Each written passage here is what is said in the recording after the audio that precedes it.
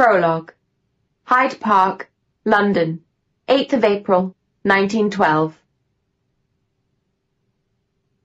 As she fell to her knees and burst into tears, he looked all around the park. Just as he'd expected, it was empty at this early hour. Jogging wouldn't be fashionable for a long time yet, and it was too cold for the beggars who slept on park benches with nothing but newspaper over them. He carefully wrapped the chronograph in its cloth and slipped it into his backpack. She was huddled beside one of the trees on the north bank of the Serpentine, on a carpet of faded crocuses. Her shoulders were shaking, and her sobs sounded like the desperate cries of an injured animal. He could hardly bear it, but he knew from experience that it was better to leave her alone. So he sat down beside her in the dew-covered grass, gazed at the smooth surface of the water, and waited.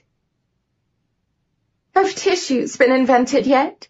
She finally sniffed, turning her tear-stained face to him. No idea, he said, but I can offer you a monogrammed hanky. Dead right for this period. GM, did you pinch it from Grace? She gave it to me, don't worry. You can blow your nose on it all you like, Princess. She smiled wryly as she handed him the handkerchief. Now it's ruined. Sorry about that. Oh, never mind, he said. Just so long as you stopped crying. Tears shot straight back into her eyes. We shouldn't have abandoned her. She needs us. We've no idea if our bluff will work, and no chance of ever finding out now. We'd have been even less used to her dead. If we could only have hidden away with her somewhere far off, under other names, until she was old enough to— He interrupted her, shaking his head firmly. They'd have found us anywhere we went. We've discussed that a thousand times already. We didn't abandon her. We did the only right thing. We made it possible for her to live in safety, at least for the next sixteen years. For a moment she said nothing. Somewhere in the distance a horse whinnied, and voices drifted over from West Carriage Drive, although it was nearly dark now.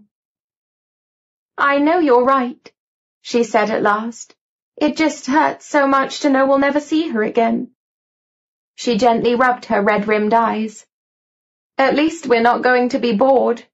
Sooner or later they'll track us down, even here, and set the Guardians on us. He's not about to give up either the chronograph or his plans, not without a fight. He smiled, seeing the light of adventure come back into her eyes. Maybe we'll outwit him after all. Either that, or in the end the other device won't work, and then he'll be finished. Right. But if it does work, we're the only ones who can stop him. That's just why we've done the right thing. He stood up and brushed the earth off his jeans. Come on, this damn grass is wet, and you're supposed to be taking things easy. She let him pull her to her feet and kiss her. What are we going to do now? Look for a place to hide the chronograph? she asked, looking undecidedly at the bridge separating Hyde Park from Kensington Gardens. Yes, but first let's raid the Guardian's deposits and stock up with cash. Then we could take the train to Southampton. The Titanic leaves on Wednesday, for her maiden voyage. She laughed. So that's your idea of taking things easy? But right, I'm with you. He was so glad she could laugh again that he kissed her once more. I was really thinking, you know that out at sea a ship's captain can marry people, don't you, Princess? You want to marry me? On board the Titanic? Are you out of your mind? It would be so romantic. Except the bit with the iceberg. She laid her head on his chest and buried her face in his jacket. I love you so much, she murmured. Will you be my wife? Yes, she said, her face still buried against his chest. But only if we leave the ship in Queenstown, Ireland at the latest. Ready for the next adventure, Princess? Ready when you are, she said softly. Uncontrolled time travel usually announces itself a few minutes in advance, but sometimes hours or even days ahead. The symptoms are sensations of vertigo in the head, stomach, and or legs. Many gene carriers also speak of a headache similar to migraine. The first journey back in time, also known as the initiation journey, takes place between the 16th and 17th years of a gene carrier's life. From the Chronicles of the Guardians, Volume 2, General Laws of Time Travel. Chapter 1 I first felt it in the school canteen on Monday morning. For a moment, it was like being on a roller coaster when you're racing down from the very top. It lasted only two seconds, but that was long enough for me to dump a plate full of mashed potatoes and gravy all over my school uniform. I managed to catch the plate just in time, as my knife and fork clattered to the floor. This stuff tastes like it's been scraped off the floor anyway, said my friend Leslie while I mopped up the damage as well as I could. Of course, everyone was looking at me. You can have mine too if you fancy spreading some more on your blouse. No thanks. As it happens, the blouse of the St. Lennox High School uniform was pretty much the colour of mashed potatoes anyway, but you still couldn't miss seeing the remaining globs of my lunch. I buttoned up my dark blue blazer over it. There goes Gwynnie playing with her food again, said Cynthia Dale. Don't sit next to me, you mucky pup. As if I'd ever sit next to you of my own free will, Sin. It's a fact, I'm afraid, that I did quite often have little accidents with school lunches. Only last week my pudding had hopped out of its dish and landed a few feet away, right in a year seven boy's spaghetti carbonara. The week before that I'd knocked my cranberry juice over, and everyone at our table was splashed. They looked as if they had measles. And I really couldn't count the number of times the stupid tie that's part of our school uniform had been drenched in sauce, juice, or milk. Only I'd never felt dizzy at the same time before. Probably I was just imagining it. There'd been too much talk at home recently about dizzy feelings. Not mine, though. My cousin Charlotte's dizzy spells. Charlotte, beautiful and immaculate as ever, was sitting right there next to Cynthia, gracefully scooping mashed potatoes into her delicate mouth. The entire family was on tenterhooks, waiting for Charlotte to have a dizzy fit. On most days, my grandmother, Lady Arista, asked Charlotte how she was feeling every ten minutes. My Aunt Glenda, Charlotte's mother, filled the ten-minute gap by asking the same thing in between Lady Arista's interrogations. And whenever Charlotte said that she didn't feel dizzy, Lady Arista's lips tightened, and Aunt Glenda sighed, or sometimes the other way around. The rest of us, my mum, my sister Caroline, my brother Nick, and Great Aunt Maddie, rolled our eyes. Of course, it was exciting to have someone with a time travel gene in the family, but as the days went by, the excitement kind of wore off. Sometimes we felt that all the fuss being made over Charlotte was just too much. Charlotte herself usually hid her feelings behind a mysterious Mona Lisa smile. In her place, I wouldn't have known whether to be excited or worried if dizzy feelings failed to show up. Well, to be honest, I'd probably have been pleased. I was more the timid sort. I liked peace and quiet. Something will happen sooner or later, Lady Arista said every day, and we must be ready. Sure enough, Something did happen after lunch, in Mr. Whitman's history class. I'd left the canteen feeling hungry. I'd found a black hair in my dessert, apple crumble with custard, and I couldn't be sure if it was one of my own hairs or a lunch lady's. Anyway, I didn't fancy the crumble after that. Mr. Whitman gave us back the history test we'd taken last week. You obviously prepared very well for it, especially Charlotte. An A plus for you, Charlotte. Charlotte stroked a strand of glossy red hair back from her face and said, Oh my, as if the result came as a surprise to her, even though she always had top marks in everything. But Leslie and I were pleased with our own grades this time too. We each had an A minus, although our preparation had consisted of eating crisps and ice cream while watching Cate Blanchett in Elizabeth and then Elizabeth the Golden Age on DVD. We did pay attention in our history class, though, which I'm afraid couldn't be said for all our other courses. Mr. Whitman's classes were so intriguing that you couldn't help listening. Mr. Whitman himself was also very interesting. Most of the girls were secretly, or not so secretly, in love with him. So was our geography teacher, Mrs. Counter. She went bright red whenever Mr. Whitman passed her. And he was terribly good-looking. All the girls thought so, except Leslie. She thought Mr. Whitman looked like a cartoon squirrel. Whenever he looks at me with those big brown eyes, I feel like giving him a nut, she said. She even started calling the squirrels running around the park Mr. Whitmans. The silly thing is that somehow it was infectious, and now whenever a squirrel scuttled past me, I always said, Oh, look at that cute fat little Mr. Whitman. I'm sure it was the squirrel business that made Leslie and me the only girls in the class who weren't crazy about Mr. Whitman. I kept trying to fall in love with him, if only because the boys in our class were all somehow totally childish, but it was no good. The squirrel comparison had lodged itself in my mind and wouldn't go away. I mean, how can you feel romantic about a squirrel? Cynthia had started the rumour that when he was studying, Mr. Whitman had worked as a male model on the side. By way of evidence, she'd cut an ad out of a glossy magazine with a picture showing a man not unlike Mr. Whitman, lathering himself with shower gel. Apart from Cynthia, however, no one thought Mr. Whitman was the man in the shower gel ad. The model had a dimple in his chin, and Mr. Whitman didn't. The boys in our class didn't think Mr. Whitman was so great.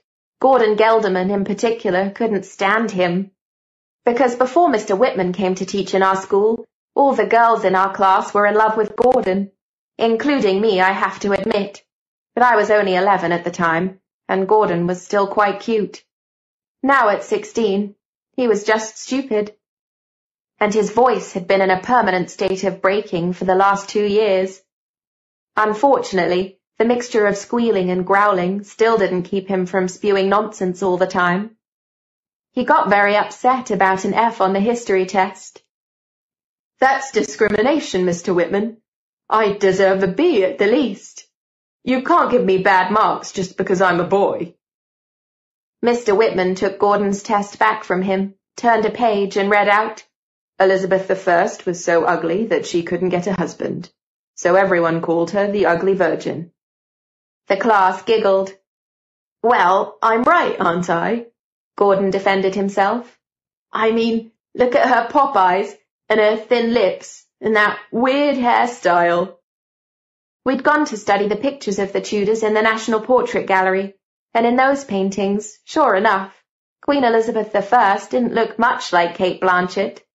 But first, maybe people in those days thought thin lips and big noses were the last word in chic. And second, her clothes were really wonderful. Third, no, Elizabeth I didn't have a husband, but she had a lot of affairs among them with Sir... Oh, what was his name? Anyway, Clive Owen played him in the second film with Cate Blanchett. She was known as the Virgin Queen, Mr. Whitman told Gordon, because... He paused and looked anxiously at Charlotte. Are you feeling all right, Charlotte? Do you have a headache? Everyone looked at Charlotte, who had her head in her hands. I feel... I just feel dizzy, she said looking at me. Everything's going round and round. I took a deep breath. So here we go, I thought. Lady Arista and Aunt Glenda would be over the moon. Wow, cool, whispered Leslie. Is she going to turn all transparent now? Although Lady Arista had repeatedly told us that under no circumstances were we ever to tell any outsider what was special about our family, I'd decided to ignore the ban when it came to Leslie. After all, she was my very best friend, and best friends don't have secrets from each other. Since I'd known Charlotte, which in fact was all my life, she'd always seemed somewhat helpless, but I knew what to do. Goodness knows Aunt Glenda had told me often enough. I'll take Charlotte home, I told Mr. Whitman as I stood up, if that's okay. Mr. Whitman's gaze was fixed on Charlotte. I think that's a good idea, Gwyneth, he said. I hope you feel better soon, Charlotte. Thanks, said Charlotte. On the way to the door, she swayed slightly. Coming, Gwynnie? I grabbed her arm. For the first time, I felt quite important to Charlotte. It was a nice feeling to be needed for a change. Don't forget to phone and tell me all about it, Leslie whispered as we passed her. Feeling slightly better outside the classroom, Charlotte wanted to fetch some things from her locker, but I held her firmly by the sleeve. Not now, Charlotte. We have to get home as fast as possible. Lady Arista says... It's gone again, said Charlotte. So, it could come back any moment. Charlotte let me steer her the other way. Where did I put that chalk? As we walked on, I searched my jacket pocket. Oh, good, here it is. And my mobile. Shall I call home? Are you scared? Silly question, sorry. I'm so excited. It's okay. No, I'm not scared. I glanced sideways at her to check whether she was telling the truth. She had that snooty little Mona Lisa smile on her face. You could never tell what she was hiding behind it. Well, shall I call home? What use would that be? Charlotte replied. I just figured. You can leave the thinking to me, don't worry, said Charlotte. We went down the stone steps to the place where James always sat. He rose to his feet when he saw us, but I just smiled at him. The trouble with James was that no one else could see or hear him, only me. James was a ghost, which is why I avoided talking to him when other people were around, except for Leslie. She'd never doubted James's existence for a second. Leslie believed everything I said, and that was one of the reasons she was my best friend. She was only sorry she couldn't see and hear James herself. But I was glad of it, because when James first set eyes on Leslie, he said, Good heavens above! The poor child has more freckles than there are stars in the sky. If she doesn't start using a good bleaching lotion at once, she'll never catch herself a husband. Whereas the first thing Leslie said when I introduced them to each other was, Ask him if he ever buried treasure anywhere. Unfortunately, James was not the treasure-burying type, and he was rather insulted that Leslie thought he might be. He was easily insulted. Is he transparent? Leslie had asked at that first meeting. Or kind of black and white? James looked just like anyone I'd ever met, except for his clothes, of course. Can you walk through him? I don't know. I've never tried. Then try now, Leslie suggested. James was not about to let me try that. What does she mean, a ghost? The Honourable James Augustus Peregrine Pimple Botham, heir to the fourteenth Earl of Hartsdale, is taking no insults from young girls. Like so many ghosts, he refused to accept that he wasn't alive any more. Try as he might, he couldn't remember dying. James and I had met five years ago on my first day at St. Lennox High School. But to James it seemed only a few days ago that he was sitting in his club playing cards with friends and talking about horses, beauty spots and wigs. He wore both a beauty spot and a wig, but they looked better on him than you might think. He completely ignored the fact that I'd grown several inches since we first met, had acquired breasts and braces on my teeth, and had shed the braces again.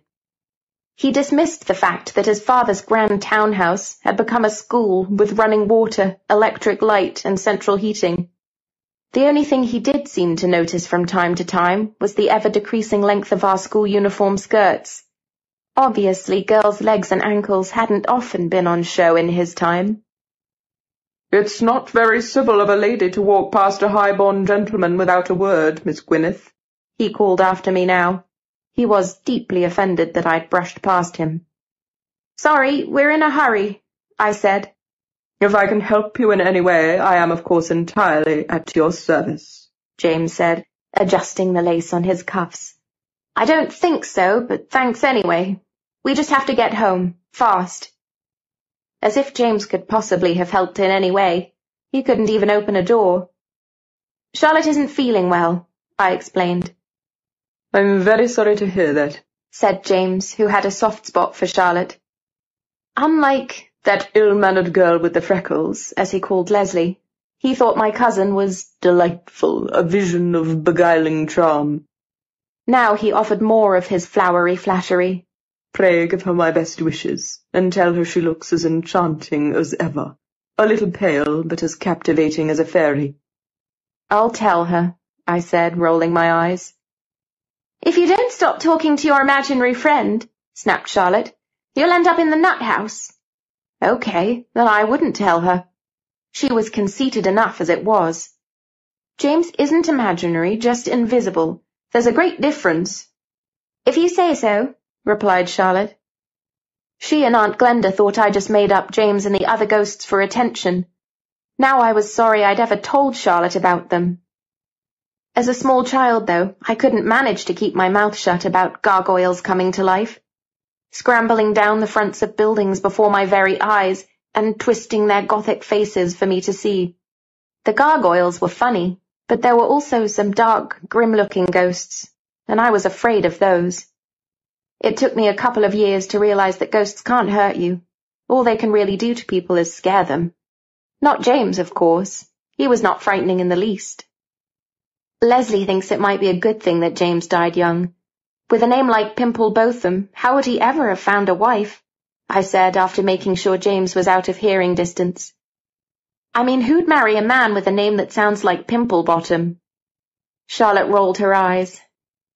He's not bad looking, I went on, and he's filthy rich, too, if he's telling the truth about his family. It's just his habit of raising a perfumed lace hanky to his nose that doesn't exactly make me swoon. What a shame that there's no one but you to admire him, said Charlotte. I thought so myself.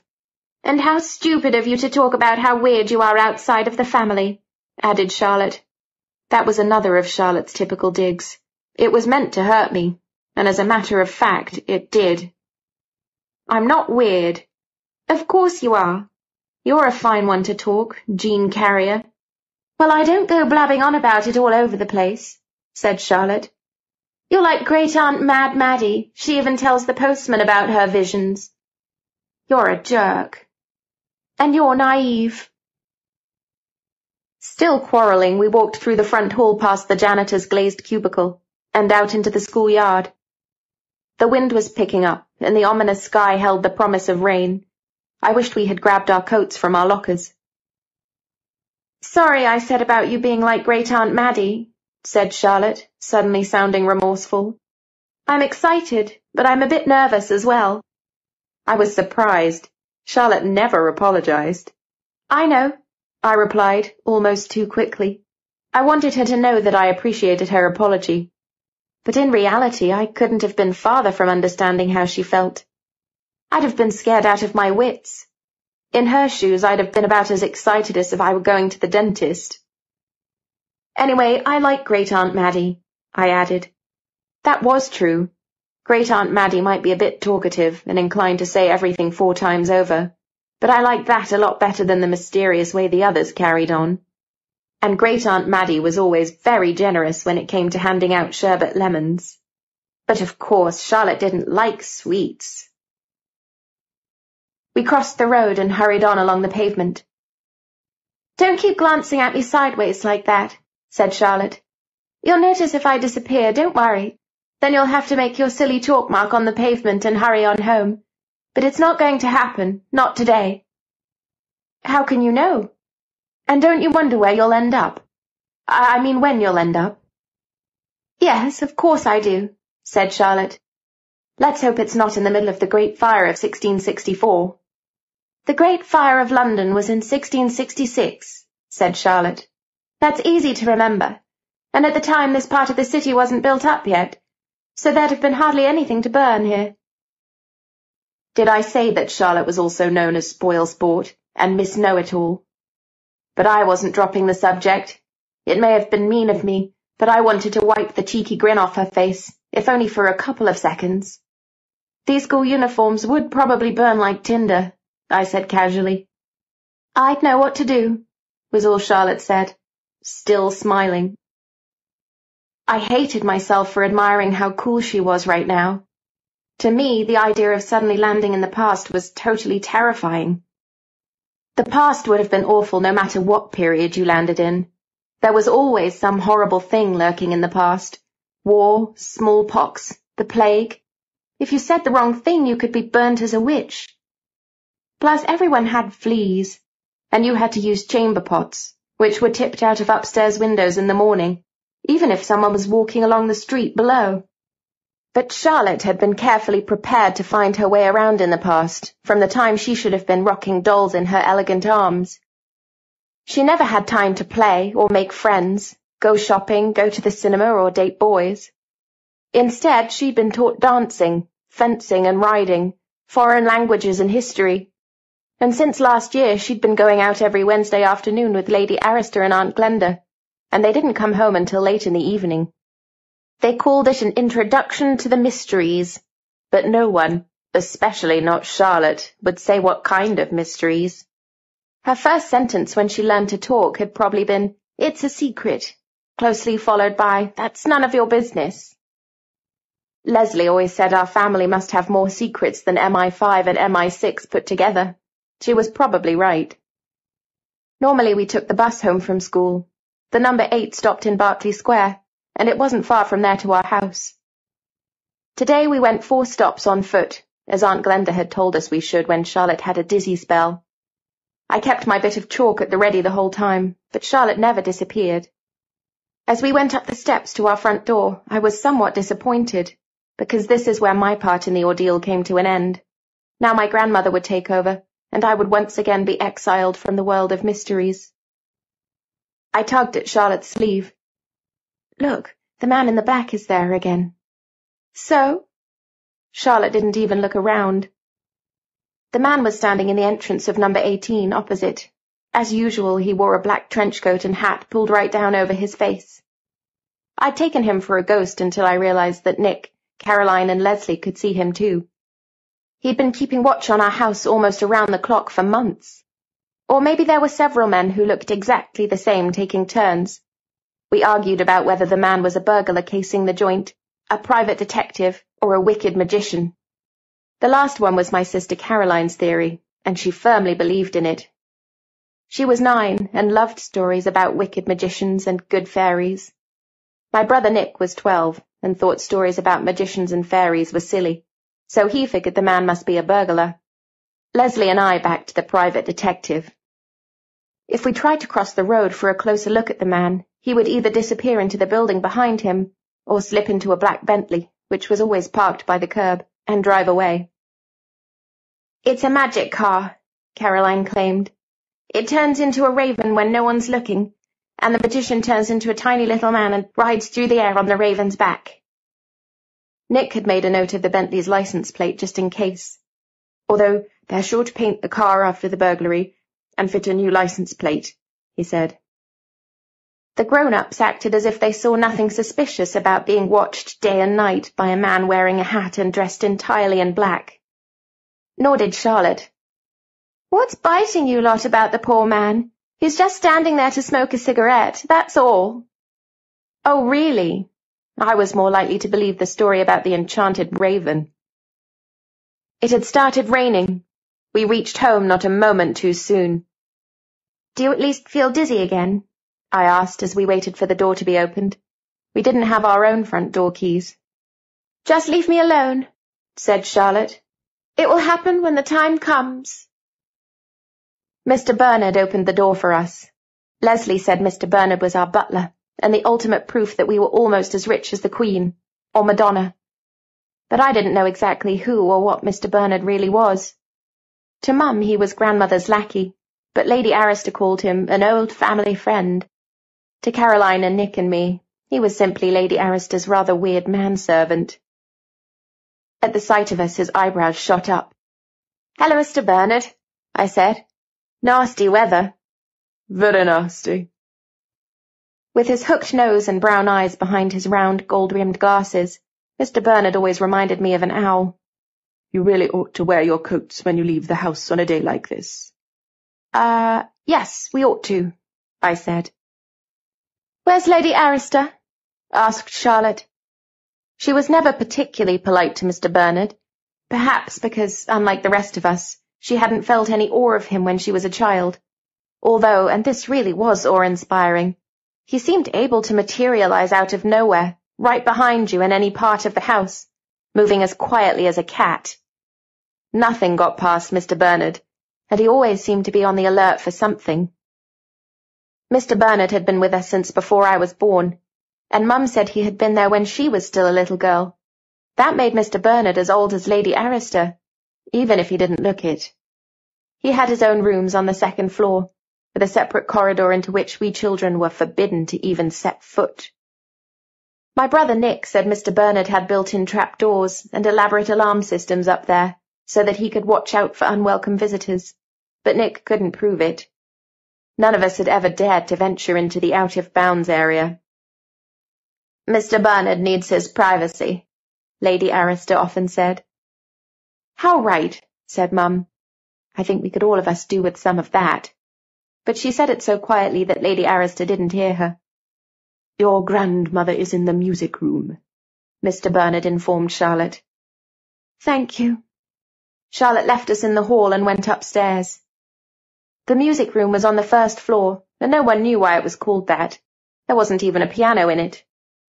The music room was Lady Arista and Great Aunt Maddie's favourite place. It smelled of faded violet perfume and the stale smoke of Lady Arista's cigarillos. The stuffy room wasn't aired nearly often enough, and staying in it for too long made you feel drowsy. Mr. Bernard closed the front door. I took one more quick look past him at the other side of the street. The man with the hat was still there. Was I wrong, or was he just raising his hand, almost as if he were waving to someone? Mr. Bernard, maybe. Or even me. The door closed, and I couldn't follow that train of thought any longer, because my stomach suddenly flipped again, as if I were on a roller coaster. Everything blurred before my eyes. My knees gave way, and I had to lean against the wall to keep from falling down. But as quickly as it had come on, the feeling was gone. My heart was thumping like crazy. There must be something wrong with me. Without being on an actual carnival ride, you couldn't possibly feel dizzy this often without something being terribly wrong. Unless... Oh, nonsense. I was probably just growing too fast. Or I... I had a brain tumor. Or maybe, I thought, brushing that nasty thought aside, it was only that I was hungry. Yes, that must be it. I hadn't eaten anything since breakfast. My lunch had landed on my blouse. I breathed a sigh of relief. Only then did I notice Mr. Bernard's owlish eyes looking attentively at me. Whoops, he said, a little too late.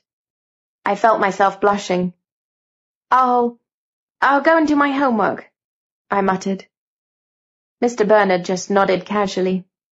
But as I climbed the stairs, I could feel his eyes on my back. back from Durham, where I visited Lord Montrose's youngest daughter, Grace Shepherd, whose daughter was unexpectedly born the day before yesterday. We are all delighted to record the birth of Gwyneth Sophie Elizabeth Shepherd, five pounds, eight ounces, twenty inches. Mother and child are both doing well. Heartfelt congratulations to our Grand Master on the birth of his fifth grandchild. From the Annals of the Guardians, 10th of October, 1994. Report, Thomas George, Inner Circle. Chapter 2 Leslie said our house was posh as a palace because it was so big and full of paintings, wooden panelling, and antique furniture. She suspected that there was a secret passage behind every wall, and at least one hidden compartment in every cupboard. When we were younger, we went on journeys of exploration through the house whenever Leslie came to visit. We were strictly forbidden to snoop around, which made it even more exciting. We worked out increasingly crafty strategies for not getting caught. In the course of time, we really did find some secret compartments, and even a secret door.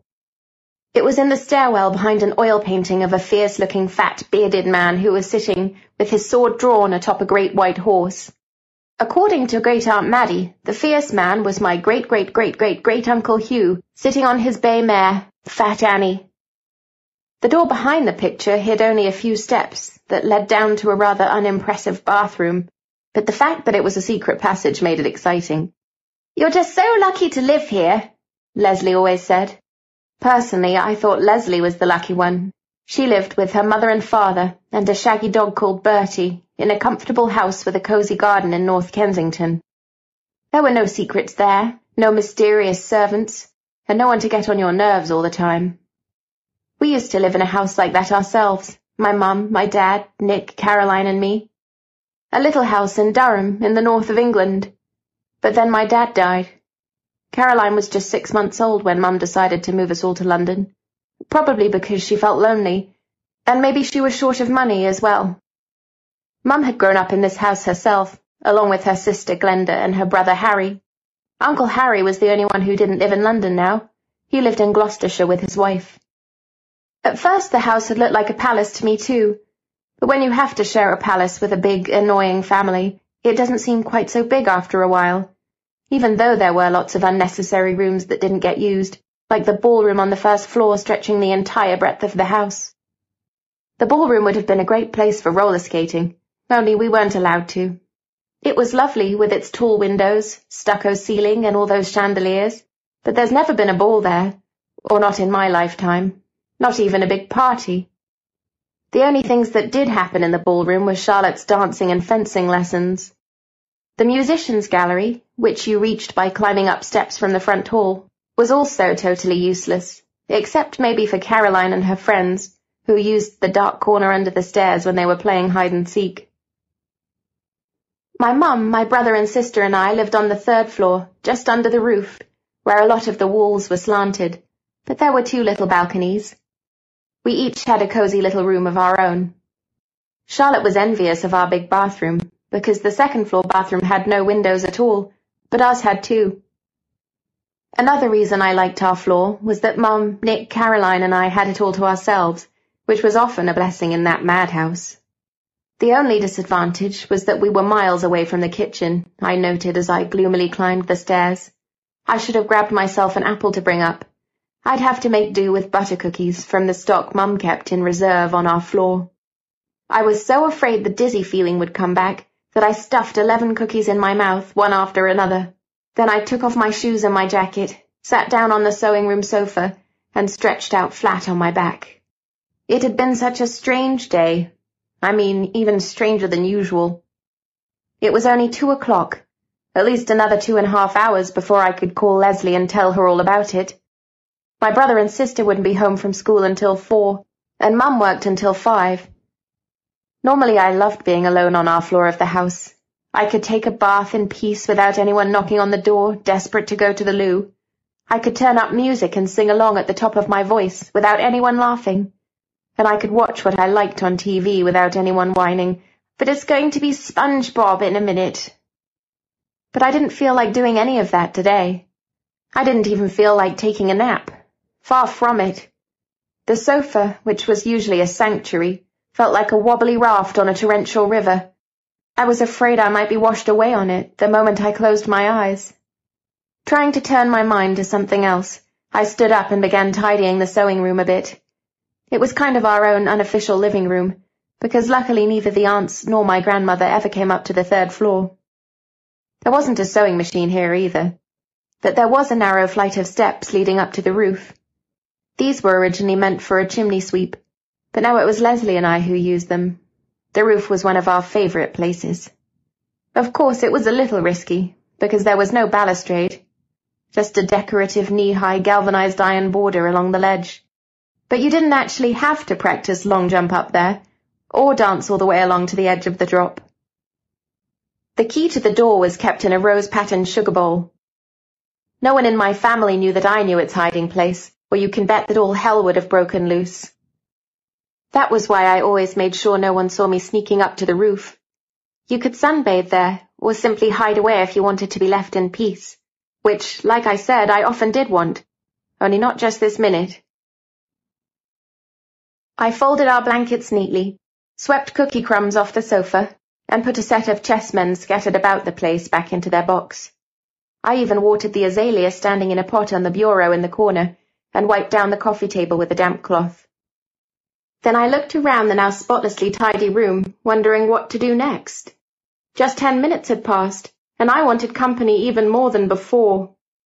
Was Charlotte having a dizzy spell again down in the music room?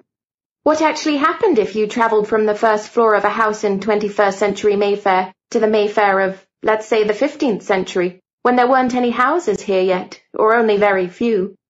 Did you arrive in midair and drop to the ground from a height of 20 feet or so? Maybe landing on top of an ant hill? Poor Charlotte. But I suppose they could be teaching her to fly in her secret instruction in the mysteries, so maybe she wouldn't end up with ants in her pants. Speaking of mysteries, I suddenly thought of something to take my mind off it all. I went into Mum's room and looked down at the street. Yes, the man in black was still down there outside number 18. I could see his legs and part of his trench coat. The distance three floors down had never seemed so great. I tried working out how far it was from here to the ground.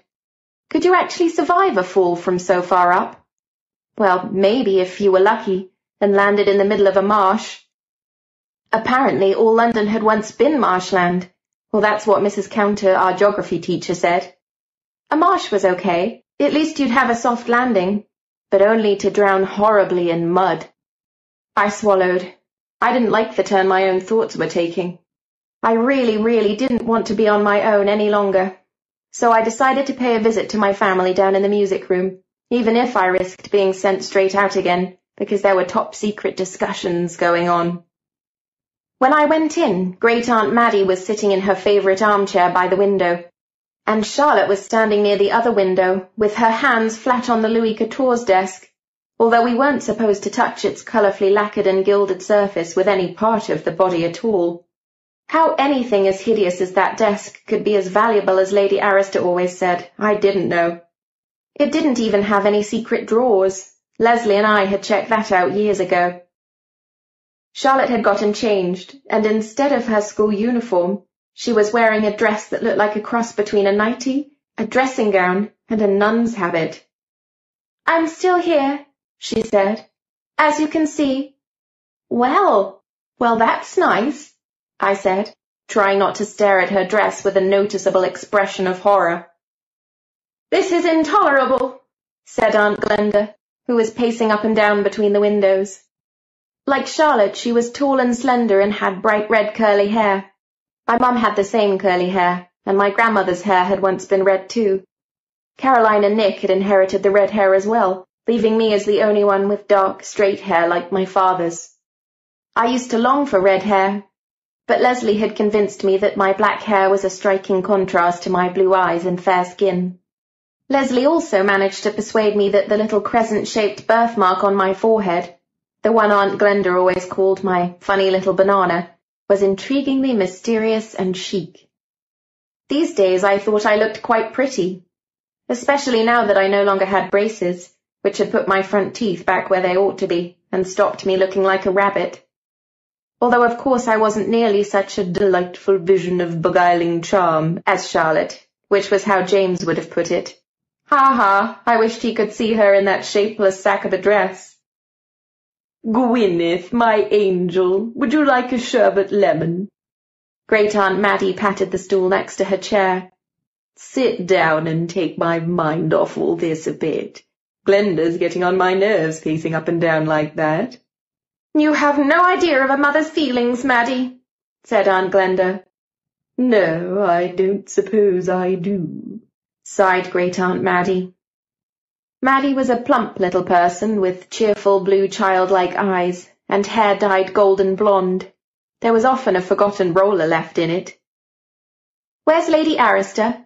I asked, taking a lemon sherbet. Next door on the phone, said Great Aunt Maddie. But she's speaking softly, so I'm afraid we can't make out a word of it.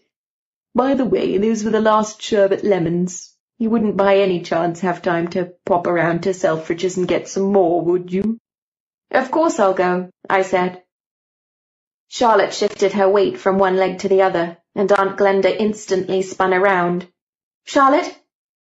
No, it's nothing, said Charlotte.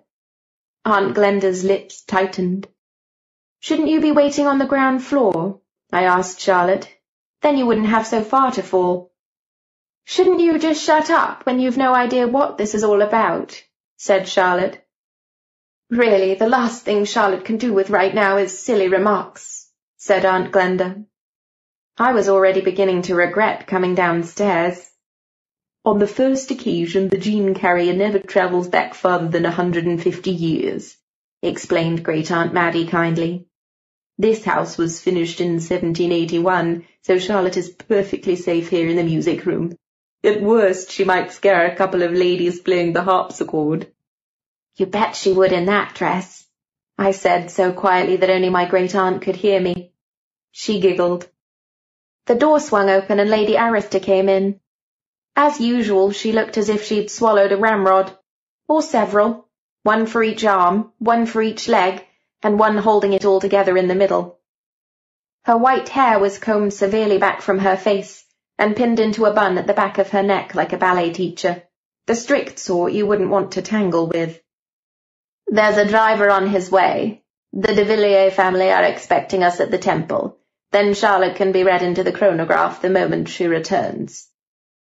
I didn't understand a word of this.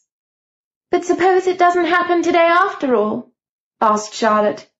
Charlotte, darling, you've felt dizzy three times already, said Aunt Glenda.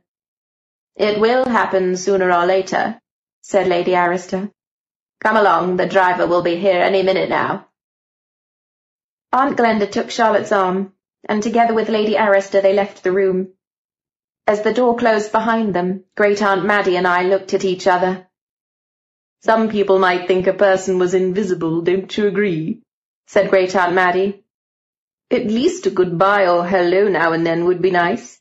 Or something really clever like, Dear Maddie, did you by any chance have one of your visions that might help us?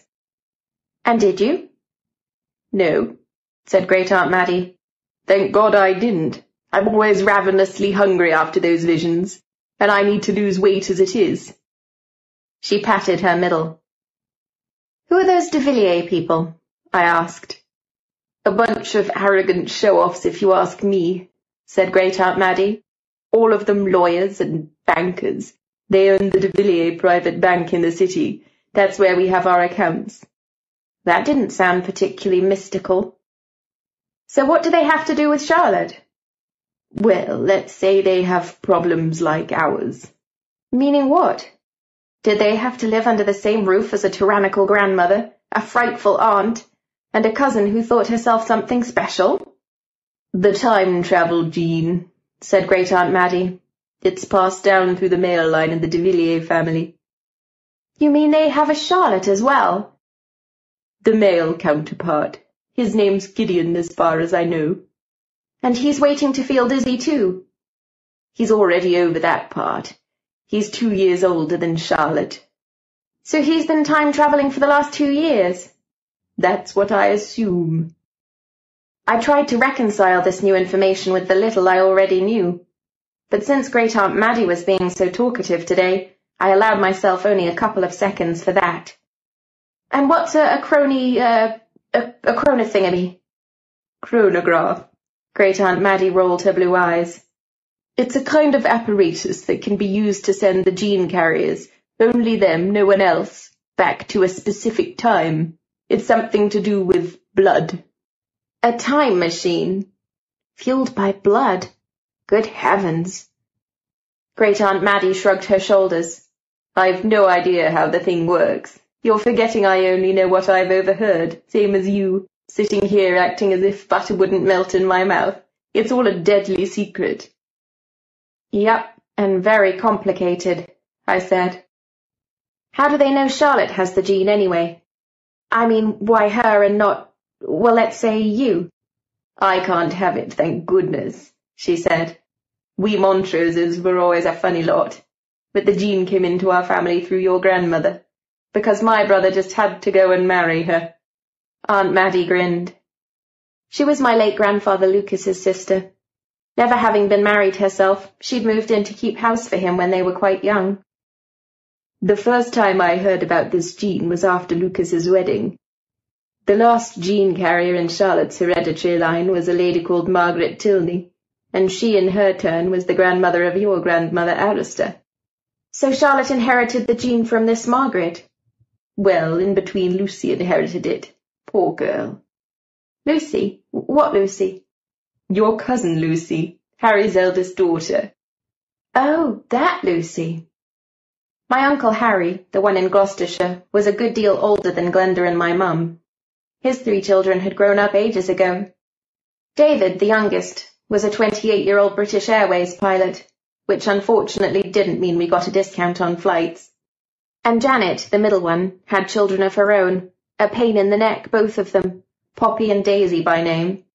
I'd never met Lucy, the eldest. I didn't know much about her either. The Montroses has never said a thing about Lucy.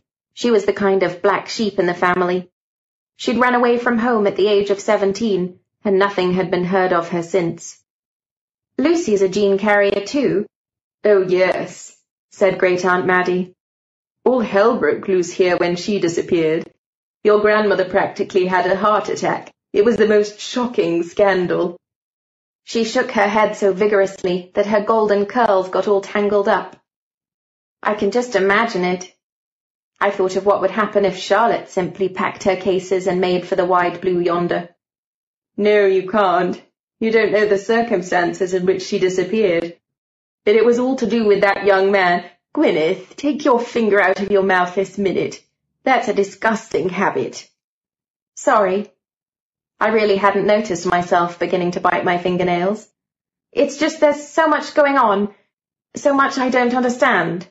Same here, Great Aunt Maddie assured me. And I've been listening to all this stuff since I was fifteen. What's more, I have what you might call a natural talent for mystery. All the Montroses love secrets. They always have. That's the only reason my poor brother married your grandmother in the first place, if you ask me. It can't have been her alluring charms, anyway, because she doesn't have any. She reached into the box of sherbet lemons and sighed when her fingers met empty air. Oh dear, I'm afraid I must be addicted to these things. I'll run to Selfridge's and get you some more, I offered. You're my darling child, you always will be. Give me a kiss and put your coat on, it's raining. And never bite your nails again, all right?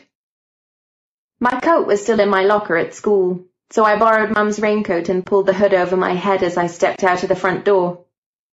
The man in the entrance of number 18 was just lighting himself a cigarette. On a sudden impulse, I waved to him as I ran down the steps. He didn't wave back, of course. Weirdo, I muttered as I hurried off towards Oxford Street. It was raining cats and dogs, and I wish I'd put on my wellies. The flowers on my favourite magnolia tree on the corner were drooping in a melancholy way. Before I reached it, I'd already splashed through three puddles. Just as I was trying to steer my way around a fourth, I was swept suddenly off my soggy feet. My stomach flip-flopped, and before my eyes the street blurred into a grey river. Ex hoc momento pendet aeternitas. Eternity hangs from this moment. Inscription on a sundial, in the Middle Temple, London. Chapter 3 When I could see properly again, I noticed a car was coming around the corner, a real old-timer, and I was kneeling on the pavement, shaking with fear. Something was wrong with this street. It didn't look the same as usual. Everything had changed so suddenly. The rain had stopped, but an icy wind was blowing, and it was much darker than a moment ago, almost night. The magnolia tree had no blossom or leaves. I wasn't even sure whether it was still a magnolia at all. The spikes of the fence around it were gilded at the tips. I could have sworn they'd been black when I'd seen it not a moment before. Another vintage car came chugging around the corner, a strange vehicle with tall wheels and shiny spokes. I looked along the pavement. The puddles were nowhere to be seen, nor were the traffic signs. The paving was bumpy and out of shape, and even the street lamps looked different. Their flickering yellowish light hardly reached the entrance to the next building. Deep down inside me, a nasty idea stirred, but I wasn't about to entertain it seriously yet. I forced myself to breathe deeply. Then I looked around again, more thoroughly this time. Okay, strictly speaking, there wasn't that much difference. Most of the buildings really looked the same as usual. But still, the tea shop where Mum bought the delicious Duchy originals made by the Prince of Wales had disappeared, and I'd never set eyes on the colossal columned building on the corner. A man wearing a hat and a dark coat looked at me with a touch of curiosity as he passed. But he didn't try talking to me, or even helping me to stand up. Finally, I did it myself and brushed the dirt off my knees. The nasty thought that had occurred to me was slowly but surely becoming a ghastly certainty. Who did I think I was kidding? I hadn't run into a vintage car rally, and the magnolia hadn't suddenly lost all its leaves. And although I'd have given anything to see Nicole Kidman suddenly come around the corner, this was not, unfortunately, the set of a film from a Henry James novel. I knew exactly what had happened. I simply knew. And I also knew that there must be some mistake. I'd landed in another time. Not Charlotte. Me.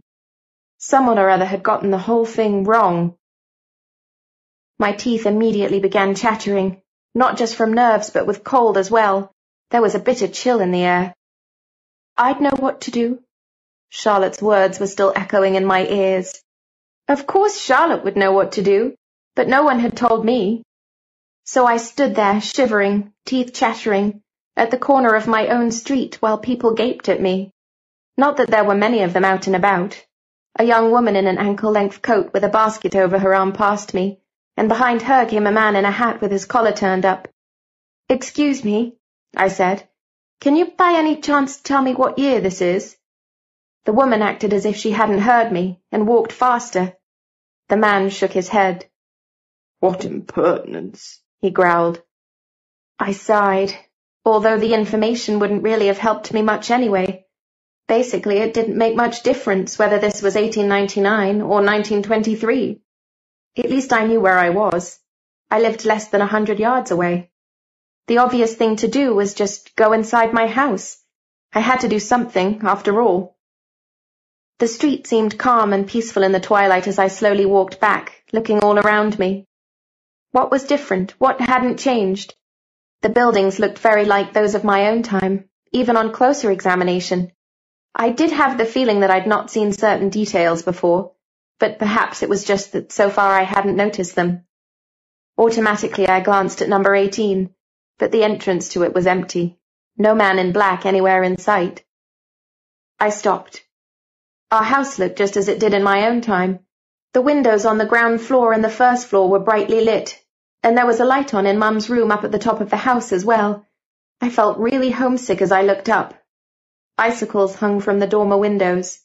I'd know what to do. So what would Charlotte do? It would soon be dark, and it was already bitterly cold.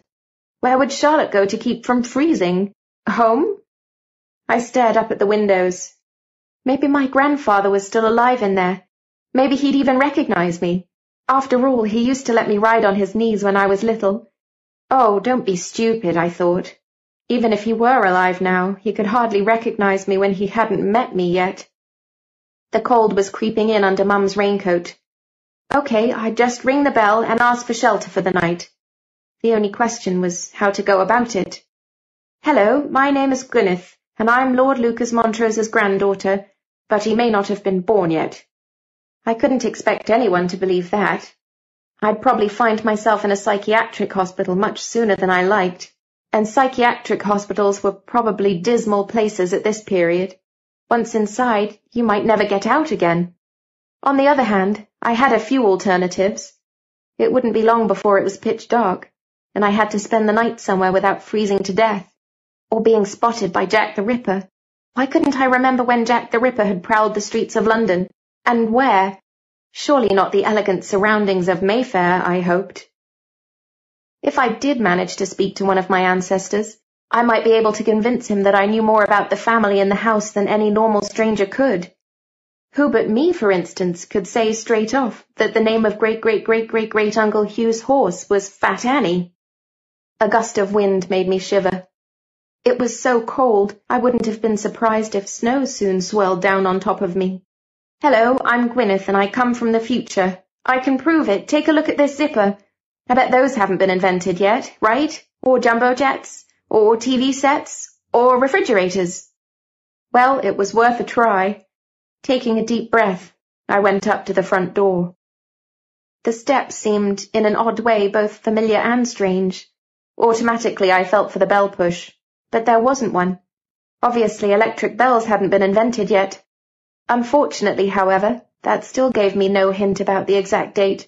I didn't even know when they'd found out how to use electricity. Before or after steamships? Had we learnt that in school? If so, I couldn't remember it now. I found a handle hanging from a chain, like the one that flushed the old-fashioned toilet in Leslie's house. I pulled it, hard, and heard a bell ring behind the door. Oh my God, one of the domestic staff would probably open the door. What could I say to make him, or her, take me to a member of the family? Maybe great-great-great-great-great-Uncle Hugh was still alive. Or already alive. Alive, anyway. I'd simply ask for him. Or Fat Annie. Footsteps were coming closer, and I plucked up all my courage. But I never saw who opened the door, because once again the strange feeling swept me off my feet, flung me through time and space, and spat me out on the other side. I found myself back on the doormat outside our house again, jumped up, and looked around. Everything looked the same as when I'd just left a little while ago to go and buy Great Aunt Maddie's sherbet lemons.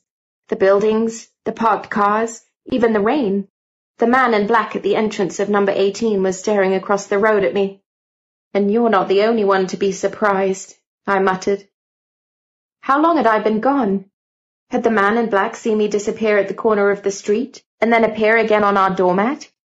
If so, I bet he couldn't believe his eyes. It served him right. I rang the bell frantically. Mr. Bernard opened the door. In a hurry, are we? he asked. Maybe not you, but I am. Mr. Bernard raised his eyebrows. Excuse me, I forgot something important. I made my way past him and ran upstairs two steps at a time. Great Aunt Maddie looked at me in surprise when I raced through the door. I thought you'd already left, my love. Out of breath, I stared at the clock on the wall. It was now exactly twenty minutes since I'd left the room. I'm glad you're here, though. There's something I forgot to tell you. They have the same sherbet lemons at Selfridge's, but sugar-free, and the packaging looks just the same. But don't buy the sugar-free sherbet lemons, whatever you do, because those give me, well, diarrhea. Aunt Maddie, why is everyone so sure that Charlotte has the gene? Because, oh, ask me something simpler, could you? Great Aunt Maddie was looking rather confused. Have they tested her blood? Couldn't someone else have the same gene too? My breathing was slowly calming down. Oh, Charlotte is definitely a gene carrier. Because it's been found in her DNA?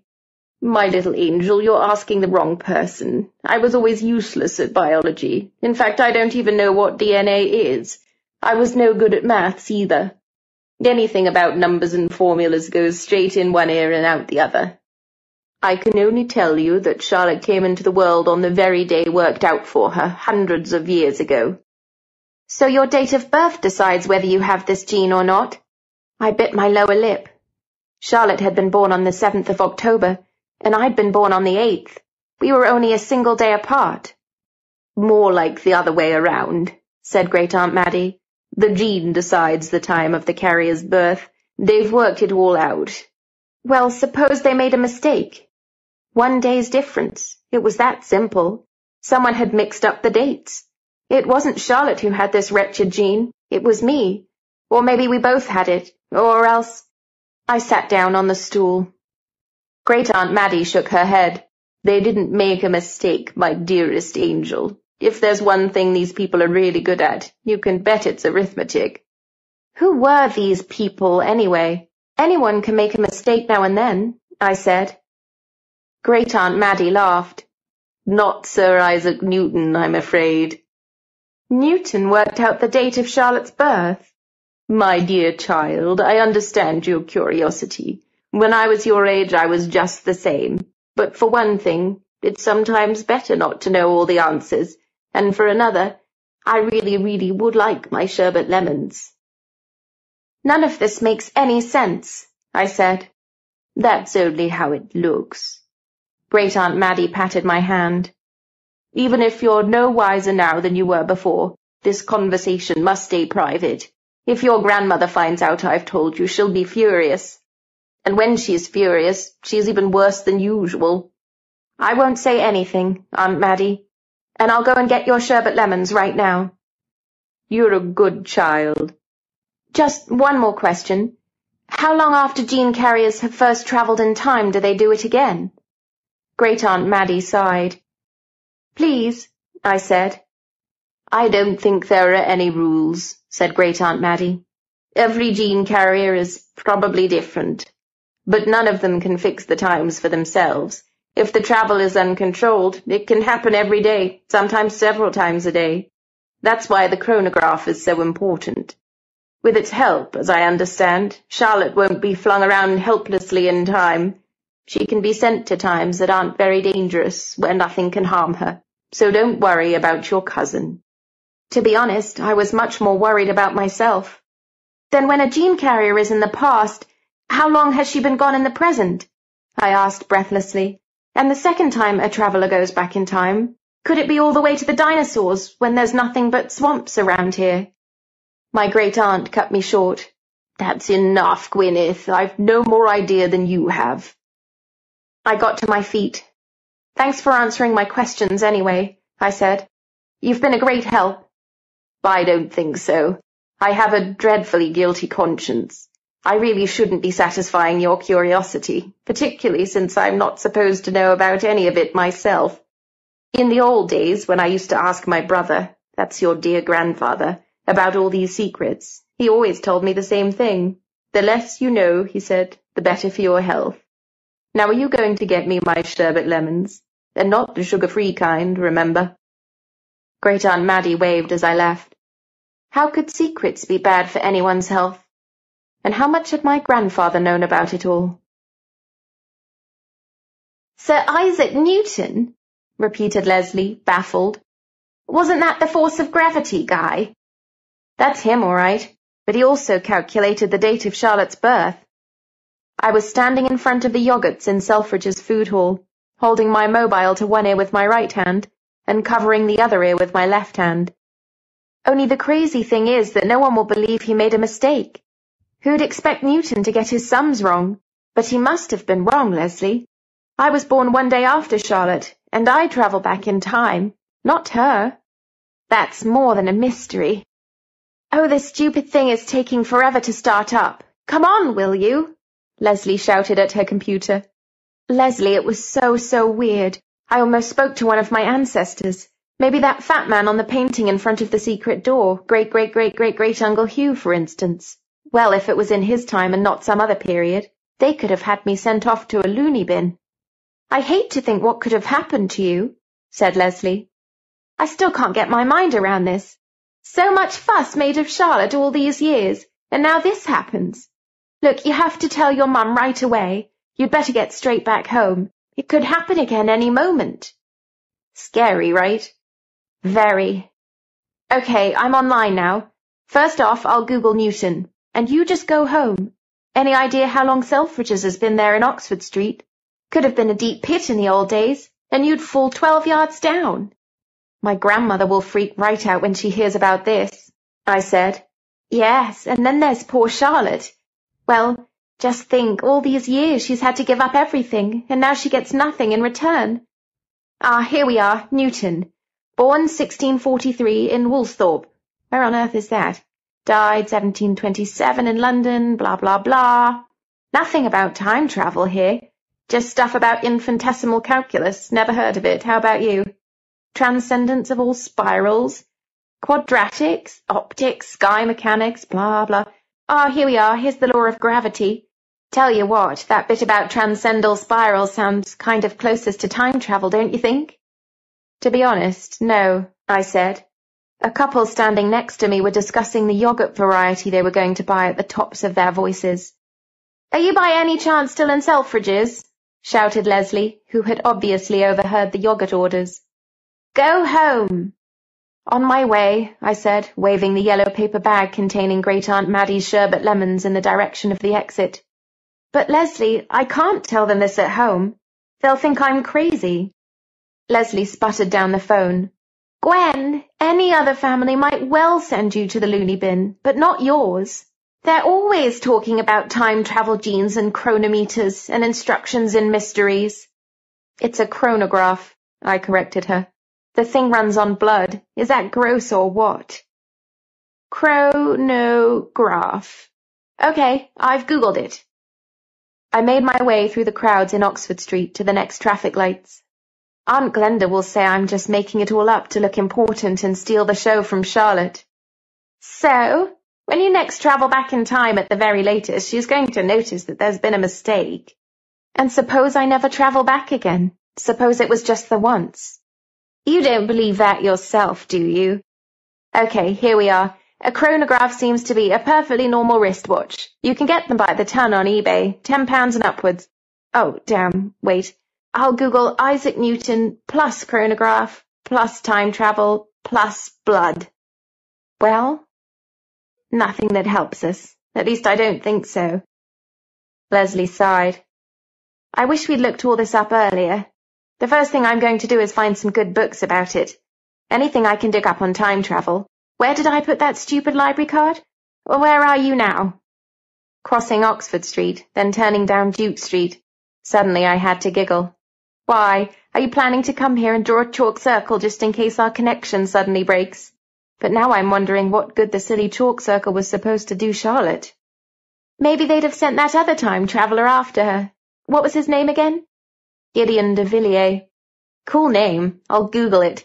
Gideon de Villiers. How do you spell it? How should I know? Back to the chalk circle. Where would they have sent this Gideon guy? I mean, what period? Charlotte could have been anywhere. In any minute, any hour, any year, any century. No, that chalk circle makes no sense. Leslie screeched down my ear so loud that I almost dropped my mobile. Gideon de Villiers! Got him! Really? Yep, it says here, the polo team of the Vincent School Greenwich has won the All England Schools Polo Championship again this year, celebrating with the cup from left to right, Headmaster William Henderson, team manager John Carpenter, team captain Gideon de Villiers, and so on and so forth. Wow, so he's the captain too. Only it's such a tiny picture you can't make out where the horses leave off and the team members begin. Where are you now, Gwen? Still in Duke Street. That figures. School in Greenwich, polo. Yeah, that must be him. And does it say he sometimes disappears?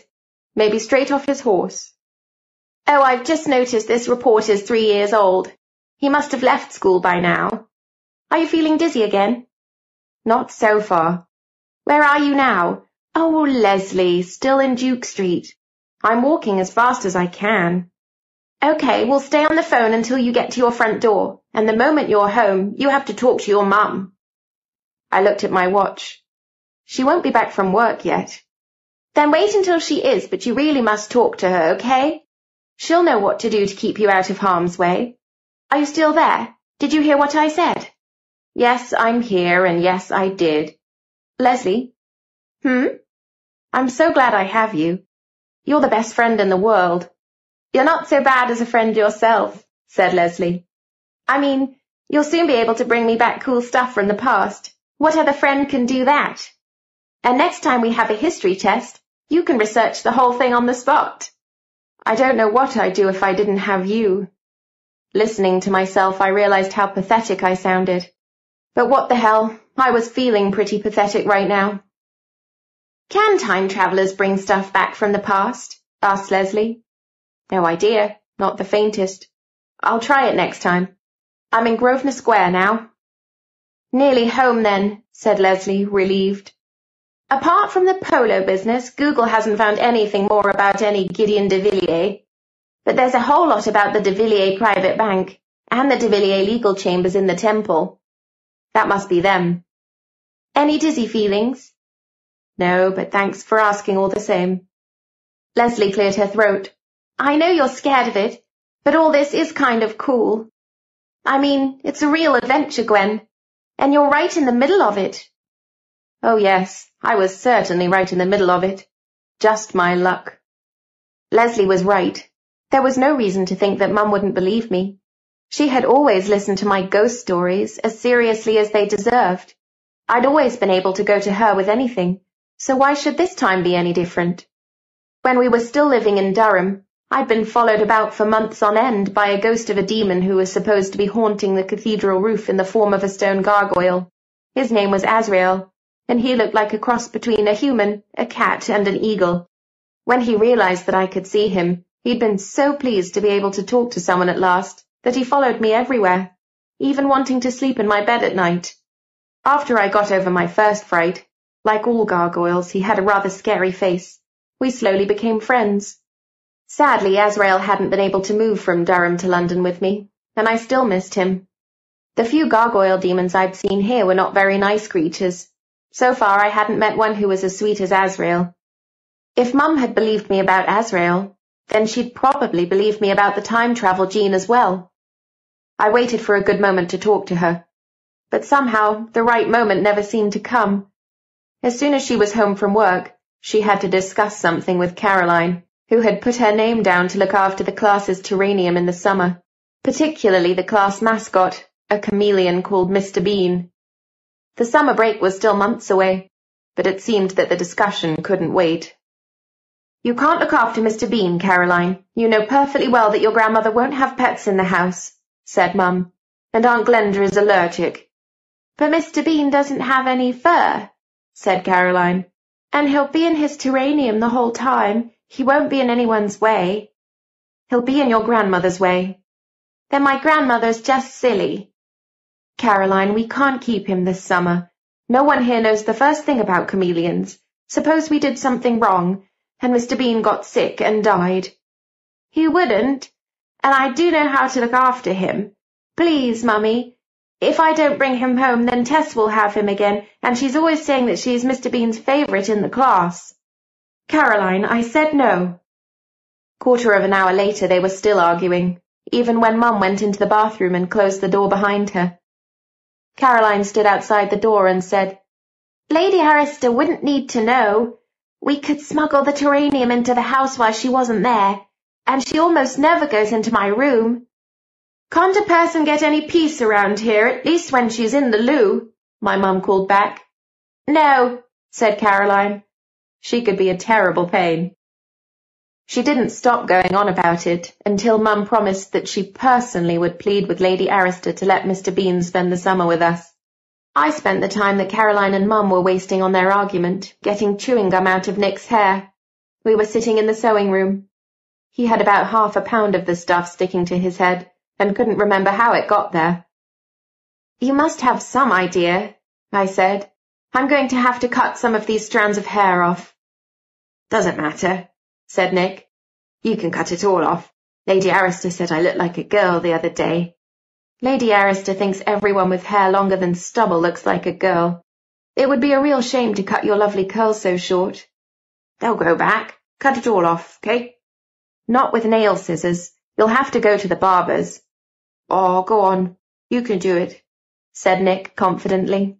Obviously, he'd completely forgotten that I'd already cut his hair with a pair of nail scissors once, and he'd looked like a freshly hatched vulture chick. I'd been seven at the time, and he was four. I'd needed his curls to make myself a wig, but it hadn't worked, and I got a scolding and a day's house arrest. Don't you dare, said Mum, who came back into the room. She took the scissors away from me for safety's sake. If it has to be done, it'll be done by a barber. Tomorrow. We must go down to supper now. Nick groaned. Don't worry. Lady Arista's out today. I grinned at him. No one will scold you for the chewing gum, or the dirty mark on your sweatshirt. What dirty mark?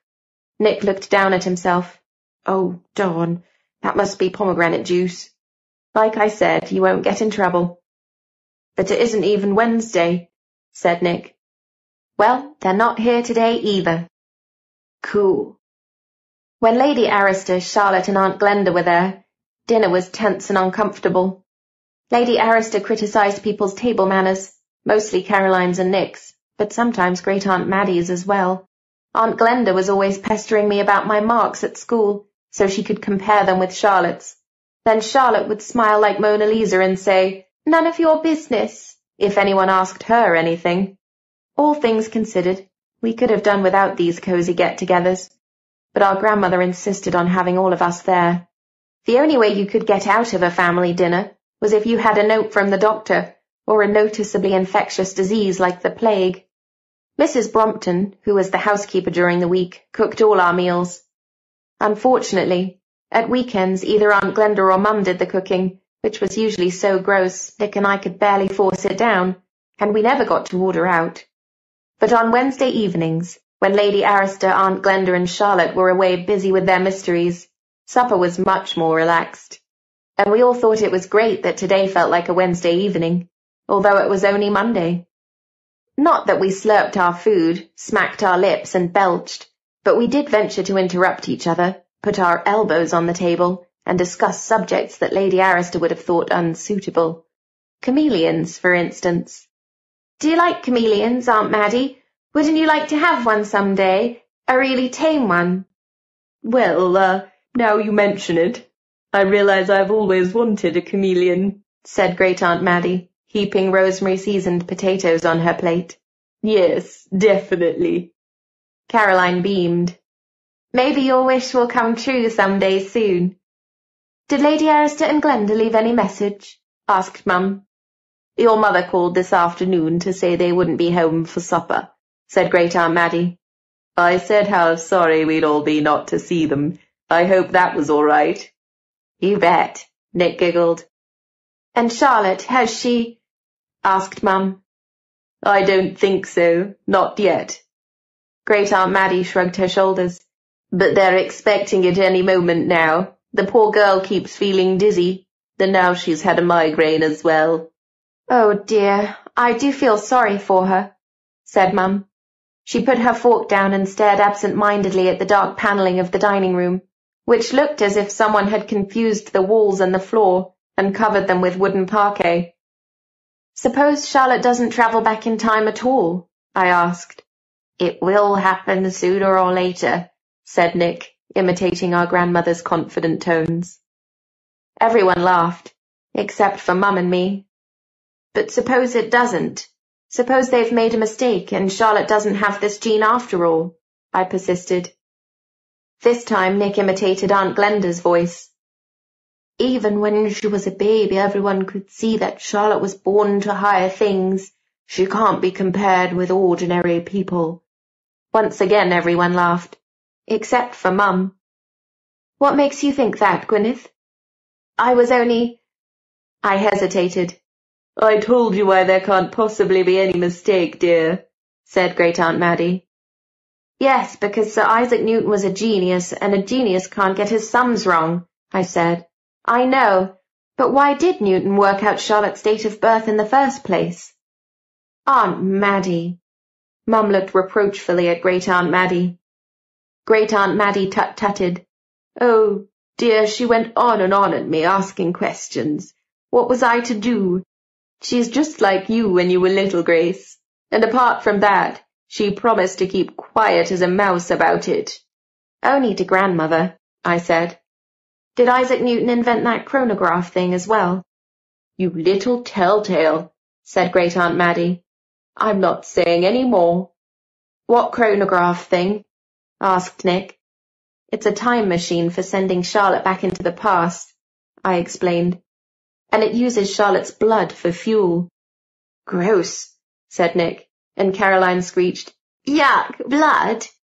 Can you travel into the future with the chronograph as well? asked Nick. Mum groaned.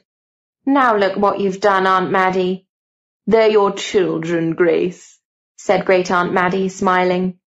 It's only natural for them to want to know what's going on. Yes. Mum looked at us one by one but you must never ask your grandmother such questions. Do you understand? Although she's probably the only one who knows the answers, I said. But she wouldn't give them to you. And how much do you know about it all, Mum? More than I like. Mum was smiling as she said that, but I thought it was a sad smile. And no, you can't travel into the future, Nick, for the simple reason that the future hasn't happened yet. Huh? said Nick. What sort of sense does that make? There was a knock, and Mr. Bernard came in with the telephone. Leslie would probably have freaked out if she'd seen the phone lying on a silver platter. Sometimes Mr. Bernard overdid the butler thing a bit. A telephone call for Miss Grace, he said. Mum picked up the phone, and Mr. Bernard turned around to leave the dining room. He didn't eat with us unless Lady Arista invited him to, which was about twice a year. Nick and I suspected that he ordered out from Italian or Chinese meals and enjoyed them in the comfort of his own room. Yes? Oh, Mother, it's you. Great Aunt Maddie's eyes twinkled. Your grandmother can read thoughts, she whispered. She guesses we're discussing forbidden subjects here.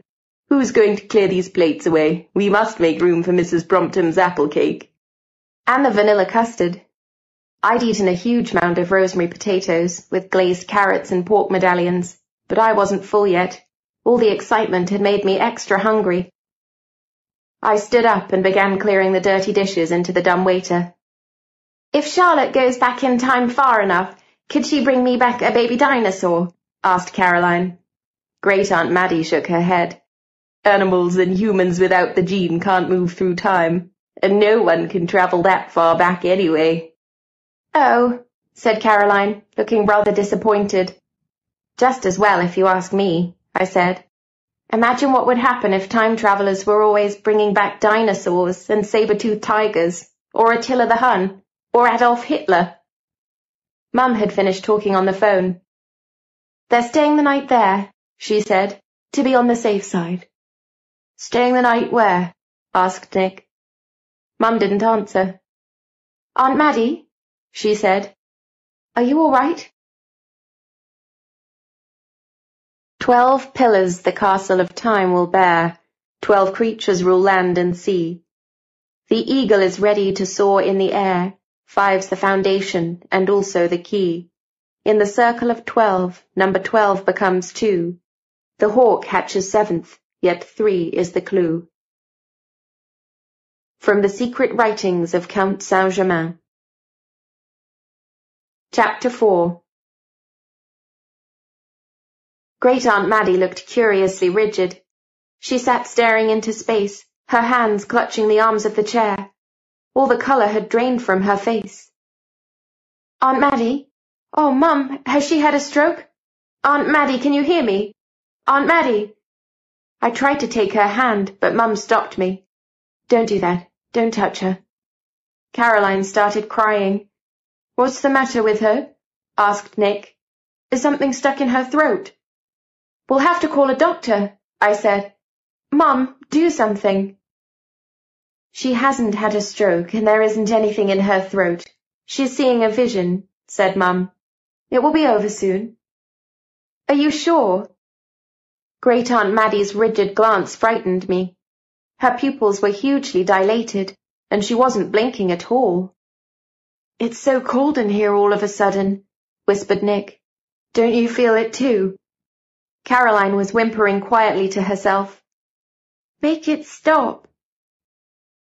Lucy, someone cried. We jumped in alarm and then realized that it was Great Aunt Maddie's voice. The temperature really had dropped. I looked around, but there were no ghosts in the room. Lucy, oh dear child, she's leading me to a tree. A tree covered with red berries. Oh, where's she gone? I can't see her any more. There's something lying between the roots of the tree.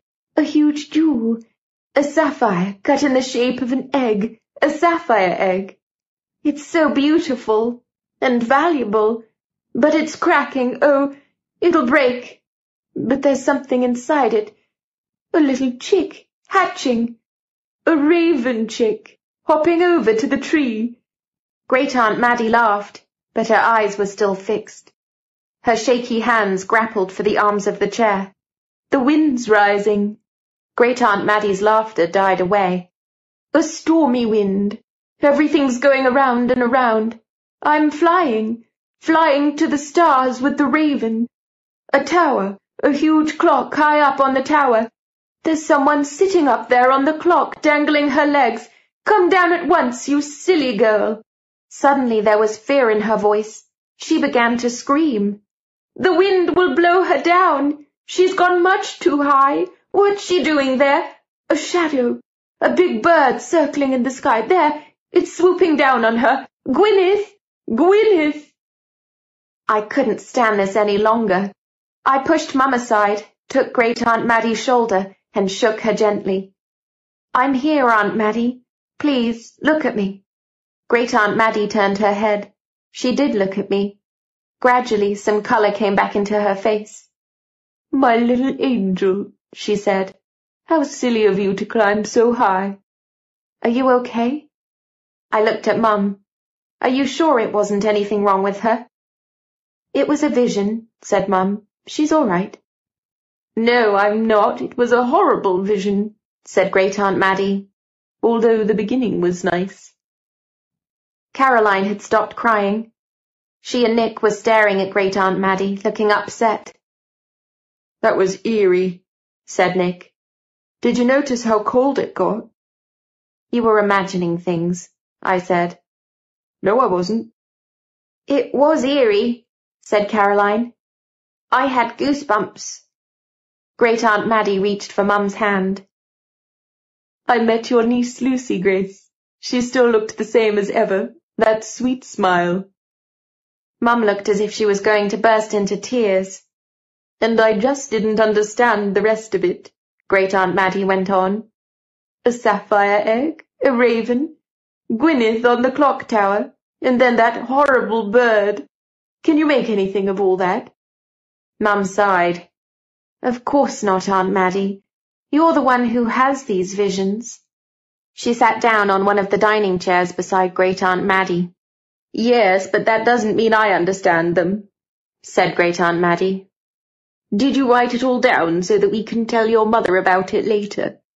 No, Auntie, I didn't. Maddie leaned forward. Then we'd better write it down at once. Right. First, there was Lucy, then a tree, red berries, could have been a mountain ash. The sapphire egg was lying there. Oh, my word, I'm so hungry. I hope you didn't finish the apple cake. I deserve at least two slices today. Or three. That really was very, very eerie, I said. Caroline and Nick had gone to sleep, and I was sitting with Mum on the edge of her bed, trying to find a good way to tell her about my problem. Mum, something funny happened to me this afternoon, and I'm scared it could happen again. Mum was deeply engaged in her evening beauty routine. She'd finished her face already. Obviously good skincare paid off. You really wouldn't have thought my mum was over forty. That's the first time I've seen Great Aunt Maddie have one of her visions, I said. It was the first time she's ever had one during dinner, replied Mum, rubbing cream on her hands and massaging it in. She always says that age showed first on your hands and your neck. Do, do we take her vision seriously? Mum shrugged her shoulders. Hmm, well, you heard all that confused stuff she was saying, and it can always be interpreted differently. She had a vision three days before your grandfather died. She saw a black panther jumping on his chest. And grandfather died of a heart attack, so that makes sense. See what I mean? They always hold some truth. Want some hand cream, darling? Do you believe in it? I mean, not the hand cream, Aunt Maddie's vision. I think Aunt Maddie really sees what she says she does, but that doesn't mean her visions predict the future, not by a long shot, or that it has to mean anything in particular. I don't understand. I held out my hands, and Mum began putting cream on them. It's a bit like your ghosts, darling. I'm sure you do see them, just as I believe that Aunt Maddie has visions. Does that mean you believe I see ghosts, but you don't believe they really exist? I cried indignantly, taking my hands away. I don't know whether they really exist or not, said Mum. What I believe has nothing to do with it. But if they didn't exist, that would mean I was just imagining them, and that would mean I was crazy. No, said my mum. It would only mean that... Oh, darling, I don't know what to say. Sometimes I get the feeling we have rather too much imagination in this family. I suppose we'd live more restful, happier lives if we stuck to believing what normal people believe. I get the message, I said. Maybe it wouldn't be such a great idea to come out with my news tonight. Hey, Mum, we travelled back into the past this afternoon, me and my abnormal imagination. Don't look so sad, said Mum. I know, I know, there are more things in heaven and earth and all that. But maybe we make them seem far too important the more we think about them. I don't think you're crazy, or Aunt Maddie either. But be honest, do you imagine Aunt Maddie's vision could have something to do with your own future? Maybe. You do? Are you planning to climb a clock tower sometime soon? Sit on the clock and dangle your legs? Of course not, but maybe it was a symbol. Maybe, said Mum, or maybe not. Go to sleep now, darling. You've had a long day. She looked at the little clock on her bedside table. Let's hope it's safely behind Charlotte by now. Oh, I do hope she's finally done it. But maybe Charlotte just has too much imagination as well, I said. I stood up and gave Mum a kiss. I'd try again tomorrow. Maybe. Good night. Good night, sweetie. I love you. Love you too, Mum. When I'd closed my bedroom door behind me and climbed into bed, I felt guilty. I should have told my mum all about it. But what she had said had made me think. Yeah, sure, I did have a big imagination. But daydreaming is one thing. Imagining you're traveling through time is quite another. People who imagine that kind of thing got psychiatric treatment. And they should, if you asked me. Maybe I was like those weirdos who claim to have been abducted by aliens completely out of my mind. I switched off my bedside lamp and snuggled down under the duvet. Which was worse, being crazy or actually travelling back in time? Probably the second, I thought. Maybe you could take tablets for the first. In the dark, my fears came back. Once again, I was wondering how far I would fall from here to the ground floor, so I switched the bedside light on again and turned my face to the wall. Hoping to go to sleep, I tried thinking of something harmless and soothing, but I just couldn't do it. In the end, I counted backward from a thousand. I must have fallen asleep at some point, because I'd been dreaming of a big bird when I woke up and sat up in bed, heart pounding. There it was again, that horrible sensation in my stomach. I jumped out of bed in a panic and ran to Mum's room as fast as my trembling legs would carry me. I didn't care if she thought I was crazy. I just wanted it to stop. And I did not want to fall three floors down and land in a swamp. I got no further than the passage, and then I was swept off my feet. Convinced that my last hour had come, I squeezed my eyes shut. But I only fell on my knees with a bump, and the floor felt just like the familiar wooden floorboards. Cautiously, I opened my eyes. It was lighter now, as if the sun had risen in the last second. For a moment I hoped that nothing had happened. Then I saw that I had indeed landed in our corridor. But it looked different. The walls were painted dark olive green, and there were no ceiling lights. I heard voices coming from Nick's room, female voices. I stood up quickly. If anyone saw me now, how was I going to explain where I'd suddenly come from, in my Hello Kitty pyjamas? I'm so tired of getting up at the crack of dawn, one voice was saying. Walter can sleep until nine in the morning. Not us. I should have stayed on the farm milking cows. Walter's on duty half the night, Clary. Your cap's crooked, said the second voice. Tuck your hair neatly under it, or Mrs. Mason'll be cross. She's always cross anyway, grumbled the first voice. There are much stricter housekeepers, Clary dear. Come on, or we'll be late. Mary went downstairs fifteen minutes ago.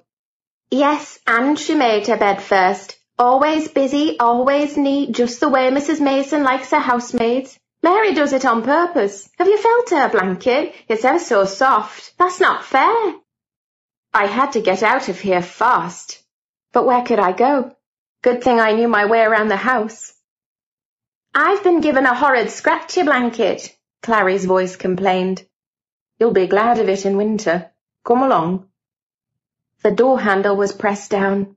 I raced over to the built-in cupboard, flung the door open, and shut it again after me, just as the door of Nick's room opened. I don't see why I have to have a scratchy blanket and Mary gets a nice soft one. Clary's voice went on. It's so unfair. Betty can go out into the country with Lady Montrose, and we have to spend all summer in the stuffy city air. You really should try not to complain so much, Clary. I agreed with the other woman. This girl Clary was a real moaning Minnie. I heard the two of them go downstairs and breathed a sigh of relief. That was a close one. But now what? Should I just wait in the cupboard until I travelled back again? That was probably the safest thing to do.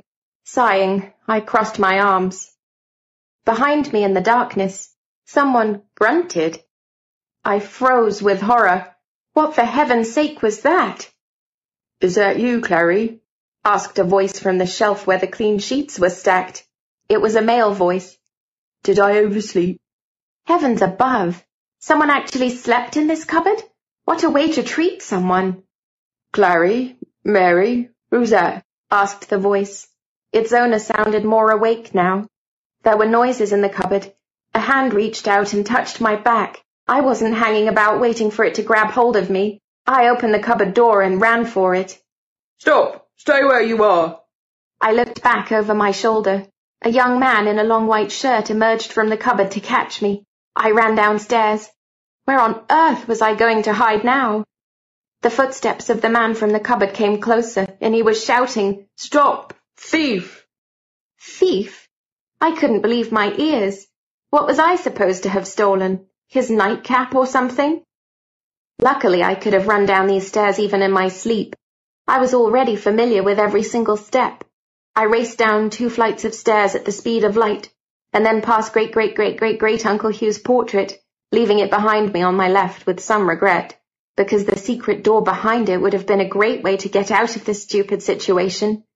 But the doorknob always jammed slightly, and in the time I'd have needed to get the door open, the man in the nightshirt would have caught up with me. No, I needed a better place to hide. On the first floor I almost collided with a housemaid carrying a big jug. She squealed as I raced past, and dropped the jug just like in a scene from a film. Water splashed to the floor, along with broken china. I hoped my pursuer would slip and fall on it. He couldn't get past the water and broken china too quickly anyway. I made use of my start on him to run down the steps to the musicians' gallery, open the door to the little storage space under it, and crouch inside. It was dusty and untidy in here, the same as in my own time, and full of cobwebs. A little light fell through the gaps between the steps, enough for me to see that at least there wasn't anyone sleeping in this cupboard. It was crammed with old junk, like in the twenty-first century.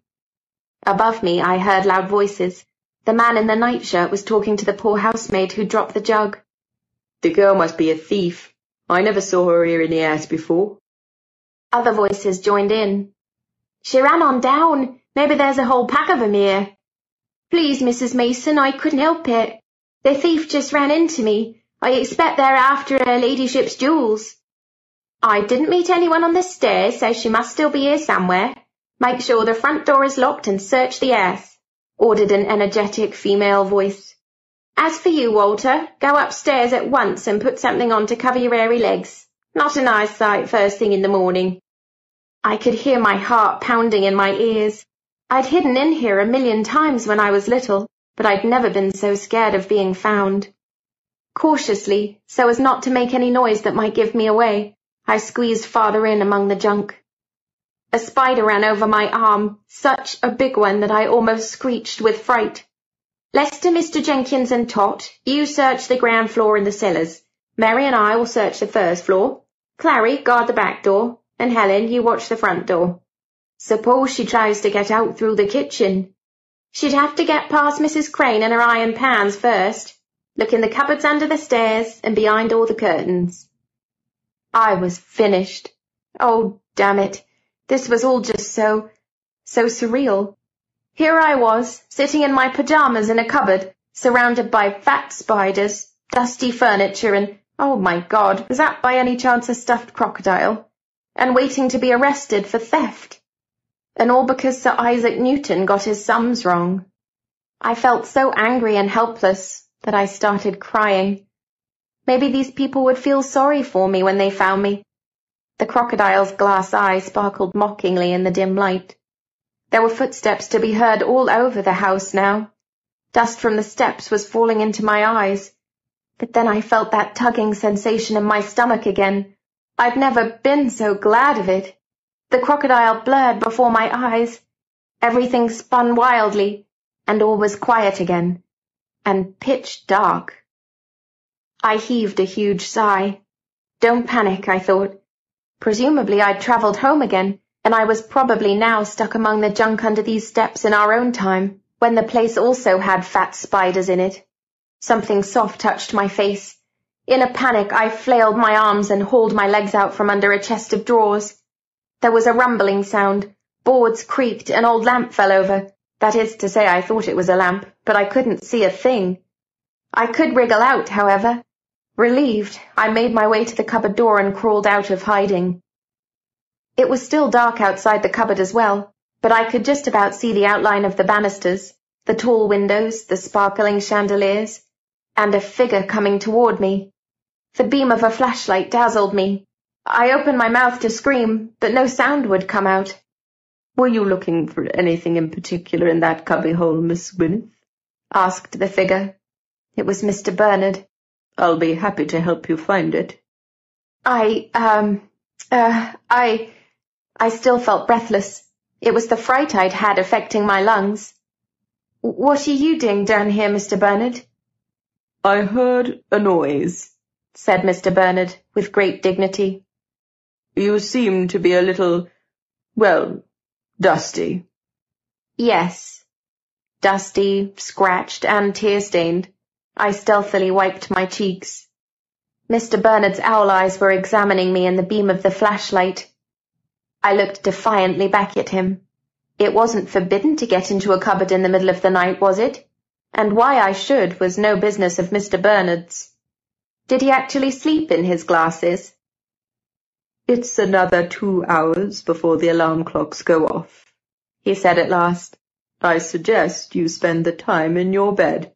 I'm going to get a little more rest myself. Good night. Good night, Mr. Bernard, I said.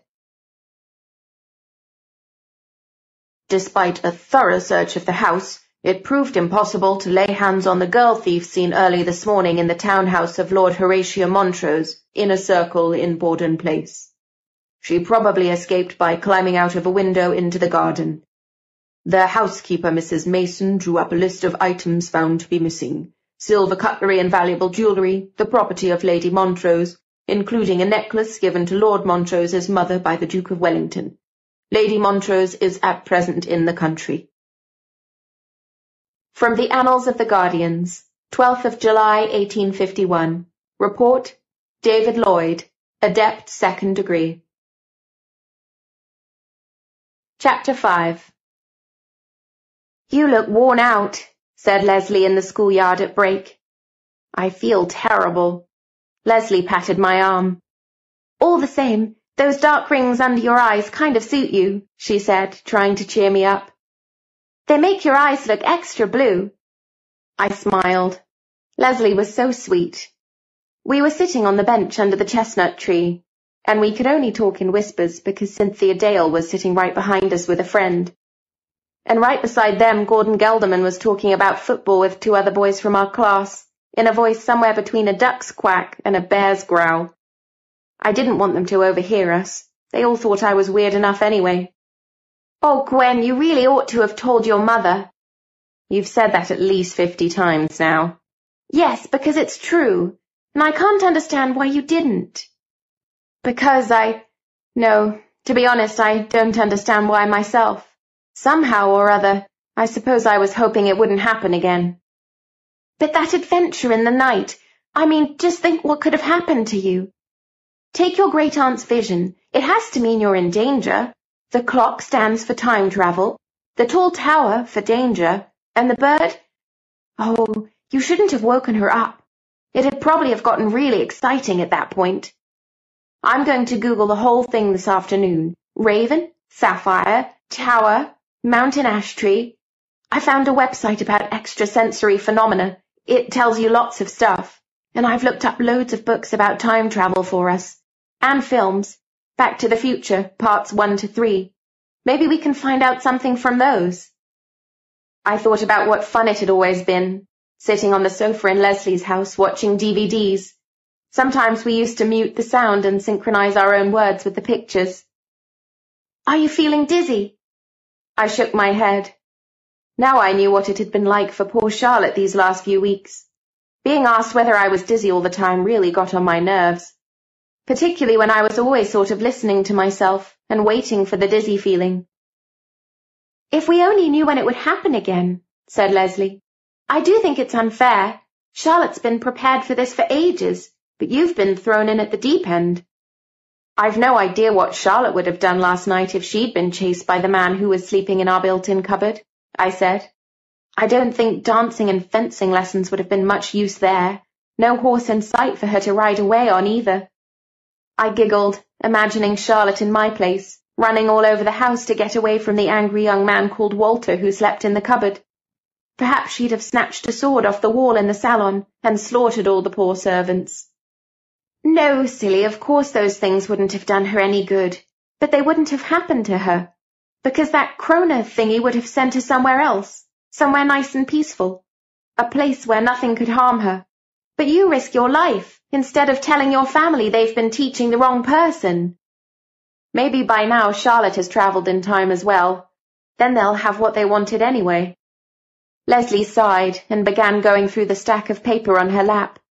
She had prepared a file of useful information for me. Well, more or less useful. For instance, she had printed out photos of vintage cars. According to them, the car I'd seen on my first journey through time dated from 1906.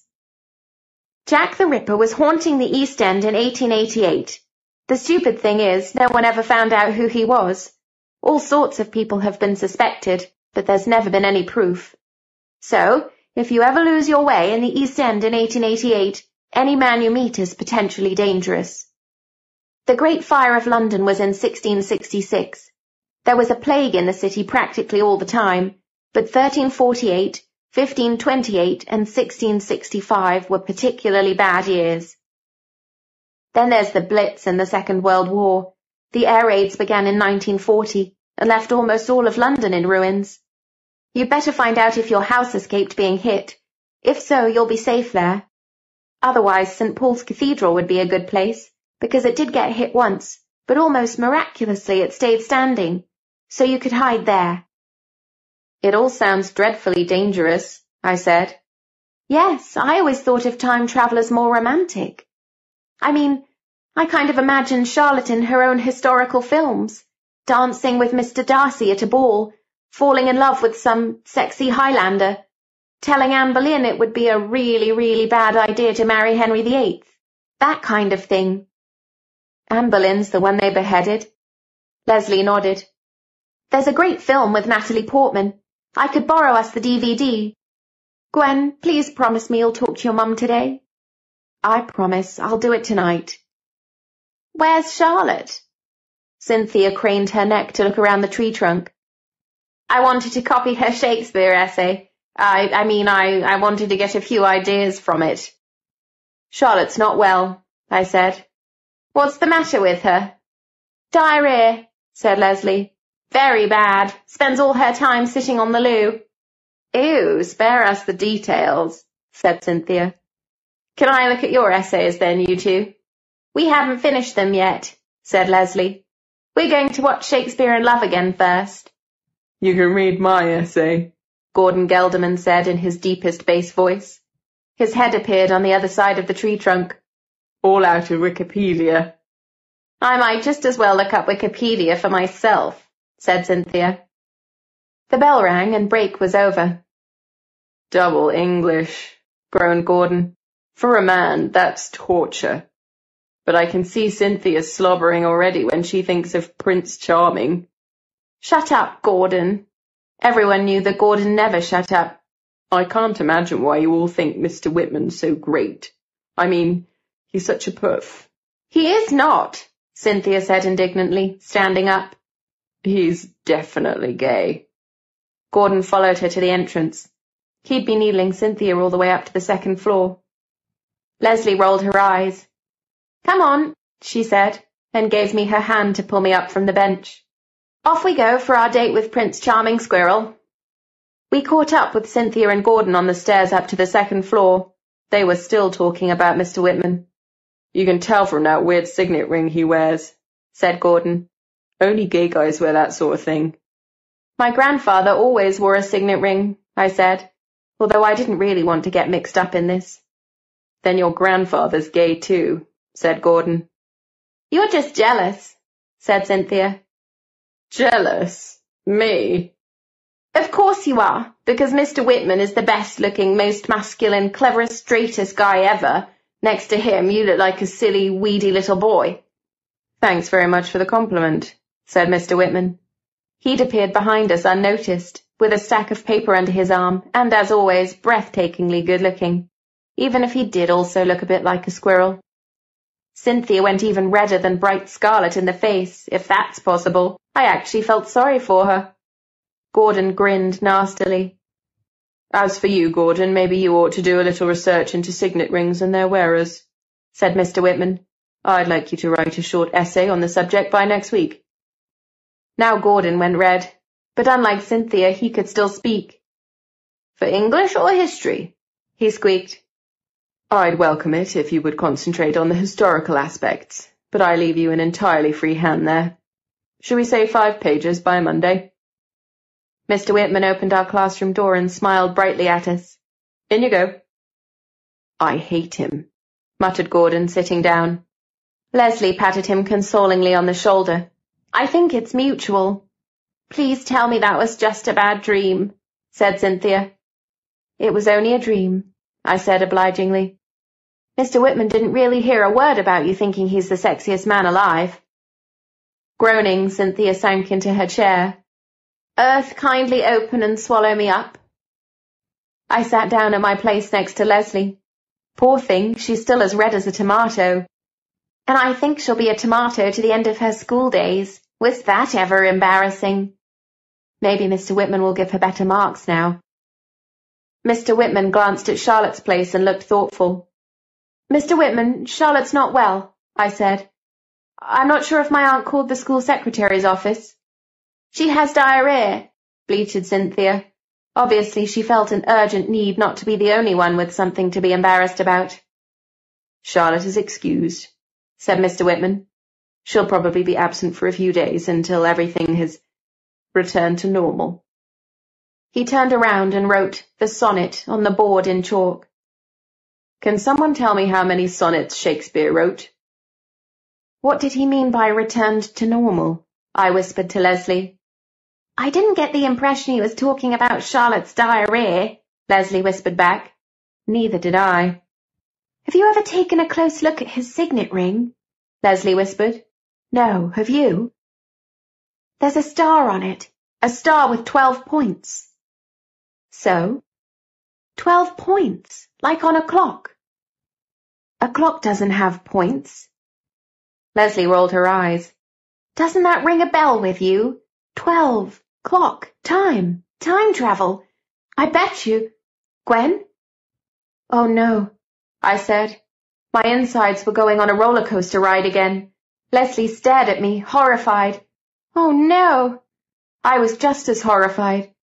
The last thing I wanted was to dissolve into thin air in front of the entire class, so I got up and staggered to the door, my hand pressed to my stomach. I think I'm going to throw up, I told Mr. Whitman. I didn't wait for his answer. I flung the door open and tottered out into the corridor. Maybe someone ought to go with her, I heard Mr. Whitman say. Leslie, please, would you? Leslie came racing after me, firmly closing the classroom door. Okay, quick, into the girls' toilets. No one will see us there. Gwen? Gwenny? Leslie's face blurred before my eyes. Her voice seemed to come from very far away, and then she disappeared entirely. I was standing on my own, in a corridor papered with magnificent gold-patterned wallpaper. Instead of the school's ugly linoleum floor tiles, beautiful wooden floorboards stretched ahead of me, polished to a high sheen with elaborate patterns in the wood.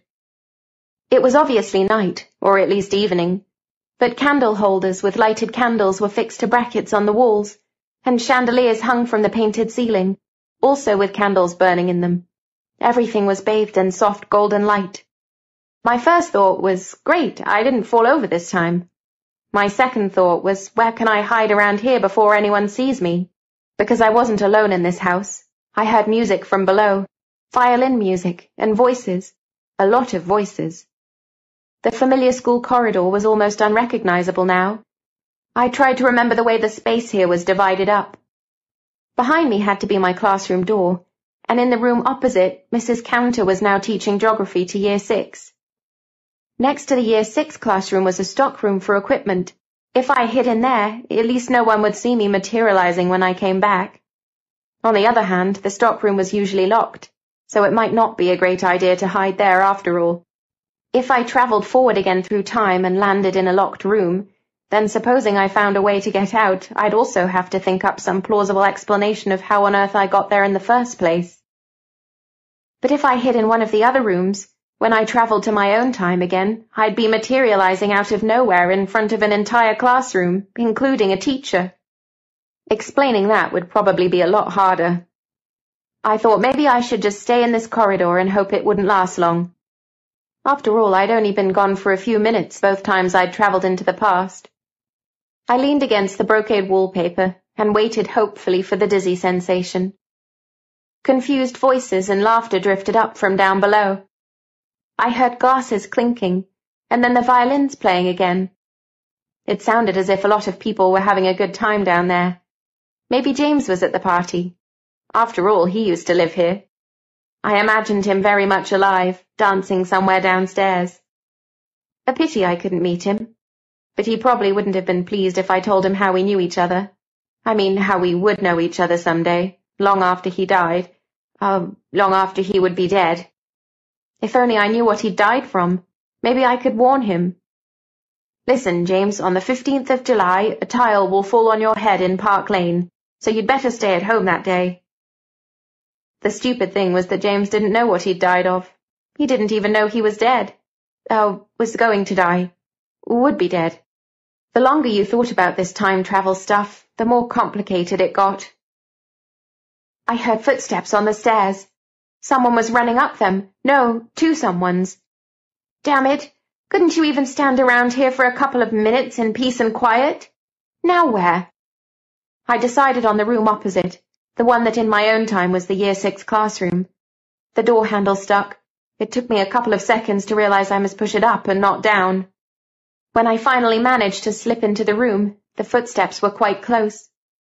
There were candles burning in brackets on the walls here too, how careless to leave them alight with no one in the room. At home I'd be dead if I forgot to blow out a tea light in the sewing room in the evening. I looked around for somewhere to hide, but there wasn't much furniture in this room. Some kind of sofa with curvy gilded legs, a desk, upholstered chairs, nothing you could hide behind if you were any larger than a mouse. So all I could do was get behind one of the floor-length golden yellow curtains. Not a very original hiding place but so far no one was looking for me. I could hear voices out in the corridor now. Where do you think you're going? asked a man's voice. It sounded rather angry. Anywhere, away from you, that's all, replied another voice. It was the voice of a girl, a girl in floods of tears to be precise. To my alarm, she came right into the room, and the man came in after her. I could see their shadows moving through the curtain. Of course, what did I expect? Of all the rooms up here, they had to choose the one where I was hiding. Leave me alone, said the girl's voice. I can't leave you alone, said the man. Whenever I leave you alone, you do something rash without thinking first. Go away, said the girl again. No, I won't. Listen, I'm sorry that happened. I ought not to have allowed it. But you did, because you had eyes only for her. The man laughed a little. You're jealous.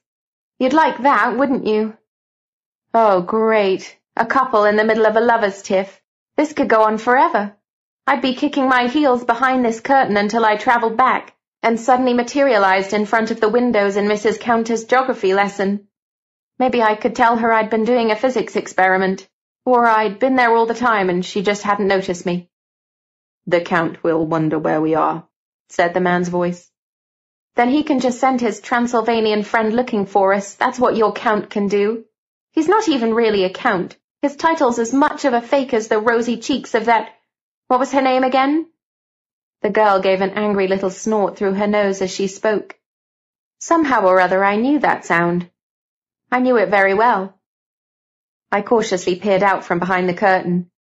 The two of them were standing right in front of the door, with their profiles turned to me. The girl really was only a girl, wearing a fantastic dress, midnight blue silk and embroidered brocade, With a skirt so wide you'd probably have trouble getting through a normal door in it.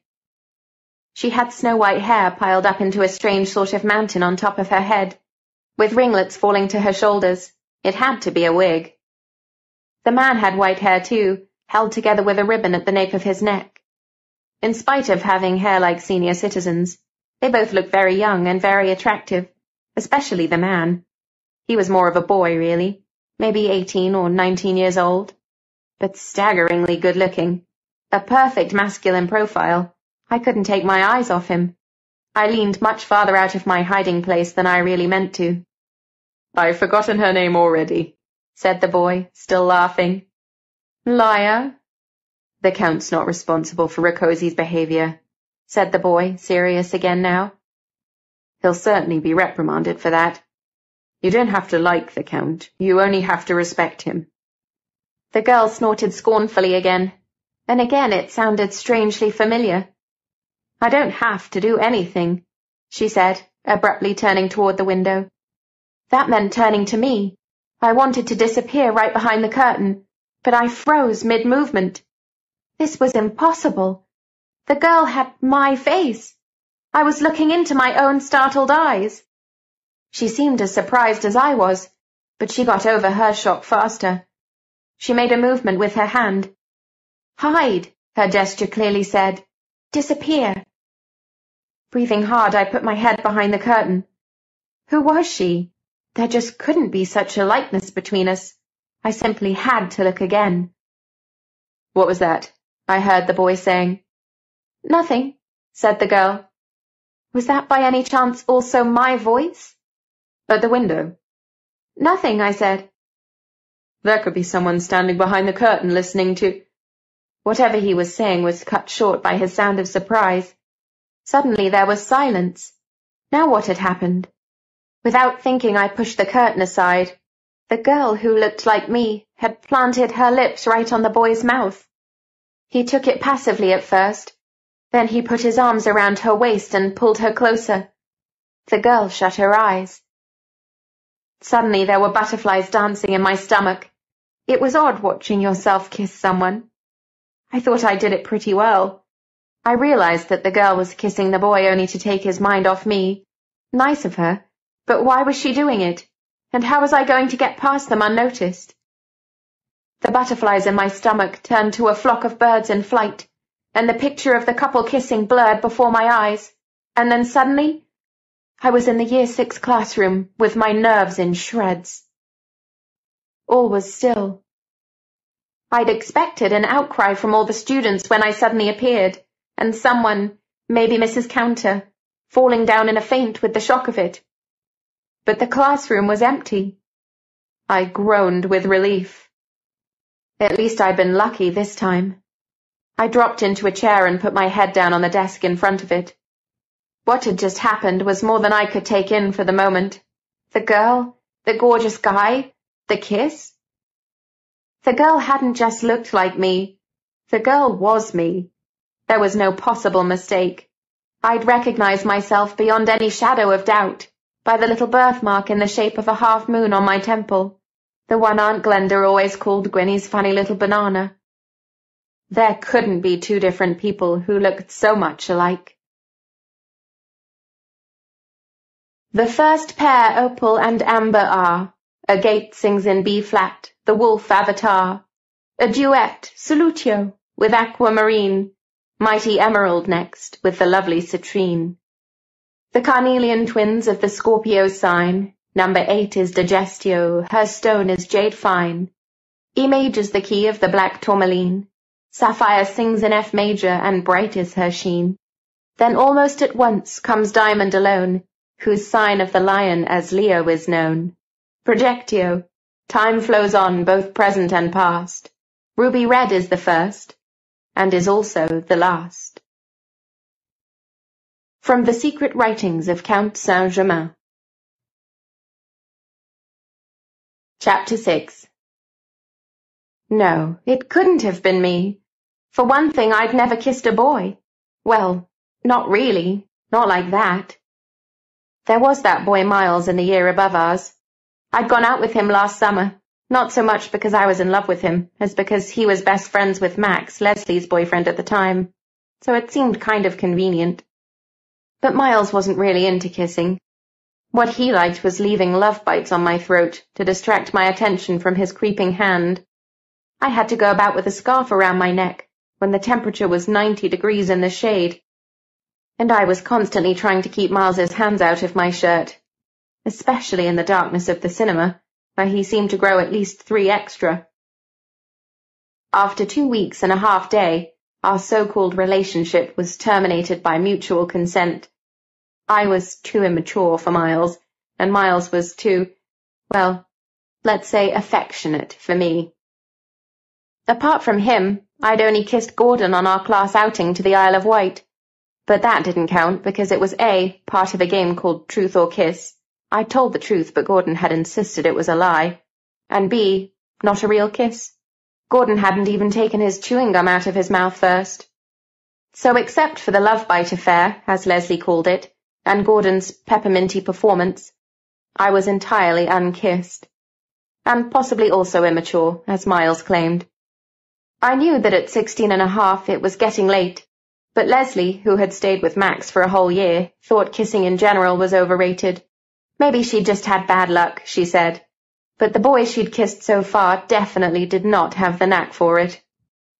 Kissing, said Leslie, ought really to be taught as a school subject, preferably instead of religious studies, which nobody needed. We often discussed what the ideal kiss would be like, and there were any number of films we'd watch over and over again just because of the good kissing scenes in them. Ah, Miss Gwyneth, will you condescend to speak to me today, or are you going to ignore me again? James saw me leaving the Year Six classroom and came closer. What's the time?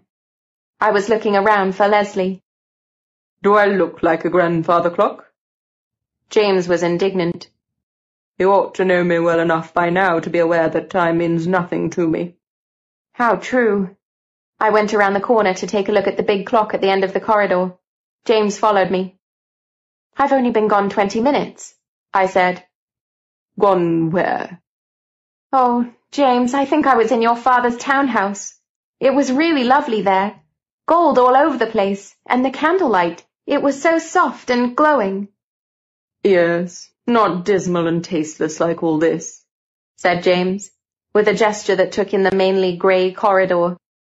I suddenly felt very sorry for him. He wasn't all that much older than me, and his life was already over. James, have you ever kissed a girl? What? I asked if you'd ever kissed a girl. It's not done to talk about such things, Miss Gwyneth. So you've never kissed anyone? I'm a man, said James. What kind of answer is that? I couldn't help laughing at James's expression.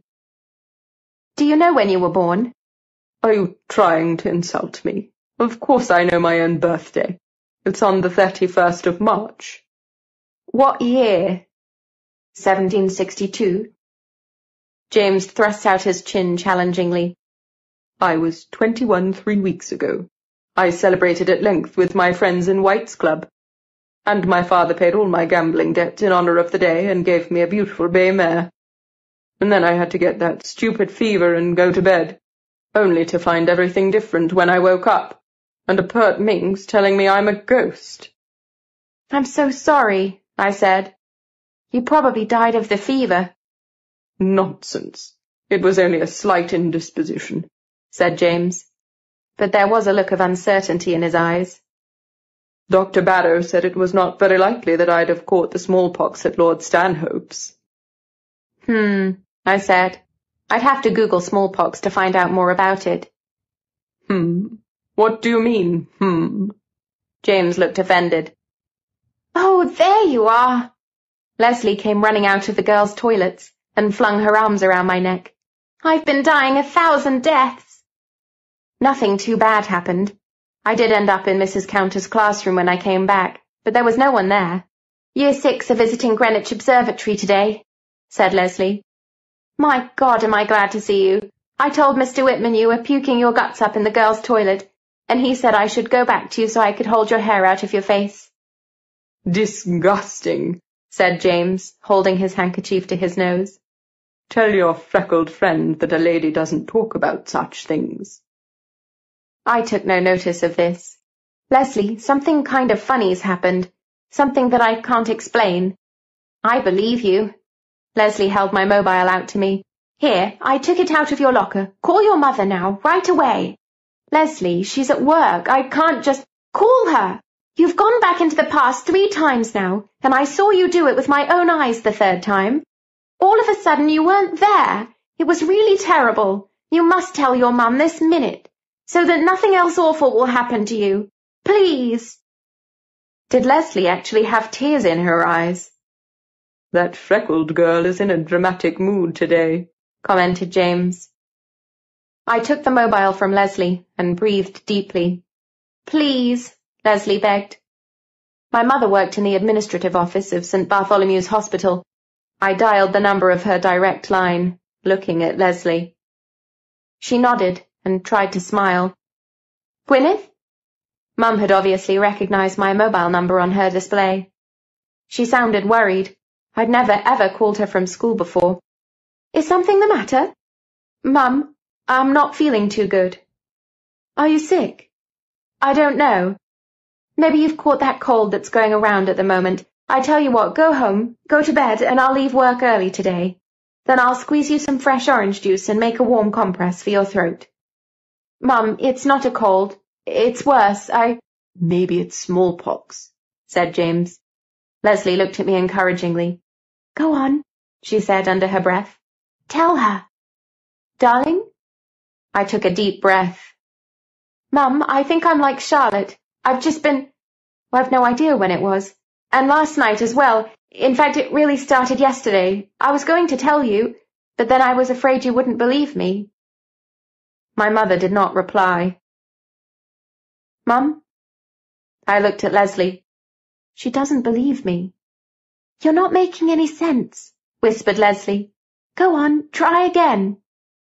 But I didn't have to. Stay right where you are, said my mother in an entirely different tone. Wait for me at the school gates. I'm going to take a taxi. I'll be with you as soon as I can. But... Mum had already broken the connection. You'll be in dead trouble with Mr. Whitman, I said. Who cares? said Leslie. I'm staying with you until your mum arrives.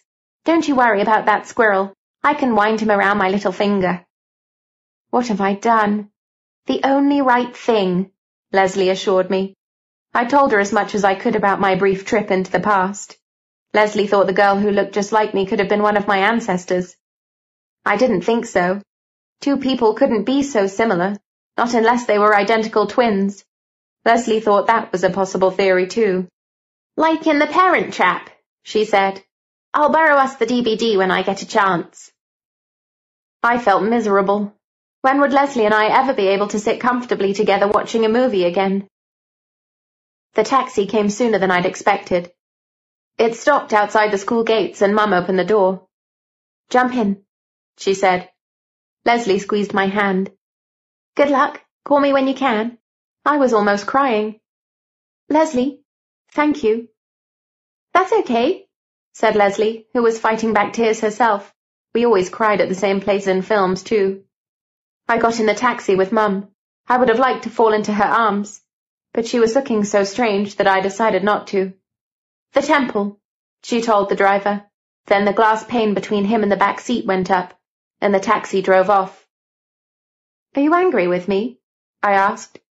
No, of course not, darling. You can't help it. No, I can't. It's all stupid old Newton's fault, I said, trying to make a little joke of it. But Mum was in no mood for jokes. You can't blame Newton either. If anyone's to blame, it's me. I'd hoped this cup would pass us by. I looked at her wide-eyed. What do you mean? I thought, hoped. I didn't want you to... My mother never stammered. She looked tensed up and sadder than I'd seen her since Dad died. I didn't want to admit it. I've been hoping all this time that Charlotte would be the one.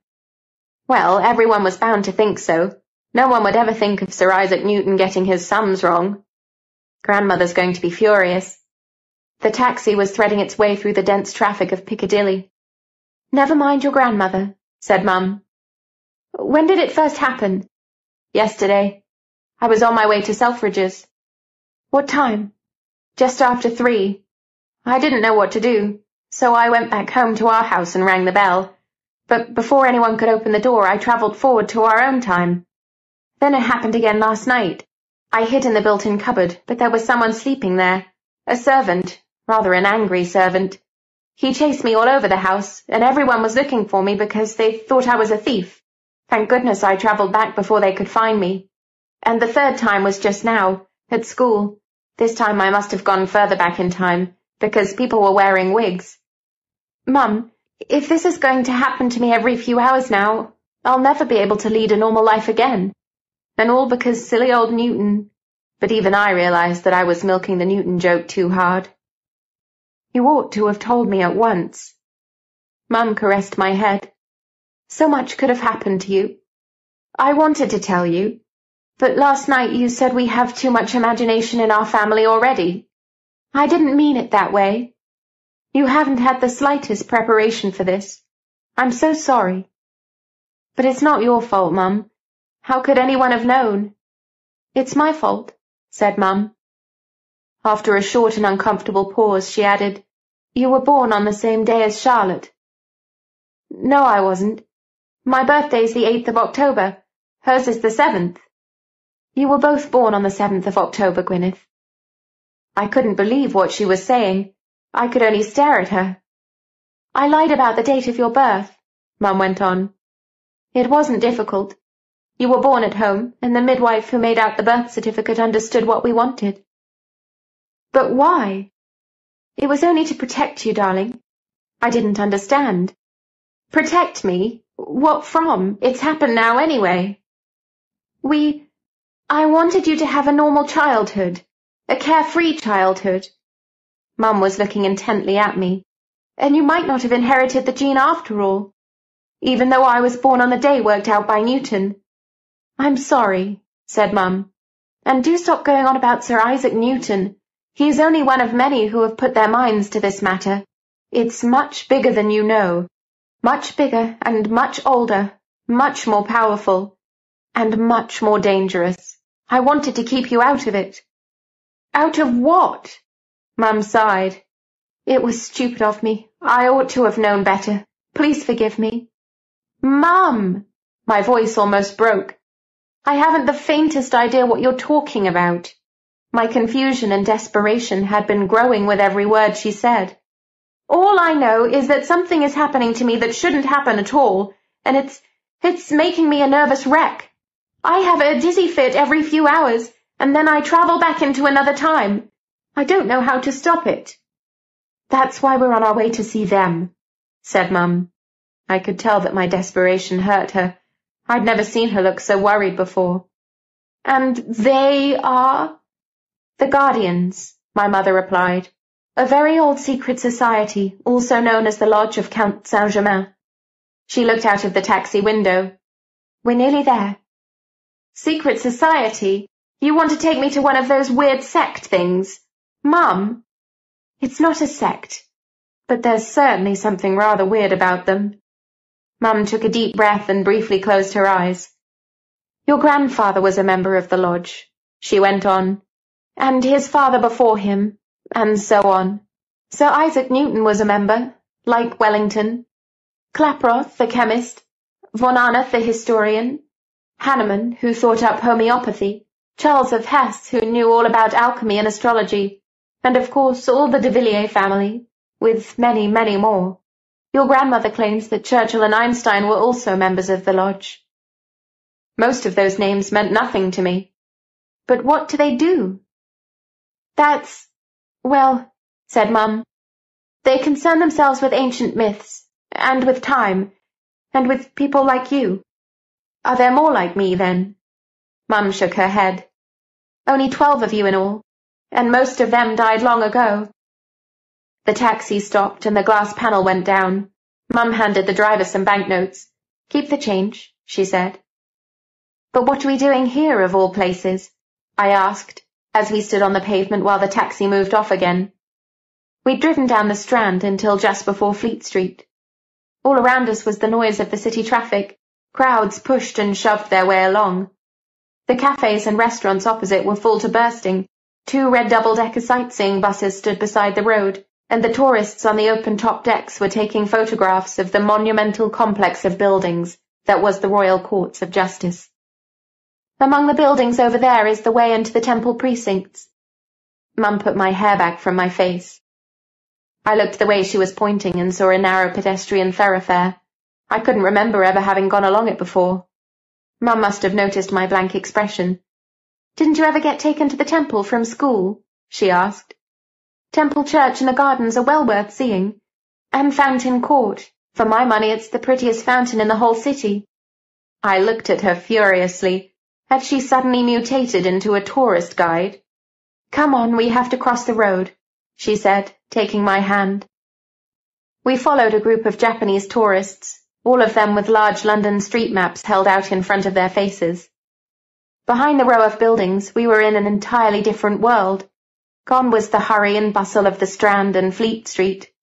Here, among the majestic, timeless buildings ranged side by side, no gaps between them, peace and quiet suddenly reigned. I pointed to the tourists. What are they looking for here? The prettiest fountain in the whole city? They've come to see Temple Church, said my mother, ignoring my tone of annoyance. Very old, full of myths and legends. The Japanese love all that and Shakespeare's Twelfth Night was first performed in Middle Temple Hall. We followed the Japanese for a while, and then turned left and walked along a paved path running past the buildings and turning several corners. It was almost like being in the country.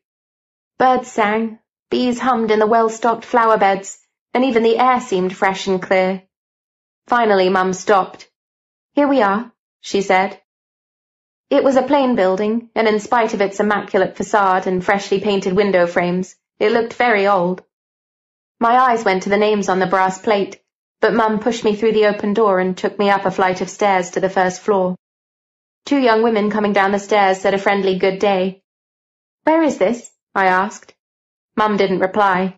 She pressed a bell, adjusted her blazer, and pushed her hair back from her face. Don't worry, she said, and I didn't know whether she meant me or herself. The door hummed and opened, and we entered a bright room that looked like a perfectly ordinary office. Filing cabinets, desk, telephone, fax, computer. Even the middle-aged blonde behind the desk didn't look out of the ordinary. Her glasses were a bit alarming, that was all. Jet black and with such big rims that the frames hid half her face. How can I help you? she asked. Oh, it's you, Miss... Mrs. Montrose. Shepherd, Mum corrected her. I married. I don't use my maiden name any more. Ah, of course, the woman smiled. But you haven't changed at all. I'd have known you anywhere by your hair. Her glance fell briefly on me. Is this your daughter? I expect she takes after her father. How are you? Mum cut her short. Mrs. Jenkins, I have to speak to my mother and Mr. de Villiers. It's urgent. I'm afraid your mother and Mr. de Villiers are in a meeting. Mrs. Jenkins smiled regretfully. Do you have much— Mum interrupted her again. I want to be at that meeting. Well, you know that's not possible. Then make it possible. Tell them I'm bringing the ruby. What? But... Mrs. Jenkins looked from Mum to me and back again. Please just do as I say. I'd never heard my mother sound so determined. Mrs. Jenkins stood up and came around the desk. She examined me from head to foot, and I felt terrible in my ugly school uniform. I hadn't washed my hair this morning, and it was just held back in a ponytail by a rubber band. I wasn't wearing any makeup either. Are you sure about this?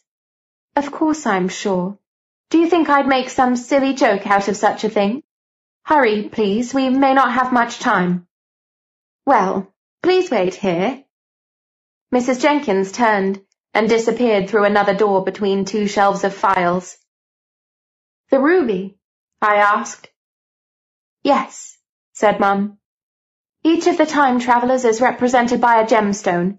You're the ruby. How do you know? The first pair, opal and amber, are. Agate sings in B-flat, the wolf avatar. A duet, Solutio, with aquamarine. Mighty emerald next, with lovely citrine The carnelian twins of the Scorpio sign. Number eight is Digestio, her stone is jade fine. E major is the key of the black tourmaline. Sapphire sings in F major and bright is her sheen. Then almost at once comes diamond alone, whose sign of the lion as Leo is known. Projectio. Time flows on, both present and past. Ruby red is the first, and is also the last. Mum looked at me with a rather sad smile. I still know it off by heart. For some reason her performance gave me goosebumps. It had sounded more like a magic spell than a poem, the kind of thing that wicked witches mutter in films, while they stir a cauldron with green vapours rising from it. What's all that supposed to mean? It's only a memory jingle, thought up by secretive old men to make something complicated sound even more complex, said Mum. Twelve numbers, twelve time travellers, twelve gemstones, twelve musical keys, twelve zodiological ascendants, twelve steps in the alchemical process of making the philosopher's stone. Philosopher's Stone? What's that supposed to... I stopped short and sighed. I was tired of asking questions, and every answer left me more confused. Mum didn't seem to want to answer me either. She was looking out of the window. Nothing's changed here, anyway. It's as if time had stood still. Did you come here a lot when you were younger? My father sometimes brought me with him, said Mum. He was a bit more outgoing about it all than my mother. About the secrets, too. I liked it here as a child. And then later, when Lucy... She sighed. For a while I wondered whether to ask more questions or not, and then my curiosity won out. Great Aunt Maddie told me Lucy is another time traveller. Is that why she ran away? Yes, said Mum. And where did she run away to? No one knows. Mum ran her fingers through her hair again. She was obviously worked up. I'd never known her to be so nervous. I'd have felt sorry for her if my own nerves hadn't been stretched to the breaking point. We said nothing for a while. Mum looked out of the window again. So I'm a ruby, I said. Those are red, aren't they? Mum nodded. And what gemstone is Charlotte? She isn't one, said Mum. Mum, do I by any chance have a twin sister you forgot to tell me about? Mum turned to me and smiled. No, darling, you don't. Are you sure? Quite sure. I was there at your birth, wasn't I? I heard footsteps somewhere, quickly coming closer. Mum sat up very straight, breathing deeply. Aunt Glenda came through the doorway with Mrs. Jenkins, and behind her a small elderly man with a bald patch. Aunt Glenda looked angry, Grace, Mrs. Jenkins says you said... It's true, said Mum. And I don't want to waste Gwyneth's time convincing you, of all people, of the truth. I want to see Mr. de Villiers at once. Gwyneth has to be read into the chronograph. But that's completely ridiculous. Aunt Glenda was almost screeching. Charlotte has not travelled in time yet, right? Mum turned to the stout little man with the bald patch. I'm sorry, I know I've met you, but I don't remember your name. George, he said. Thomas George. And you are Lady Arista's younger daughter, Grace.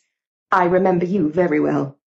Mr. George, said Mum. Of course, you came to see us in Durham when Gwyneth was born. I remember you too. This is Gwyneth. She's the ruby you're waiting for. That's impossible, said Aunt Glenda shrilly. Utterly, totally impossible. Gwyneth was born on the wrong day, and two months premature, an underdeveloped little thing. Look at her. Mr. George was already doing just that, scrutinizing me with a pair of friendly pale blue eyes. I tried to look back with as much composure as possible and hide my discomfort. Underdeveloped little thing. Aunt Glenda must have lost her marbles. I was not underdeveloped. I was nearly five feet six inches tall. My brow was a size B cup, and much to my annoyance I was growing out of it. She travelled for the first time yesterday, said Mum. I just don't want anything to happen to her. The risk grows with every uncontrolled journey back in time. Aunt Glenda laughed sarcastically. No one will take this seriously. It's just another pathetic attempt to make yourself the centre of attention. Oh, do be quiet, Glenda, There's nothing I'd like more than to keep out of this whole thing, leaving your Charlotte the thankless part of laboratory guinea pig for fanatical mystery mongers and pseudo-scientists obsessed with esoteric subjects. But it just so happens that Charlotte is not the one who's inherited this wretched gene. It's Gwyneth. Mum's expression was one of rage and contempt. I was seeing an entirely new side of her. Mr. George laughed softly. You don't have a very high opinion of us, Mrs. Shepherd. Mum shrugged her shoulders. No, no, no! Aunt Glenda dropped onto one of the office chairs. I'm not prepared to listen to this nonsense any more. She wasn't even born on the right day, and she was premature. That bit about me being premature seemed to be especially important to her. Shall I bring you a cup of tea, Mrs. Montrose? Mrs. Jenkins whispered. Oh, who wants your stupid tea? spat Aunt Glenda.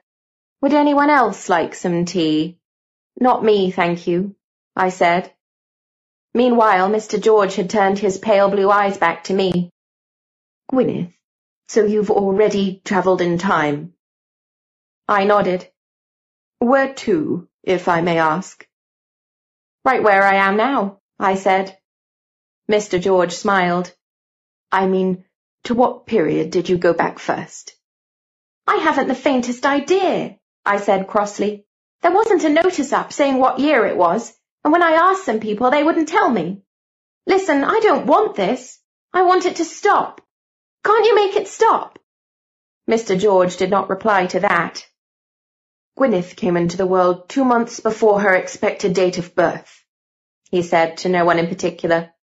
I checked the birth certificate and the entry in the civil register myself. Then I checked the baby too. I wondered what there could be to check about a baby, whether it was real or not. She was born on the evening of the 7th of October, said Mum, and now her voice was trembling a little. We bribed the midwife to move the time of the birth a few hours forward on the birth certificate. But why? Mr. George didn't seem to understand that any more than I did. Because, after all that happened to Lucy, I wanted to spare my child such stress. I wanted to protect her, said Mum, and I hoped she might not have inherited the gene at all and just happened to be born on the same day as the real carrier. After all, Glenda had Charlotte, and everyone's hopes were pinned on her. Stop telling lies, cried Aunt Glenda. You did it on purpose. Your baby wasn't supposed to be born until December, but you manipulated the pregnancy and risked a premature birth just to have her born on the same day as Charlotte. It didn't work out, though. Your daughter was born a day later. It ought to be fairly easy to prove what you say. We must have the name and the address of the midwife in our files, said Mr. George, turning to Mrs. Jenkins. It's important to find her. There's no need, said Mum. You can leave the poor woman alone. She only took a little money from us. We just want to ask her a few questions, said Mr. George. Mrs. Jenkins, please find out where she lives today. I'm on my way, said Mrs. Jenkins, disappearing through the side door again. Who else knows about this? asked Mr. George. Only my husband knew, said Mum, and now there was a tinge of defiance and triumph in her tone of voice. And you can't cross-examine him because I'm afraid he's dead. I know, said Mr. George. Leukemia, wasn't it? Tragic. He began pacing up and down the room. When did this start, did you say? Yesterday, I replied. Three times in the last twenty hours, said Mum. I'm afraid for her. Three times already? Mr. George stopped pacing. And when was the last? About an hour ago, I said. I think. Since these events had begun coming so thick and fast, I'd lost all sense of time. Then we have a little while to prepare for everything. You can't possibly believe this, Mr. George, said Aunt Glenda. You know Charlotte. Now look at this girl and compare her with my Charlotte. Do you seriously believe that number twelve is standing before you? Ruby Red with G major, the magic of the raven, brings the circle of twelve home into safe haven. Do you believe that? Well, there's always the possibility, said Mr. George. Although your motives strike me as more than mixed, Mrs. Shepherd. That's your problem, said Mum coolly. If you really wanted to protect your child, then you ought not to have left her in ignorance for so many years. Time travelling without preparation is very dangerous. Mum bit her lip. I just hoped it would be Charlotte who... And so it is, cried Aunt Glenda. She's had obvious symptoms for the last two days. It could happen any time now. Perhaps it's happening at this very moment, while we waste our time here listening to my jealous little sister's totally outrageous stories. Maybe you could switch your brain into gear for a change, Glenda, said Mum. Suddenly she sounded tired. Why on earth would we invent such a thing? Who but you would willingly wish something of this kind on her own daughter? I insist on... But Aunt Glenda left whatever she insisted on hanging in the air. This will all turn out to be a wicked deception. There's already been sabotage, and we know where that led, Mr. George.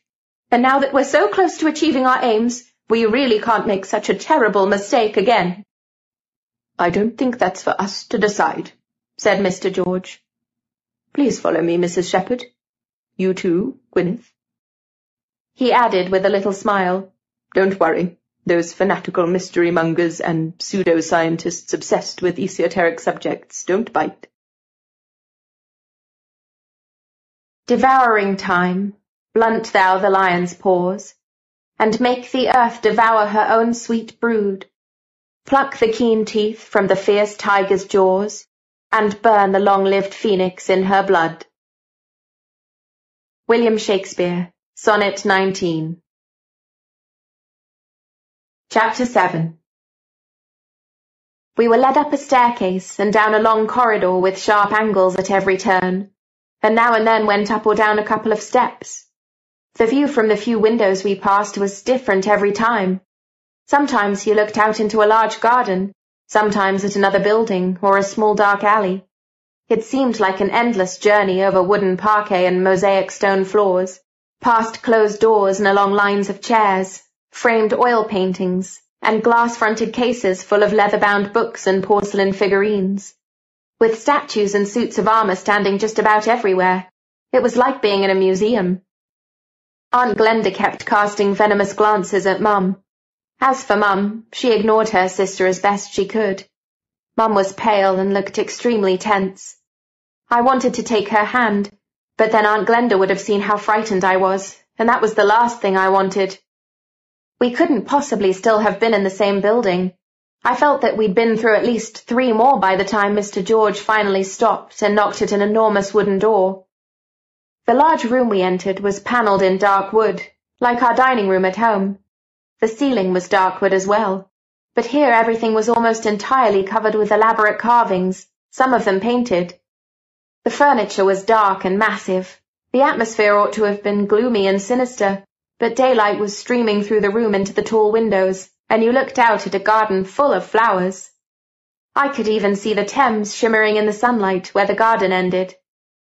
But it wasn't just the view and the light that brightened the place. There was something cheerful about the carvings, in spite of a few ugly grimaces and skulls. It was as if the walls were alive. Leslie would have loved feeling the real-looking rosebuds, the archaic patterns and the amusing animal heads, and searching them for secret mechanisms. There were winged lions, falcons, stars, suns, and planets, dragons, unicorns, elves, fairies, trees, and ships, each carving more lifelike than the one before it. Most impressive of all was the dragon, which seemed to be flying across the ceiling above us. He must have been at least seven yards long, from the tip of his wedge-shaped tail to his large, scaly head, and I couldn't take my eyes off him. What a wonderful dragon! I was so spellbound that I almost forgot why we were there, or that we weren't alone. Everyone seemed completely surprised to see us. It looks as if there are some complications, said Mr. George. Lady Arista, standing stiff as a board by one of the windows, said, Grace, oughtn't you to be at work? And Gwyneth should be at school. There's nowhere we'd sooner be, Mother, said Mum. Charlotte was sitting on a sofa right under a beautiful mermaid. Each scale in the mermaid's tail was finely carved and painted in every imaginable shade of blue and turquoise. A man in an elegant black suit, wearing black framed glasses, was leaning against a broad mantelpiece. Even his tie was black. He was examining us with a distinctly gloomy expression, and there was a little boy of about seven clinging to his jacket. Grace. A tall man rose from the desk. He had grey wavy hair that fell to his broad shoulders like a lion's mane. His eyes were a strikingly light brown, almost the colour of amber. His face was much younger than you might have expected from the grey hair that framed it. There was something fascinating about him. Once seen, never forgotten, I felt sure.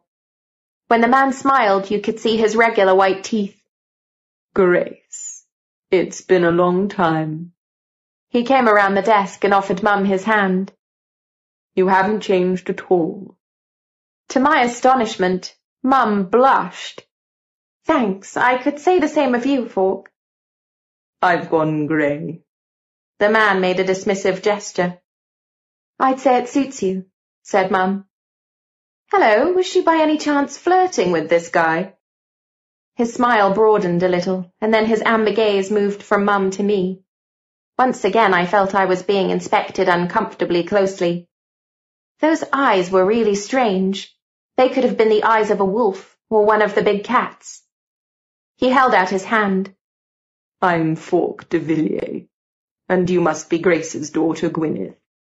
His handshake was firm and warm. The first Montrose girl I've ever known not to have red hair. I get my hair from my father, I said shyly. Could we perhaps get to the point? asked the man in black by the mantelpiece. Falk de Villiers let go of my hand and looked at me with a twinkle in his eyes. Go ahead. My sister's come up with an absolutely monstrous story, said Aunt Glenda. You could tell what an effort it cost her not to shout. And Mr. George wouldn't listen to me. She claims that Gwyneth, Gwyneth, has already travelled back in time. And not just once, three times already. Of course she knows perfectly well she can't prove it. She's thought up another fairy tale to explain the fact that the girl's date of birth is wrong. I'd like to remind you what happened seventeen years ago. Grace did not play a very admirable part in those events. Now that we're so close to success, I'm not surprised to see her turning up here to sabotage our plans. Leaving her place by the window, Lady Arista had come closer. Is this true, Grace? Her expression, as always, was stern and unyielding. Sometimes I wondered whether her hair, combed back so severely from her face, was the reason her features were always so rigid. Maybe the muscles were simply held in one place and stuck there. At the very most, a slight widening of her eyes showed when she was upset. Like now. Mrs. Shepherd says she and her husband paid the midwife to enter the wrong date on the birth certificate, Mr. George interjected, so that no one would find out that Gwyneth was a potential gene carrier. But why would she have done such a thing? asked Lady Arista. She says she wanted to protect the child, and anyway she hoped that Charlotte had inherited the gene. Hoped? You must be joking, cried Aunt Glenda. I think it sounds perfectly logical, said Mr. George. I glanced at Charlotte, who was sitting on the sofa looking pale, her eyes moving from one to another of us. When they met mine, she quickly turned her head away. I simply can't see any logic in it, said Lady Arista. We're having the story checked, said Mr. George. Mrs. Jenkins will track down the midwife. Just out of interest, Grace, how much did you pay her? asked Falk de Villiers. His eyes had narrowed more and more over the last minute, and now as he turned to Mum, there was something very wolf-like about him. I... I can't remember, said Mum. Mr. de Villiers raised his eyebrows. Well, it can't have been a large sum. As I recall, your husband's income was rather modest. How true, said Aunt Glenda venomously. If you all say so, it can't have been much, replied Mum. The uncertainty that had suddenly come over her had disappeared just as suddenly. So had the tinge of pink in her face. Then why did the midwife do as you wanted? asked Mr. de Villiers. After all, she was falsifying an official document, not a small offence. Mum tilted her chin. We told her our family belonged to a satanic cult with a pathological belief in horoscopes. We said a child born on the 7th of October would be subject to severe reprisals, and we'd have to give her up to the cult for use in satanic rituals. She believed us. And as she had a soft heart and what you might call a prejudice against Satanists, she entered the wrong birth date on the certificate. Satanic rituals? What impertinence! The man by the mantelpiece hissed the words like a snake, and the little boy clung even closer to him. Mr. de Villiers smiled appreciatively. Not a bad story. We'll see if the midwife tells the same tale. I see little point in wasting our time checking such details, Lady Arista remarked. Quite right, said Aunt Glenda. Charlotte could travel back in time any moment now. Then we'll know that Grace's story is a pack of lies devised to hold us up. Why couldn't they both have inherited the gene? asked Mr. George. That happened once before. Ah, but Timothy and Jonathan de Villiers were identical twins, pointed out Mr. de Villiers. And they'd been foretold in the prophecies. Yes, the chronograph contains two carnelians for them, two pipettes of blood, duplicate compartments for the twelve elements, and two cogwheels going around, said the man by the mantelpiece. The ruby stands alone. True, said Mr. George. His round face suddenly became anxious. I should have thought it more important to look into the reason why my sister is telling these lies. Aunt Glenda was glaring at Mum with positive hatred. If your idea is to get Gwyneth's blood read into the chronograph so that the device will never be any use again, you're more naive than I thought. How can she expect us to believe a word of what she says anyway? asked the man by the mantelpiece. I thought his way of acting as if Mum and I weren't even in the room was very arrogant. I have the clearest recollections of the lies Grace told to protect Lucy and Paul at the time. It was her fault they got away from us. If it hadn't been for her, we might have been able to avert the disaster. Jake, said Mr. de Villiers. What disaster? I asked. And who was Paul? I consider that even the presence of this person in the room with us is monstrous, said the man by the mantelpiece. And who may you be? Mum's voice and the look she gave him were decidedly chilly. I was impressed to see she wasn't going to be intimidated.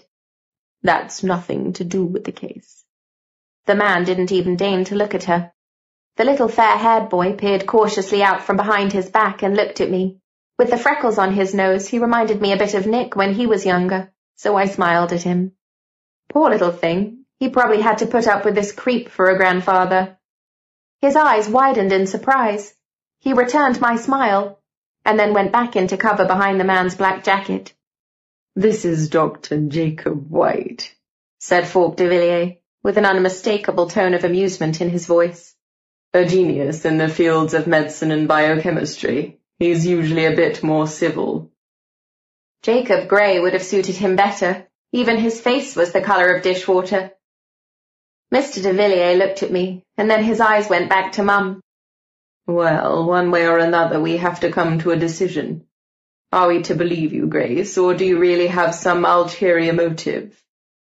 For a few seconds, Mum stared at him angrily. Then she looked down and said quietly, I'm not here to prevent you all from carrying out your wonderful, mysterious mission. I am here to keep my daughter out of harm's way. With the help of the chronograph, she can travel in time without danger, while still leading a reasonably normal life. That's all I want. Oh, yes, of course, said Aunt Glenda. She went over to the sofa and sat down beside Charlotte. I'd have liked to sit too. My legs were beginning to feel tired, but no one offered me a chair, so there was nothing for it but to stay on my feet. What I did at that time had nothing to do with your mission, Mum went on. To be honest, I hardly know anything about it, and I understand only about half of what I've picked up over the years. I can't imagine, said the gloomy Dr. White, what gave you the audacity to interfere in such a way with matters of which you know nothing. I only wanted to help Lucy, said Mum. She was my darling little niece. I'd looked after her since she was a baby, and she asked for my help. What would you have done in my place? For goodness sake, the pair of them were so young, so much in love, and I simply didn't want anything to happen to them. Well, a fine way you chose to go about it. I loved Lucy like a sister. Mum glanced at Aunt Glenda. More than a sister, she added. Aunt Glenda took Charlotte's hand and patted it. Charlotte stared at the floor. We all loved Lucy dearly, said Lady Arista. That made it all the more important to keep her away from that boy and his outlandish opinions, rather than encouraging her to indulge her feelings.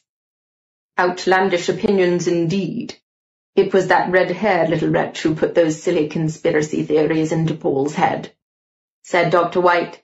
She persuaded him to commit the theft. That's not true, protested Lady Arista. Lucy would never have done such a thing. It was Paul who took advantage of her youthful naivety and led her astray. Naivety? You must be joking, snapped Dr. White. Falk de Villiers raised his hand. We've had this discussion often enough already, and it never gets us anywhere. I think we all know one another's views. He looked at the time. Gideon will be back any moment now, and before that we ought to decide what to do next. Charlotte, how are you feeling? I still have a headache, said Charlotte, without looking up from the floor. There, you see? Aunt Glenda gave a venomous smile. I have a headache too, said Mum, but that doesn't mean I'm about to start travelling in time.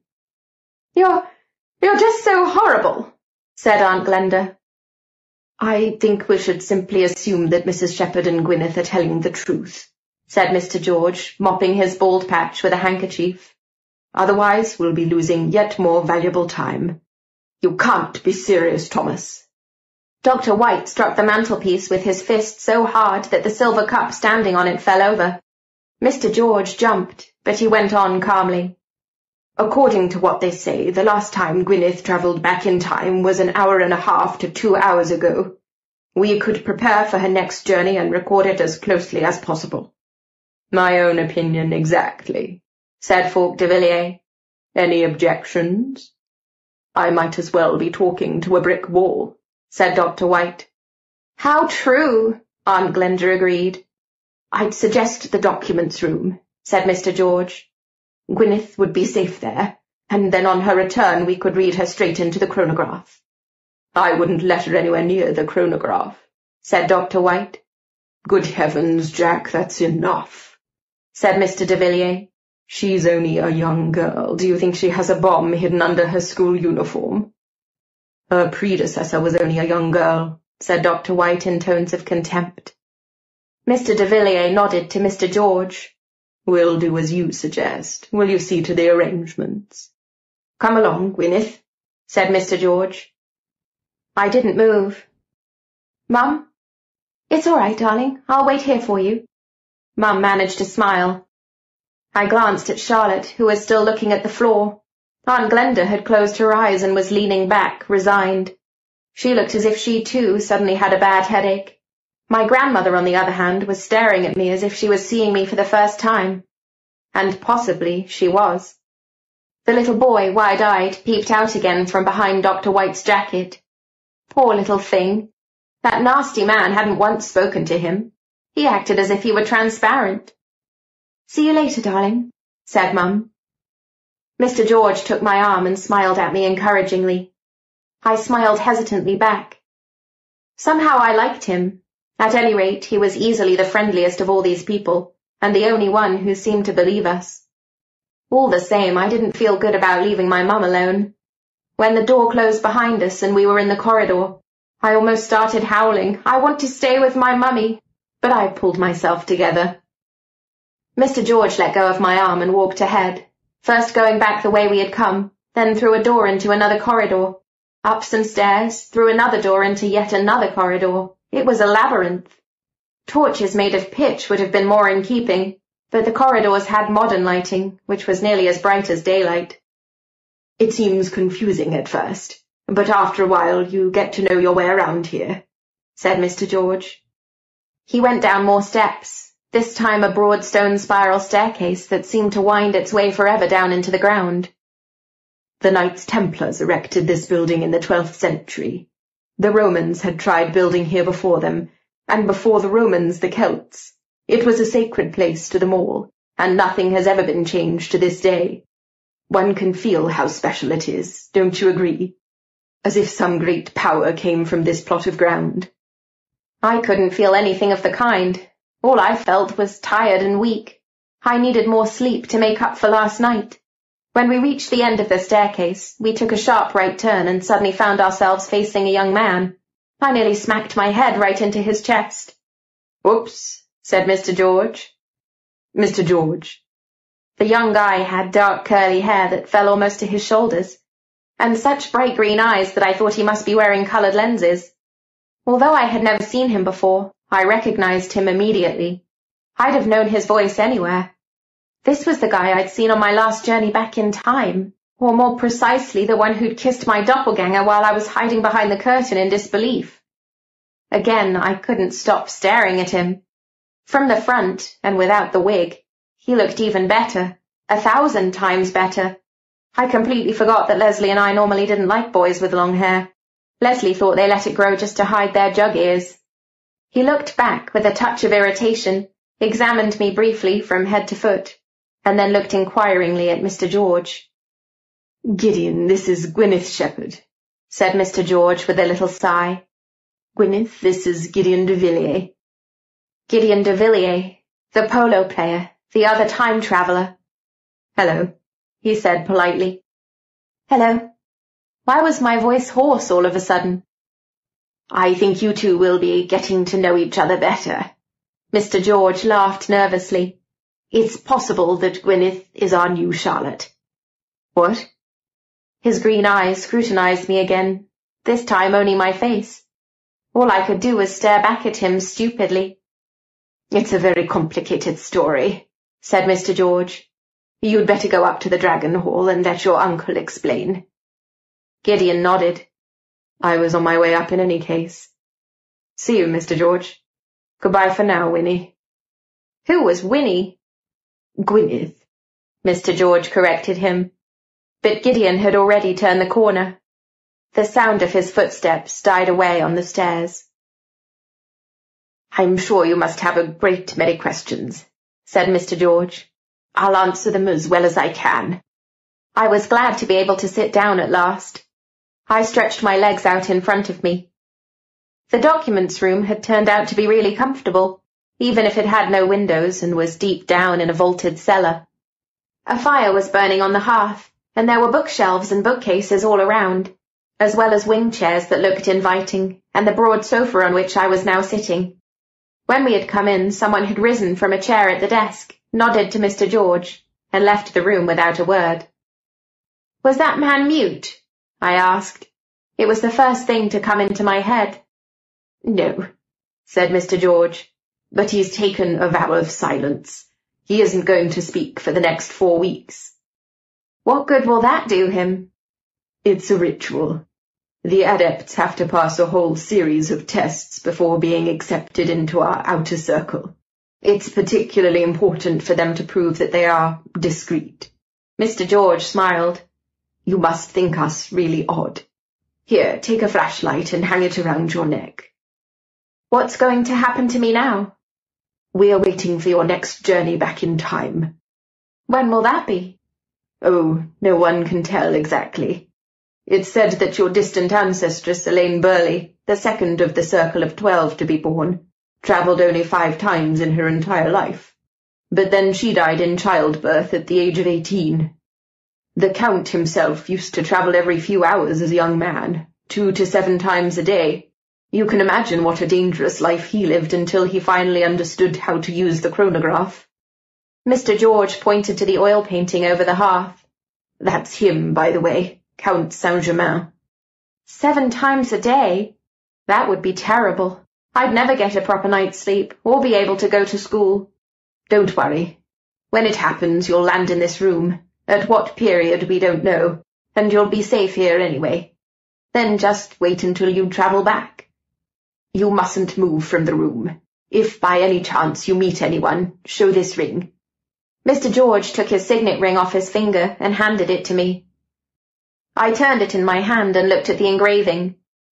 It was a twelve-pointed star with intertwined letters in the middle. My clever friend Leslie had been right again. Our English and history teacher, Mr. Whitman, has one of these too. Is that a question?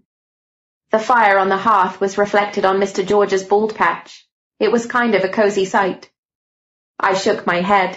I didn't need an answer. It was obvious. Mr. Whitman was one of these people. Isn't there anything else you want to know? Yes, I want to know who Paul is and what happened to Lucy, and what this theft they committed was, and what Mum did back then to make everyone so cross with her. It all came bursting out of me. Oh. Mr. George scratched his head, looking embarrassed. I'm afraid I can't tell you that. Figures, I sighed. Gwyneth, if you really are our number twelve, then we'll explain it all to you in detail, I promise. But we have to be sure first. However, I'll be happy to answer other questions. I sat in silence. Mr. George sighed. Oh, very well. Paul is the younger brother of Falk de Villiers. He was number nine in the Circle of Twelve, the last of the de Villiers line to travel in time before Gideon. That will have to do for now. If you have anything to ask of a less inflammatory nature. Is there a loo down here? Oh, yes, of course, just around the corner. I'll show you the way. I can find it for myself. Of course, Mr. George replied, but he followed me to the door like a small, stout shadow anyway. There, like a soldier on guard in front of Buckingham Palace, stood the man who had taken the vow of silence. The next door along. Mr. George pointed to the left. I'll wait here. In the ladies' room, a small place smelling of disinfectant, with a loo and a wash basin, I took my mobile out of my pocket. No reception, of course. I'd have loved to tell Leslie about all this. At least the time display was working, and I was surprised to see that it was only noon. I felt as if I'd been here for days. I did actually need the loo. When I came out again, Mr. George smiled at me in relief. He'd obviously been afraid I might have disappeared while I was in there. In the documents room, I sat down on the sofa again, and Mr. George sat opposite me in an armchair. Well, let's get on with our question and answer game, he said. But taking turns this time. I ask a question, you ask the next. Okay, I said. You first. Are you thirsty? Yes, I'd like some water, if there is any. Or tea. Sure enough, there was water down here, and fruit juice and wine, as well as a kettle for tea. Mr. George made us a pot of Earl Grey. Your turn now, he said, sitting down again. If this time travel business depends on a gene, how come a person's date of birth is so important? Why didn't they take some blood from Charlotte ages ago and test it for the gene? And why can't the chronograph send her back to some safe time in the past before she travels of her own accord and maybe gets into danger? Well, first, we only think it depends on a gene. We don't know for certain. All we're sure of is that it's something in the blood making the carriers different from normal people. But we haven't found Factor X, as we call the time travel gene, although we've been working on research for many years, and you'll find many of the best scientists in the world in our ranks. Believe me, it would make things much easier if we could prove the existence of the gene, or whatever it is in the blood. As it is, we have to rely on calculations and observations made by generations of people before us. If the chronograph had been tanked up with Charlotte's blood, what would have happened? In the worst case, it wouldn't have worked any more, said Mr. George. But, Gwyneth, we're talking about a tiny drop of blood. It's not like filling up a car. My turn now. If you could choose a time to go back to, when would you most like to travel to? I thought about it. Not very far back. Only ten years. Then I could see my father again and talk to him. Mr. George looked at me sympathetically. A very understandable wish, but I'm afraid it won't do. You can't travel back within your own lifetime. The closest you can come to that is the time just before your birth. Oh, that was a pity. I'd imagined travelling back to when I was at nursery school, and a boy named Gregory Forbes called me an ugly toad in the schoolyard and kicked my shin four times. I'd have walked in like Superwoman, and Gregory Forbes would never have kicked little girls again. That was for sure. Your turn again, said Mr. George. I was supposed to draw a chalk circle at the place where Charlotte disappeared. What would the point of that have been? Mr. George waved the question away. Forget all that nonsense. Your Aunt Glenda insisted on it so that we could have the place guarded. Then we'd have sent Gideon back to the past to describe the position, so that the Guardians would be waiting for Charlotte and could protect her until she travelled back. Yes, but you couldn't have known what time she'd gone back to, so the Guardians might have been watching that place all around the clock for years on end. Right, sighed Mr. George. Exactly. Now my turn again. Can you remember your grandfather? Of course. I was ten when he died. He wasn't at all like Lady Arista. He was funny and far from strict. He always used to tell my brother and me horror stories. Did you know him yourself? Oh, yes. He was my mentor and my best friend. Mr. George looked thoughtfully at the fire for a while. Who was the little boy? I asked. What little boy? That little boy just now clinging to Dr. White's jacket. What? Mr. George turned away from the fire and looked at me, bewildered. Oh, really, I could hardly have put it more plainly. That fair-haired little boy, about seven years old. He was standing beside Dr. White, I said, speaking deliberately slowly. But there was no little boy there, said Mr. George. Are you making fun of me? No, I said. All at once I knew what I'd seen, and I was annoyed with myself for not realizing it immediately. A fair-haired little boy of about seven, you say? It was nothing. I pretended to take a burning interest in the books on the shelf behind me. Mr. George said no more about it, but I could feel his inquiring glance resting on me.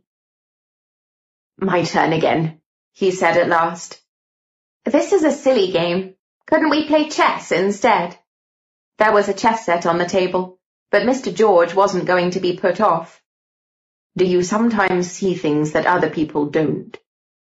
Little boys are not things, I said. But yes, I do sometimes see things when other people don't.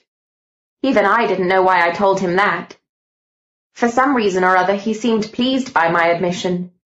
Remarkable, really remarkable. How long have you had this gift? Always. Fascinating. Mr. George looked around. Do please tell me who else is sitting here, listening in on us. We're alone. I couldn't help laughing a little at Mr. George's disappointed expression. Oh dear, I could have sworn this building was teeming with ghosts. This room in particular. He sipped tea from his cup. Would you like some Jaffa cakes? That sounds great. And then, I didn't know if it was because he'd mentioned food. I suddenly had that queasy sensation in my stomach again. I held my breath. Mr. George got to his feet and searched a cupboard. The dizzy sensation was growing stronger. Mr. George was going to get a surprise when he turned around to see that I'd simply disappeared. Maybe I ought to give him advance warning. For all I knew, he had a weak heart. Mr. George? And it's your turn again, Gwyneth. He was arranging the cookies carefully on a plate, almost the way Mr. Bernard did. And I think I know the answer to your next question. I paid attention to what was going on inside me. The dizziness was dying down a bit. Okay, false alarm. Right, so suppose I travelled to a time when this building didn't exist yet. Would I land underground and be suffocated? Oh, I thought you were going to ask about the little fair-haired boy. Very well. According to our present state of knowledge, no one has ever travelled back farther than five hundred years. And on the chronograph we can set the date of time travel for the ruby, meaning you, only as far back as AD 1560, the year when the first time traveller in the circle, Lancelot de Villiers, was born. We have often regretted these restrictions. One misses out on so many very interesting years. Here, have a cookie. These are my favourite. I reached for the plate, although it was suddenly going all blurred before my eyes, and I felt as if someone was going to pull the sofa away from under me. Male line of descent. Lancelot de Villiers, Amber, 1560 to 1607. William de Villiers, Agate, 1636 to 1689. Count Saint-Germain, Emerald, 1703 to 1784. Jonathan de Villiers, Carnelian, 1875 to 1944. Anne Timothy de Villiers, Carnelian, 1875 to 1930. Their descendants Gideon de Villiers, Diamond, born 1992, and Paul de Villiers, Black Tourmaline, born 1974. From the Chronicles of the Guardians, Volume 4, The Circle of Twelve. Chapter 8 I landed bottom first on cold stone, Jaffa cake in hand. There was absolute darkness around me, blacker than black. I should have felt paralyzed with fear, but oddly enough, I wasn't frightened at all. Maybe that was because of Mr. George's reassuring remarks, or maybe by now I was just getting used to it. I put the cookie in my mouth. It was delicious, and then felt for the flashlight hanging around my neck and pulled the cord over my head. It was a few seconds before I found the switch, then, in the beam of the flashlight, I saw the bookshelves and recognized the fireplace. Cold, and without a fire in it, unfortunately. The oil painting over it was the one I'd seen already. The portrait of the time traveller with his curled white wig, Count Thingamy. All the place really needed was a few armchairs and little tables, and, of course, the comfortable sofa where I'd been sitting just now. Mr. George had said I was simply to wait until I travelled back, and I might have done just that if the sofa had still been here, but it couldn't hurt to peek outside the door. I cautiously made my way over to it. The door was locked. Oh well, at least I didn't need the loo anymore. I searched the room by the beam of the flashlight. Maybe I'd find something to tell me what year I'd landed in. There might be a calendar on the wall, or lying on the desk. The desk was covered with rolled-up papers, books, opened letters and little boxes. The beam of my light fell on an inkwell and some quill pens. I picked up a sheet of paper. It had a rough, heavy texture, and the handwriting was so full of ornate flourishes that it was difficult to decipher. My dear and highly respected doctor, it said. Your letter reached me today, having been on its way for a mere nine months. Considering what a long journey your entertaining account of the present situation in the colonies has made, one can only marvel at such speed. That made me smile. Nine weeks for a letter to arrive. Okay, so I seem to be in a period when letters were still delivered by carrier pigeon. Or maybe snail mail, using actual snails. I sat on the chair at the desk and read a couple of other letters. Really boring stuff. And the names meant nothing to me either. Then I investigated the little boxes. The first one I opened was full of seals, with elaborate designs on them, for sealing letters. I looked for a twelve-pointed star, but there were only crowns, intertwined letters, and organic patterns. Very pretty, and I found sticks of sealing wax in every colour, even gold and silver. The next little box was locked. Maybe there was a key in one of the desk drawers. I was beginning to enjoy my treasure hunt. If I liked what I found in the box, I'd take it back with me, as a kind of test. The cookie had travelled without a problem, I'd bring Leslie back a little souvenir. Surely that was allowed, since the box was neither human nor animal. I found more quill pens and bottles of ink in the desk drawers. Letters carefully folded and tied up, bound notebooks, a kind of dagger, a little crescent-shaped knife, and keys. Lots and lots of keys of all shapes and sizes. Leslie would have loved this. Probably there was a lock in this room for every one of these keys, and a little secret behind the lock, or a treasure. I tried some of the keys that looked small enough for the lock of the little box, but I couldn't find the right one. What a shame. There was probably valuable jewellery in it. Maybe I should just take the whole box. But it was a rather awkward shape for that, and much too big to fit neatly in the inside pocket of my jacket. There was a pipe in the next box, a pretty one, elaborately carved, probably made of ivory, but that wasn't right for Leslie either. Maybe I should just take her one of the seals, or the pretty dagger. Or a book. Of course I knew I shouldn't steal, but this was an exceptional situation, and I thought I had a right to some compensation. Also, I had to see whether I could take objects from the past back to the present with me. I didn't have any guilty conscience, which surprised me, since I was usually disapproving when Leslie nibbled more than one of the free samples in the Harrods delicatessen department, or, like the other day, picked a flower in the park. I couldn't decide. The dagger looked like it was probably the most valuable thing. If the stones in the handle were real, then it must be worth a fortune. But what would Leslie do with a dagger? I felt sure she'd like a seal better. Which one, though? The decision was taken out of my hands, because the dizzy feeling came back again. When the desk blurred in front of my eyes, I grabbed the first thing within reach.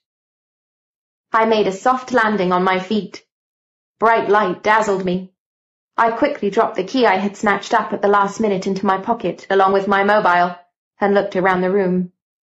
It was just like before, when I was having a cup of tea with Mr. George, and the flickering fire on the hearth made the room nice and warm. But Mr. George wasn't on his own any more.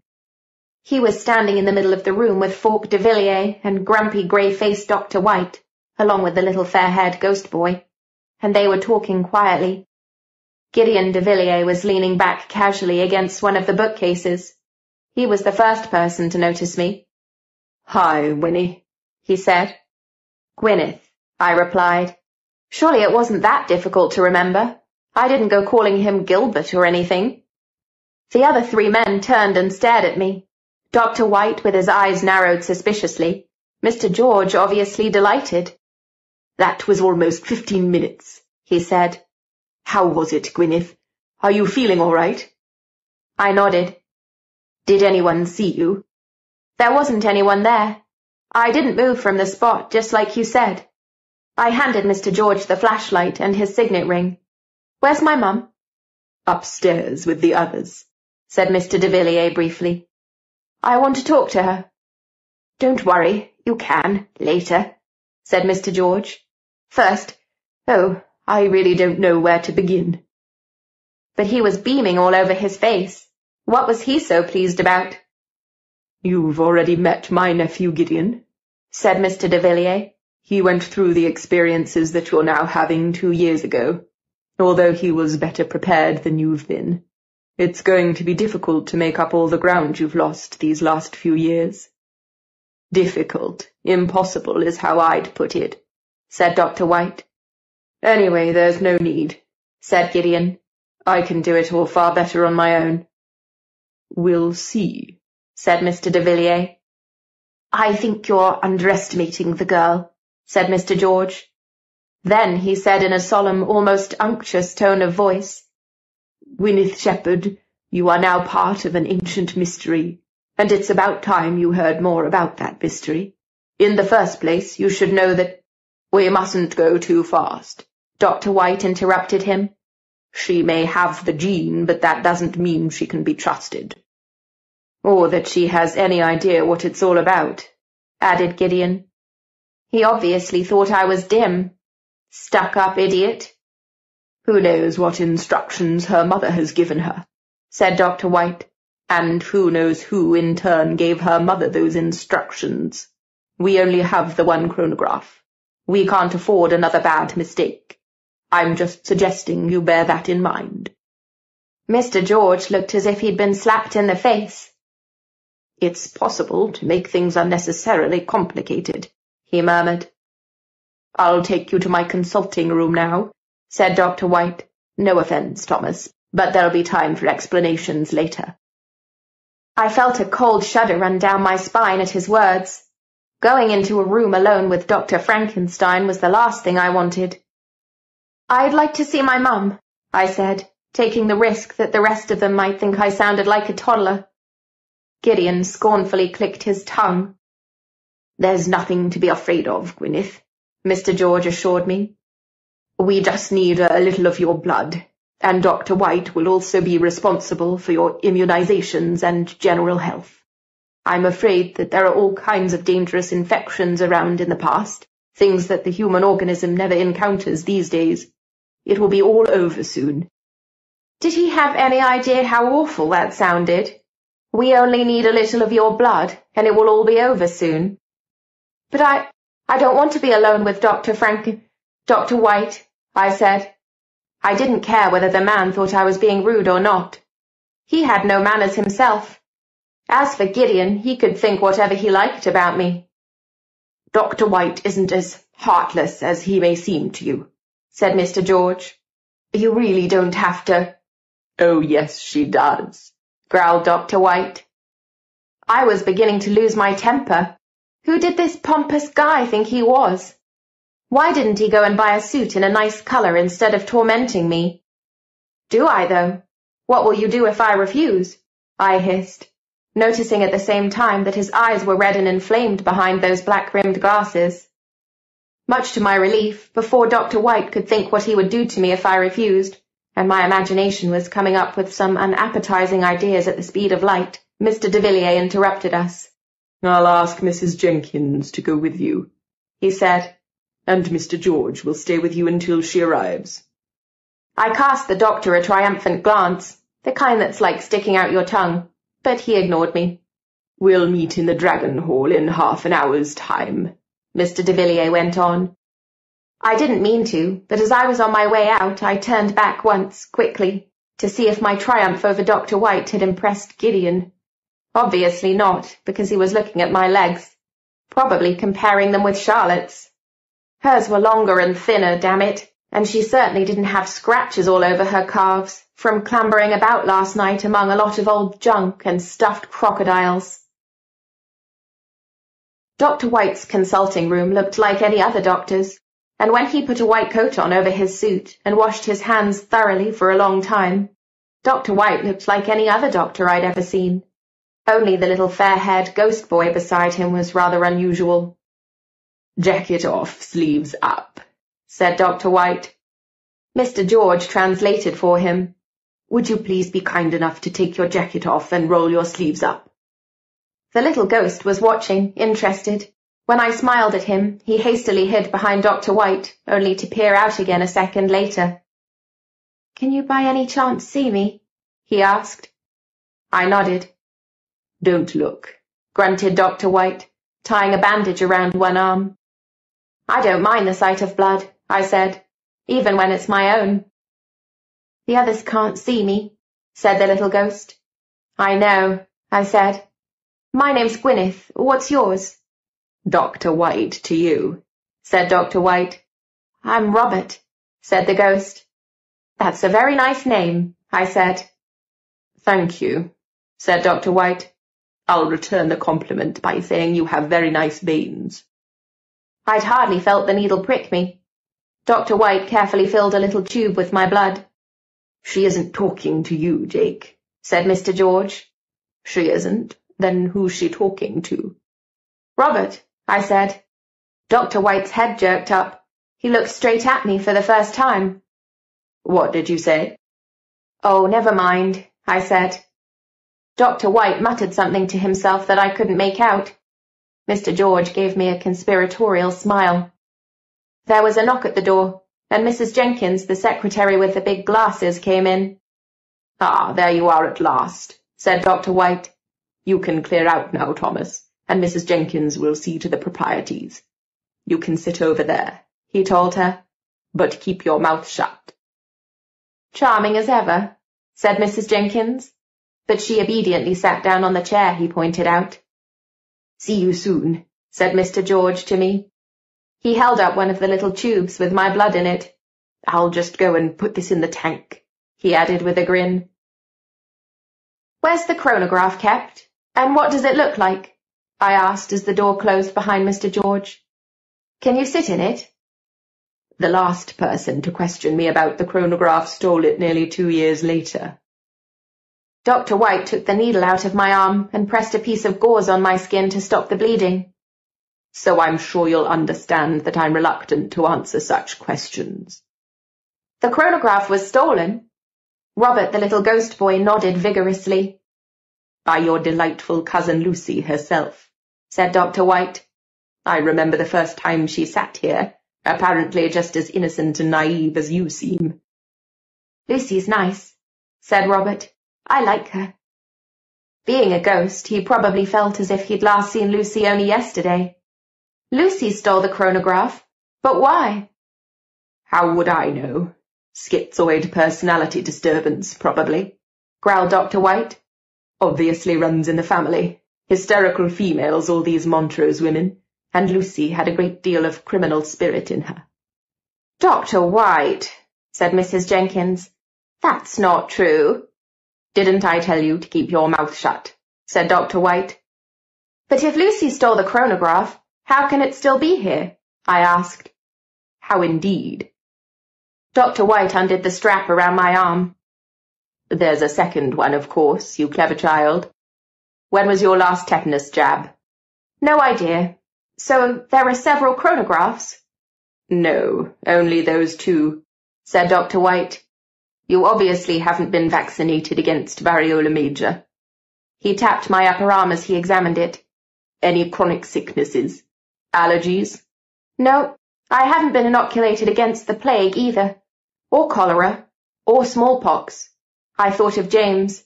Can you inoculate people against smallpox? I've an idea that a friend of mine died of it. I sincerely doubt that, said Dr. White. Smallpox is just another name for variola major, and no one's died of it for a very long time. Well, my friend has been dead for a very long time. I thought variola was another name for measles, said Mrs. Jenkins. And I thought we'd agreed that you'd keep your mouth shut, Mrs. Jenkins. Mrs. Jenkins said no more. Why are you so unfriendly to everyone? I asked. Ouch. That was only a little prick said Dr. White. What was it for, then? Believe me, you really don't want to know. I sighed. The little ghost called Robert sighed as well. Is he always like this? I asked him. Mostly, replied Robert. He doesn't really mean it, said Mrs. Jenkins. Mrs. Jenkins? Oh, very well. Well, I'm through with you for now. By next time I'll have your blood group, and maybe your charming mother will be so good as to come up with your inoculation record and any records of illness. I've never been ill. Am I inoculated against the plague now? No, not really worth it. The jab lasts only six months, and the side effects are nasty. And if I have it my way, you'll never travel to a plague year at all. You can put your things back on, and Mrs. Jenkins will take you back up to the others. Mrs. Jenkins rose from her chair. Come along, Gwyneth. I'm sure you're hungry and supper will soon be ready. Mrs. Mallory has roast veal with asparagus on the menu today. Delicious. I certainly was hungry, even for roast veal with asparagus, and I normally wasn't a big fan of eating baby cows. The doctor has a kind heart, really, you know, said Mrs. Jenkins on our way up. He just finds it rather difficult to be friendly. So I noticed. He used to be quite different cheerful, always good-tempered. He did wear those dreadful black suits even then, but at least with coloured ties. That was before his son died. Such a tragedy. He's been a different man ever since. Robert? Yes, the little boy was called Robert, said Mrs. Jenkins. Has Mr. George been telling you about him? No. A dear child. He drowned in a pool at a birthday party. Imagine that. Mrs. Jenkins counted years on her fingers as we walked along. It was eighteen years ago now. Poor Dr. White. Poor Robert. But at least he didn't look like a drowned body. Some ghosts thought it was fun to go around looking the way they did when they just died. Luckily, I'd never met one with a hatchet in his head. Or without a head at all. Mrs. Jenkins knocked at a door. We'll just look in and say hello to Madame Rossini. She'll want to measure you. Measure me? What for? But the room Mrs. Jenkins let me into gave me the answer. It was a sewing room, and in among the fabrics, clothes, sewing machines, tailor's dummies, scissors and rolls of thread, a plump lady with a lot of sandy hair stood smiling at me. Allô, she said. She had a slight French accent. You must be Gwyneth. I am Madame Rossini, and I look after your wardrobe. She held up a tape measure. We can't have you travelling in that dreadful school uniform, n'est-ce pas? I nodded. My school uniform really was dreadful, today or any other time. There'd probably be a riot if you went out in the street like that, she added, wringing her hands, tape measure and all, at the sight of it. I'm afraid we have to hurry. They're waiting for us upstairs, said Mrs. Jenkins. I'll be quick. Can you take that jacket off, please? Madame Rossini put the tape measure around my waist. Wonderful. Now the hips. Ah, like a young coat. I think we can use most of what I made for the other one, with maybe some little alterations here and there. By the other one, she meant Charlotte. I looked at the pale yellow dress with white lace trim hanging on a coat stand and looking like one of the costumes for Pride and Prejudice. Charlotte would have looked lovely in that. Charlotte's taller than me, I said, and slimmer. Yes, a little bit, said Madame Rossini, like a coat hanger. I couldn't help giggling. But that is no problem. She measured my neck and my head as well. For the hats and the wigs, she said, smiling at me. Ah, how nice to make dresses for a brunette for once. You must choose colors so carefully for redheads. I've had this lovely taffeta for years, a color like sunset. You could be the first the color suits. Madame Rossini, please. Mrs. Jenkins pointed to her watch. "May Maybe nearly finished said Madame Rossini, scurrying around me with a tape measure, and even measuring my ankles. Men always in such an hurry, but with fashion you cannot hurry. Finally she gave me a friendly pat and said, oh, We will meet again soon, my little swan-necked beauty. She herself had no neck at all, I noticed. Her head seemed to be set directly on her shoulders, but she was really nice. See you soon, Madame Rossini. Once we were out of the room again, Mrs. Jenkins walked faster, and I found it quite difficult to keep up, even though she was wearing high heels and I had my comfortable dark blue school shoes on. Nearly there. Yet another long, long corridor lay ahead of us. It was a mystery to me how anyone could ever find her way around this maze. Do you live here? No, I live in Islington, said Mrs. Jenkins. I leave work at five and go home to my husband. What does your husband think about you working for a secret lodge with a time machine in its basement? Mrs. Jenkins laughed. Oh, he has no idea of any of that. I had to sign a secrecy clause when I took the job. I can't tell my husband or anyone else what goes on here. Suppose you did. I'd be fired, plain and simple, said Mrs. Jenkins, sounding as if she didn't like that idea at all. Anyway, no one would believe me, she added cheerfully. Least of all my husband. He has no imagination at all, bless him. He thinks I work on boring files in an ordinary set of legal chambers all day. Oh, my word. The file I had out. I just left it where it was. Dr. White will murder me. She looked undecided. Can you find your way without me from here? It's only a few yards. Left around the corner, then the second door on the right. No problem. You're a darling. Mrs. Jenkins was on her way at top speed. How she did that in those high heels I couldn't think. Well, now I could take my time over the last few yards. At last I could look at the paintings on the walls properly, tap a suit of armour, rusty, and run my forefinger cautiously around a picture frame, dusty. As I turned the corner, I heard voices. Wait, Charlotte, I quickly retreated back around the corner and leaned against the wall. Charlotte had come out of the dragon hall with Gideon behind her. I'd just had time to see that he was holding her arm. I hoped they hadn't noticed me. This is all so embarrassing and humiliating, said Charlotte. No, it isn't. It's not your fault. How gentle and friendly his voice could sound. He's in love with her, I thought and for some silly reason that made me feel a slight pang. I pressed even closer to the wall, although I'd have liked to see what the two of them were doing. Holding hands? Charlotte seemed inconsolable. Phantom symptoms! I could sink into the ground. I really did think it was going to happen any moment. That's exactly what I'd have thought myself in your place, said Gideon. Your aunt must be crazy to have kept quiet about it all these years and I really do feel sorry for your cousin. Oh, you do, do you? Well, think about it. How on earth is she going to manage? She hasn't the faintest idea. How will she ever catch up with all the things you and I have been learning for the past ten years? Yes, poor Gwyneth, said Charlotte. Somehow she didn't sound really sorry for me. But she does have her strong points. Oh, well that was nice of her. Giggling with her girlfriend, sending text messages, rattling off the entire cast list of films. She's really good at that sort of thing. Not so nice after all. I cautiously peeped around the corner. I thought as much when I first saw her earlier today, said Gideon. Hey, I'm really going to miss you. Charlotte sighed. We had fun, didn't we? Yes, but think of all the new opportunities open to you, Charlotte. I envy you that. You're free now. You can do anything you like. I never wanted anything but this. That's because you had no choice, said Gideon. But now the whole world's before you.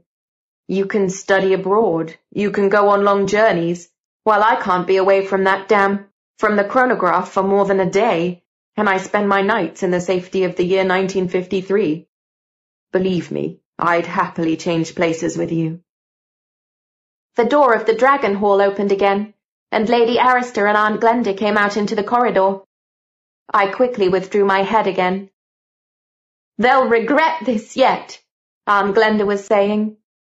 Glenda, please. We're a family after all, said Lady Arista. We must stick together. You'd better tell that to Grace, said Aunt Glenda. She's the one who got us into all this mess. Protect her. No one in possession of their senses would believe a word she says. Not after all that's happened. Still, it's not our problem any more. Come along, Charlotte. I'll see you in the car, said Gideon. I waited until the sound of their footsteps had died away, and then I ventured to leave my listening post. Lady Arista was still standing there, rubbing her forehead wearily with one finger. She suddenly looked as old as the hills, not her usual self at all. The Ramrod Straight ballet teacher look seemed to have deserted her, and even her features weren't as composed as usual. I felt sorry for her. Hello, I said quietly. Are you all right? My grandmother straightened up at once. Everything about her seemed to slip back into place and stay there. Ah, there you are, she said, inspecting me. Her critical gaze went to my blouse. Is that a dirty mark? Child, you really must learn to take a little more pride in your appearance. The intervals between episodes of time travel differ from one gene carrier to another, unless they are controlled by the chronograph. While the observations of Count Saint-Germain led him to conclude that female gene carriers travel back considerably less often and for shorter periods than their male counterparts, our experience to date does not allow us to confirm his findings.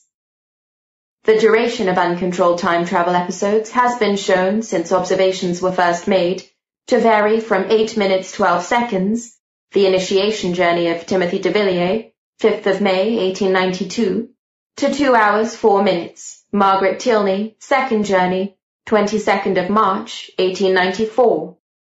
The window of time provided by the chronograph for travel is a minimum of 30 minutes, a maximum of 4 hours. It is not known whether uncontrolled visits to periods within a gene carrier's own lifetime have ever occurred. In his writings, Count Saint-Germain assumes that it is impossible because of the continuum. See Volume 3, Laws of the Continuum. Moreover, the chronograph cannot be set to take gene carriers back to periods within their own lifetimes. From the Chronicles of the Guardians, Volume 2, General Laws of Time Travel. Chapter 9 my mum hugged me as if I'd been away for years. I had to assure her over and over again that I was perfectly all right before she finally stopped asking. Are you okay too, Mum? Yes, darling, I'm fine. So everyone's fine, said Mr. de Villiers ironically. I'm glad we've cleared that up. He came so close to Mum and me that I could smell his cologne, kind of spicy and fruity with a touch of cinnamon. I felt hungrier than ever. Now, what are we going to do about you, Grace? Those wolf-like eyes were firmly fixed on Mum. I told you the truth. Yes, at least so far as identifying Gwyneth's gene is concerned, said Mr. de Villiers. But we have yet to find out why the midwife, who so obligingly falsified her birth certificate sixteen years ago, suddenly chose to go away in a hurry today of all days. Mum shrugged. I wouldn't assume that every little coincidence is so important, Falk. I also think it's strange that if your baby looked like arriving two months early, you chose to have her at home. Any sensible woman would go to a hospital the moment the labour pains started. It simply happened too fast, said Mum without batting an eyelash. I was just glad the midwife could come right away. Hmm. Even so, surely you should have gone to the hospital directly after the birth to have the baby examined. We did. But not until the next day, said Mr. de Villiers. The hospital records say that they did give the child a thorough examination, but her mother refused to have one.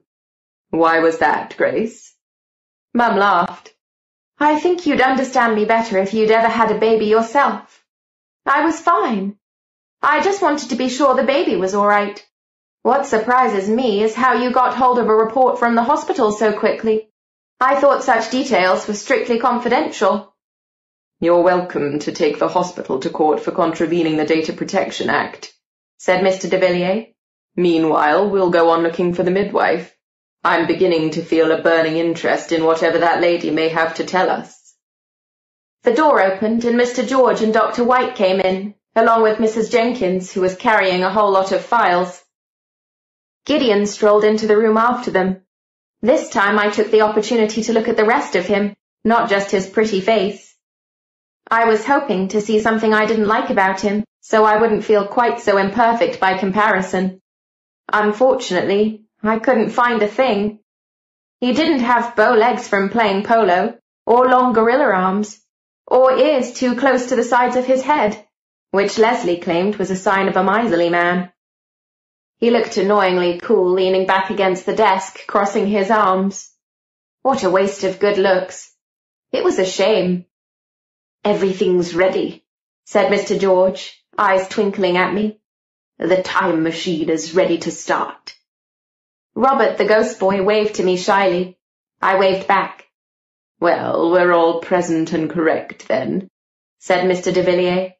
That is to say, I'm afraid Glenda and Charlotte have had to leave us. They send warm good wishes to everyone. I bet they do, said Dr. White. Poor girl. Phantom symptoms for two whole days. It can't have been much fun for her said Mr. George, with a sympathetic expression on his round face. And add a mother like that into the bargain, muttered Dr. White, leafing through the file folders that Mrs. Jenkins had brought with her. What a tough time the poor child's had. Mrs. Jenkins, how's Madame Rossini getting on with Gwyneth's wardrobe? She's just... Wait, I'll go and ask. Mrs. Jenkins hurried out of the doorway again. Mr. George rubbed his hands ready for action. Then we can go. But you won't take her into danger, will you? said Mum, turning to Mr. George. You'll leave her out of this business. We will certainly leave her out of it, said Gideon. We'll do all we can to protect Gwyneth, Mr. George assured Mum. We can't leave her out of it, Grace, said Mr. de Villiers. She is part of this business, as you put it. You ought to have realized that earlier, before you began this stupid game of hide-and-seek. With the result that thanks to you this girl is entirely unprepared and ignorant, said Dr. White, which of course will make our mission even more difficult, but I expect that was just what you wanted. What I wanted was to keep Gwyneth out of danger, said Mum. I've gone quite a long way on my own, said Gideon. I can see this thing through by myself. That's just what I hoped, said Mum. I can see this thing through by myself. Oh, I only just managed not to giggle. It could have been a line from one of those stupid action films where a hunk with a melancholy expression saves the world by fighting single-handed against a combat troop of 120 ninja warriors a fleet of enemy spaceships, or a whole village of desperados armed to the teeth. We'll see what kinds of tasks she may be suitable for, said Mr. de Villiers. We have her blood, said Gideon. That's all we need from her. She can come here and elapse every day as far as I'm concerned, and then everyone will be happy. What was that he said? Elapse? It sounded like one of those difficult words Mr. Whitman used to confuse us with in English lessons. In principle, not a bad effort at elapserating the crux, Gordon, but try for a little more elaboration next time, please. Or had it been elucidating the crux? Well, anyway, neither Gordon nor I nor anyone else in the class had ever heard of it. Except, of course, for Charlotte. Mr. George saw how baffled I was looking. By elapse, we mean deliberately tapping your time travel quota by setting the chronograph to take you back into the past for a couple of hours. That prevents uncontrolled travel. He turned to the others. I'm sure that after a little while Gwyneth will surprise us all with her potential. She is... She's a child, Gideon interrupted him. She has no idea about anything. I blushed scarlet. What a nerve he had! and the scornful way he was looking at me, that stupid, conceited polo player. That's not true, I said. I was not a child. I was sixteen and a half, exactly the same as Charlotte. At my age, Marie Antoinette had been married for years. So I didn't know that from history lessons, but I knew it from the film with Kirsten Dunst. And Joan of Arc was only fifteen when she... Oh no, Gideon's voice was heavily sarcastic. Then what, for instance, do you know about history? Enough, I said. Hadn't I just gotten an A on a history test? Really? Who came to the throne after George the First? I hadn't the faintest. George the Second? I said, guessing. Aha! He looked disappointed. I seem to have guessed right. And which royal house replaced the Stuarts in 1702, and why? Damn it. Um, well, we haven't got to that yet, I said. So I see. Gideon turned to the others. She doesn't know anything about history. She can't even speak appropriately. Wherever we go, she'd stick out like a sore thumb. And she's no idea what's at stake. She wouldn't just be totally useless. She'd endanger the entire mission. I ask you, so I couldn't even speak appropriately? Well, I could think of several highly appropriate names I'd have liked to call him. I think you've made your opinions quite clear, Gideon, said Mr. de Villiers. At this point, it would be interesting to find out what the Count thinks of these developments. You can't do that to her, Mum interrupted, her voice suddenly sounding all choked up. The Count will be delighted to meet you, Gwyneth, said Mr. George, brushing Mum's concerns aside. The ruby, the twelfth, the last in the circle. It will be a solemn moment when the two of you come face to face. No, said Mum. Everyone looked at her. Grace, said my grandmother. Not again. No, repeated Mum. Please, there's no need for him to meet her. Surely it will be enough for him to know that her blood makes the circle complete.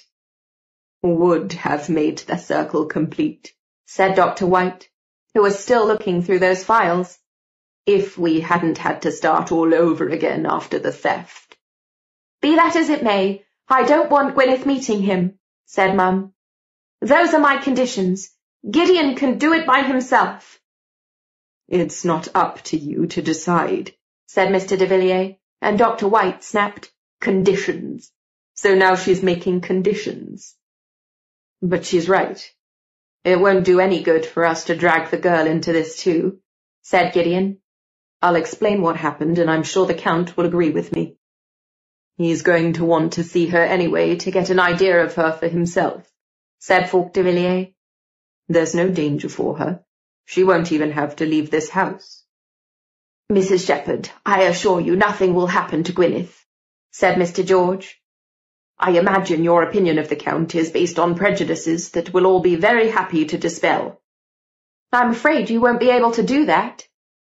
I am sure, dear Grace, said Mr. de Villiers, that you'd like to tell us on what grounds you feel such dislike for the Count, a man you've never met. Mum pursed her lips firmly. We're listening, said Mr. de Villiers. Mum said nothing. At last she whispered, It's just, just a kind of feeling. Mr. de Villiers' lips curled in a cynical smile. I can't help it, Grace. I do get the impression that you're keeping something from us. What are you afraid of? Who is this Count, anyway, and why aren't I supposed to meet him? I asked. Because your mother has a kind of feeling, said Dr. White, straightening his jacket. The man has been dead for over two hundred years, Mrs. Shepherd. And that's the way I'd like him to stay, muttered Mum. Count Saint-Germain is the fifth of the twelve time-travellers, Gwyneth said Mr. George. You saw his portrait in the documents room just now. He was the one who first understood the way the chronograph works and decoded the old manuscripts. He not only found out how he could travel with its aid to any year he liked, on any day he liked, he also discovered the secret behind the secret, the secret of twelve. With the help of the chronograph, he succeeded in tracing the four time-travellers in the circle born before him and initiating them into the mystery. The Count sought and gained support from the most brilliant minds of his time, mathematicians, alchemists, magicians, and philosophers. They were all fascinated by his work. Together they deciphered the ancient writings and worked out the birth dates of the seven time-travellers yet to be born before the circle could be closed. In the year 1745, the Count founded the Society of the Guardians here in London, the secret lodge of Count Saint-Germain. The Count had scientists, philosophers, and scholars, such as Raymundus Lullus, Agrippa von Nettesheim, John Colet, Simon Forman, Samuel Hartlib, Sir Kenelm Digby, and John Wallis to thank for the decoding of the ancient writings, said Mr. de Villiers. None of those names rang a bell anywhere in my head. None of those names ring a bell anywhere in her head, said Gideon sarcastically. Could he really read thoughts? Just in case he could, I gave him a nasty look and thought with all my might, you stupid show-off. He looked away. I thought Sir Isaac Newton was one of the Guardians, I asked. Indeed he was, Mr. George replied. But Newton died in 1727. I surprised myself by coming up with that fact. Leslie had told me when she phoned yesterday, and for some unfathomable reason it had stuck in my mind. I wasn't as stupid as this Gideon said after all. Correct, said Mr. George, smiling. That's one of the advantages of travelling in time. You can make friends in the past as well as the present. And what's the secret behind the secret? I asked. The secret of the twelve will be revealed when the blood of all twelve time-travellers has been read into the chronograph, said Mr. George solemnly. That's why the circle has to be closed. It is the great task that we must perform. But I'm the last of the twelve, right? So the circle should be complete with me. And so it would be, said Dr. White, if your cousin Lucy hadn't taken it into her head to steal the chronograph seventeen years ago. Paul stole the chronograph, said Lady Arista. Lucy only. Mr. de Villiers raised his hand. Yes, well, let's just say they stole it together. Two children who had been led astray. They wrecked the work of five hundred years. The mission was on the point of failing, and the legacy of Count Saint-Germain would have been lost forever. So this legacy is the secret? Luckily, there was a second chronograph within these walls said Mr. George. It wasn't expected ever to be used. It came into the hands of the Guardians in 1757. After centuries of neglect, it was defective, and the valuable jewels had been stolen from it. But after two hundred years of laborious work, the Guardians succeeded in... Impatiently, Dr. White interrupted him. To cut a long story short, it was repaired, and it really was capable of working although we couldn't check that until the eleventh time-traveller Gideon here reached the age of initiation. We'd lost the first chronograph, and with it the blood of ten time-travellers. Now we had to start all over again with the second. So as to, um, get at the secret of the twelve, I said. I'd almost said reveal. I was beginning to feel as if I'd been brainwashed. Dr. White and Mr. George nodded solemnly by way of an answer. Mum began to laugh. It was totally out of place, but she laughed with a gurgle, like Caroline when Mr. Bean was on TV. Grace, hissed Lady Arista, pull yourself together. But Mum just laughed even more. A secret is a secret is a secret, she got out between two bursts of laughter. That's always the way. Just as I said, hysterical females, the whole bunch of them, growled Dr. White. I'm glad you can see a funny side to all this, said Mr. de Villiers. Mum wiped the tears of laughter from her eyes. I'm sorry. It just suddenly came over me. To be honest, I feel more like crying. I really do. I realized that I wasn't going to get any closer to the nature of the secret by asking questions about it. What's so dangerous about this Count that I'm not supposed to meet? I asked instead. Mum just shook her head. She was suddenly deadly serious again. I was getting worried about her. These mood swings weren't like her at all. Nothing, replied Dr. White. Your mother is simply afraid you might come into contact with intellectual ideas that don't agree with her own. But she's not the one who makes the decisions here. Intellectual ideas, repeated my mother, and this time it was her voice dripping irony. Why don't we leave it to Gwyneth to decide if she wants to meet the Count? suggested Mr. de Villiers. Just for a conversation? Back in the past? I looked inquiringly from Mr. de Villiers to Mr. George and back again. Will he be able to answer my question about the secret? If he wants to, said Mr. George. You'll meet him in the year 1782. The Count was a very old man then, but conveniently for our purposes he was making a visit to London, on a strictly secret mission, the nature of which is unknown to historians and his biographers. He spent the night here in this house, so it will be very easy to arrange a meeting between you. Gideon will escort you, of course. Gideon muttered something indistinct to himself, in which I caught the words idiots and babysitter. How I loathed this guy. Mum? Say no, darling. But why? You're not ready for it yet. Not ready for what yet? Why aren't I supposed to meet this Count? What's so dangerous about him? Oh, come on, Mum, tell me. Yes, tell her, Grace, said Mr. de Villiers. She hates all this mystery-mongering. I should think it hurts her, coming from her own mother in particular. Mum did not reply. As you see, it's difficult extracting any really useful information from us, said Mr. de Villiers, his amber eyes studying me seriously. My mum still didn't say anything. I could have shaken her. Falk de Villiers was right. All these stupid hints weren't getting me anywhere. Then I'll have to find out for myself, I said. Yes, I want to meet him. I don't know what had suddenly come over me, but I no longer felt like a five-year-old who wanted to run home and hide under the bed. Gideon groaned. You heard what she said, Grace, said Mr. de Villiers. I suggest you get a taxi back to Mayfair and take a tranquilizer. We'll take Gwyneth home when we're finished with her. I'm not leaving her alone, whispered Mum. Caroline and Nick will soon be home from school, Mum. It's all right for you to go. I can look after myself. No, you can't, whispered Mum.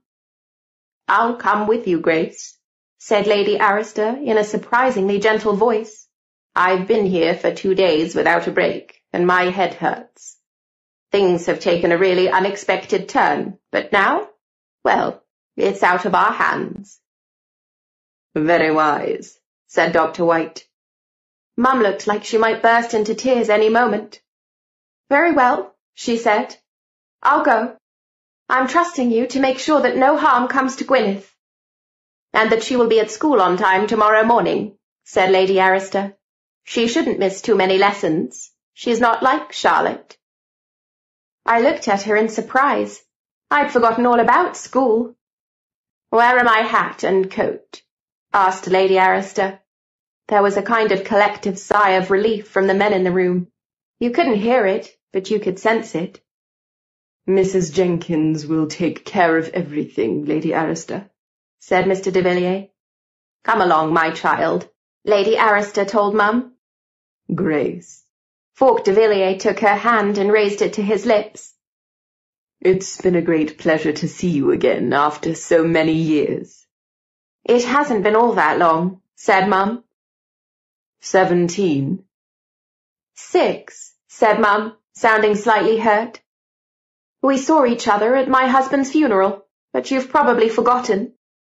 She looked at Mr. George. Will you take care of her? Mrs. Shepherd, I promise you that Gwyneth will be safe with us, said Mr. George. Trust me. I don't seem to have any other option. Mum withdrew her hand from Mr. de Villiers and slung her bag over her shoulder. Can I have a word with my daughter in private? Of course, said Falk de Villiers. You'll be undisturbed in the room next door. I'd prefer to be outside with her, said Mum. Mr. de Villiers raised his eyebrows.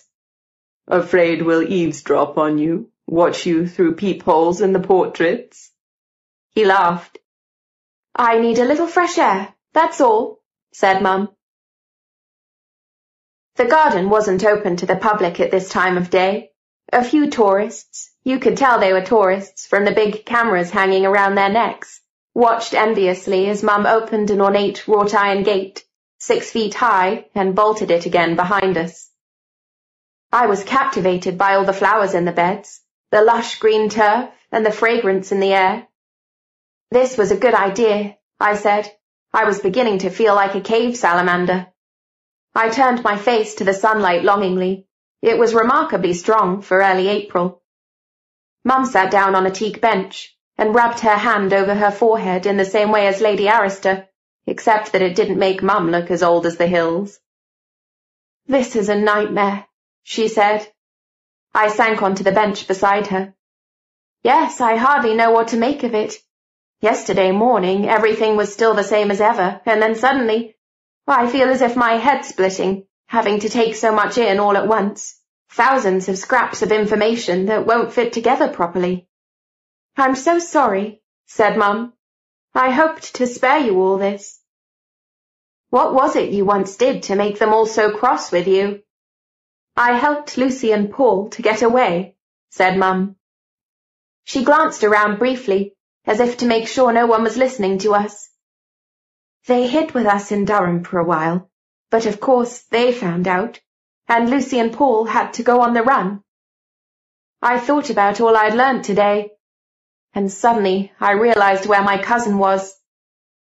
The black sheep of the family wasn't living among the Amazonian Indians, or hidden in a convent of nuns in Ireland, as Leslie and I had always imagined when we were little.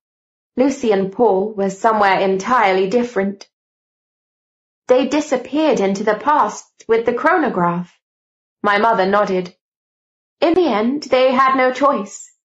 But it wasn't an easy decision for them. Why? It's forbidden to take the chronograph out of your own time. If you do that, you can never travel back home again. Anyone who takes the chronograph into the past has to stay there. I swallowed. But why would anyone decide to do that? I asked quietly. They realized there'd be no safe hiding place for them in the present with the chronograph. Sooner or later the Guardians would have tracked them down. But why did they steal it, Mum?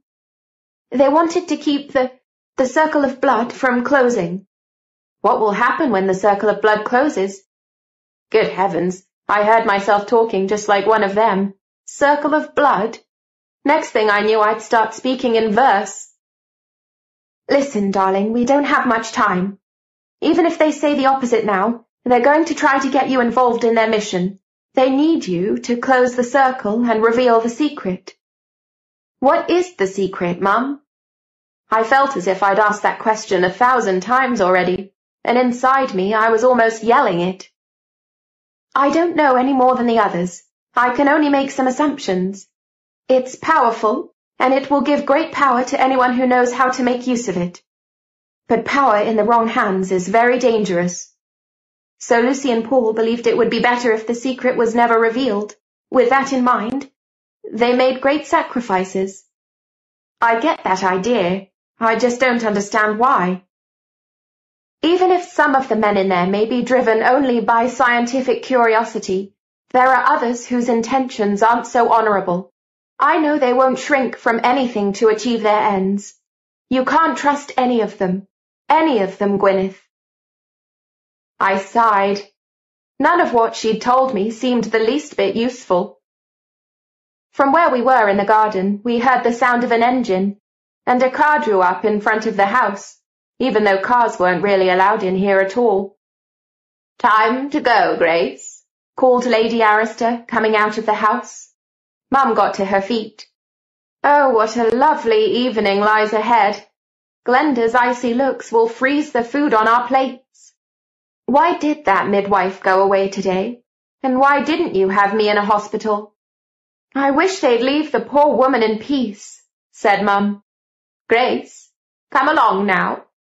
Lady Arista was tapping the tip of her umbrella against the wrought iron gate. I think they're going to put you in the naughty corner, I said. It breaks my heart leaving you alone. I could just go home with you, I said. But even as I said it, I knew I didn't really want to. It was just like Falk de Villiers said. I was part of this business now, and oddly enough, I didn't mind the idea. No, you can't, said Mum. You could get hurt or even killed in uncontrolled time travel. At least you're safe from that here. She hugged me. Don't forget what I said. Trust no one, not even your own feelings. And go very carefully with Count Saint-Germain. It's said that he can get into people's minds he can read your thoughts, and even worse, control your will if you let him. I hugged her back as hard as I could. I love you, Mum.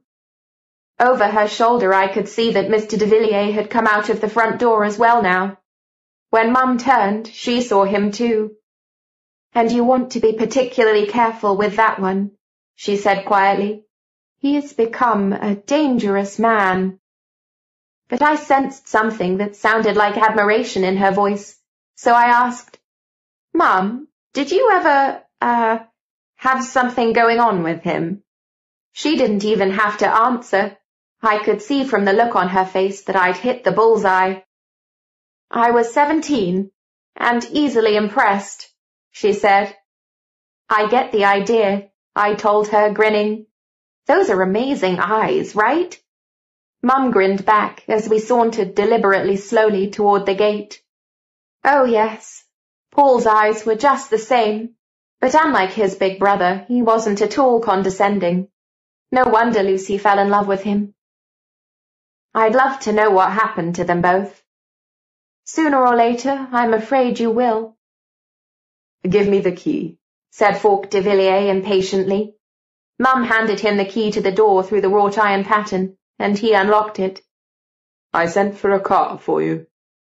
We'll meet at breakfast tomorrow morning, Gwyneth, said Lady Arista, putting a hand under my chin. Chin up, you're a Montrose, and we stay calm and composed everywhere, always. I'll try, grandmother. That's right. Oh dear.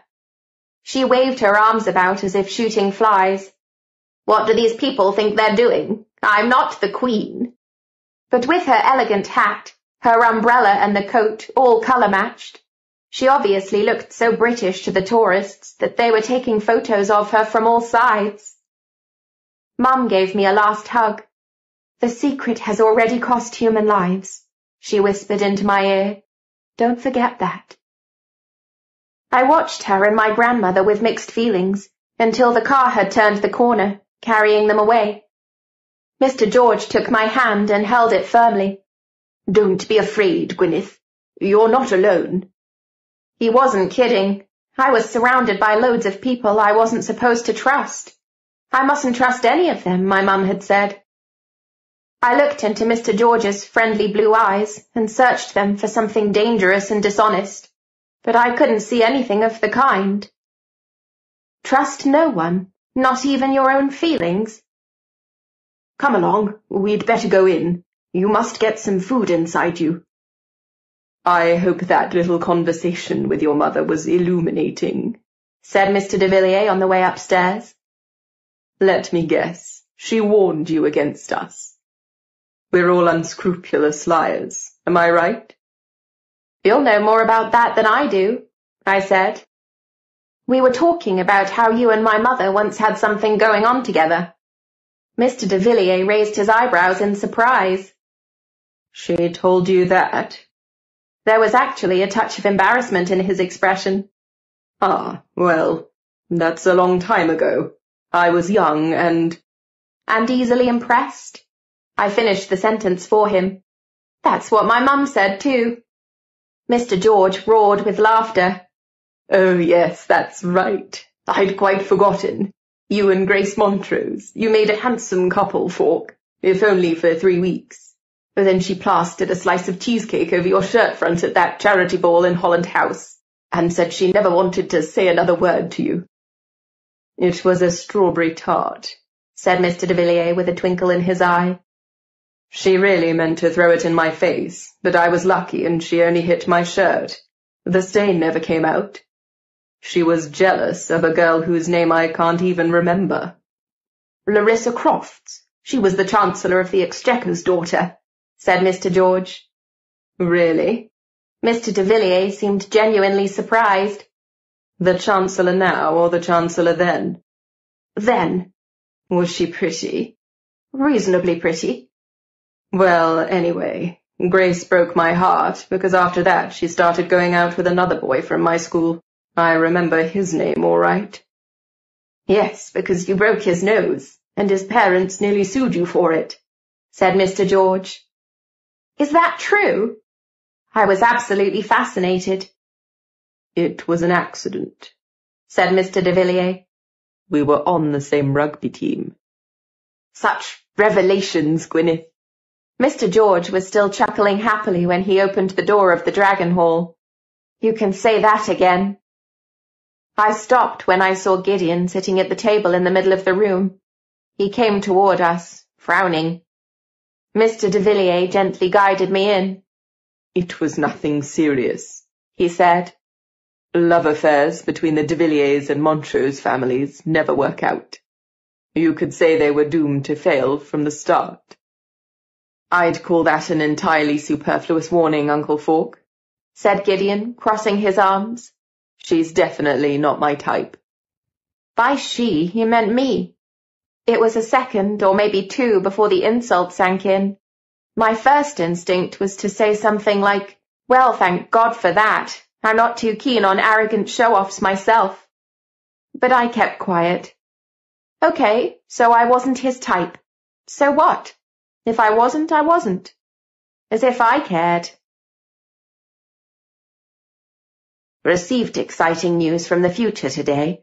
The eleventh in the circle of twelve, Gideon de Villiers, will elapse to spend three hours a night with us in the future. We made up a bed for him in Sir Walter's office. It is cool and quiet in there, and the boy will be protected to a great extent from curious glances and stupid questions. During his visit today, all the officers on duty looked in quite by chance and quite by chance, they all had questions to ask about the future. The boy told us it would be a good idea to buy shares in Apple, whatever that may be. From the Annals of the Guardians, 4th of August, 1953. Report, Robert Peel, Inner Circle. Chapter 10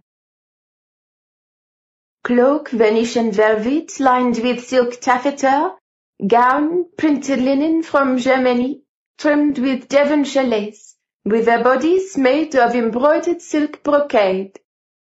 Madame Rossini carefully spread these garments out on the table.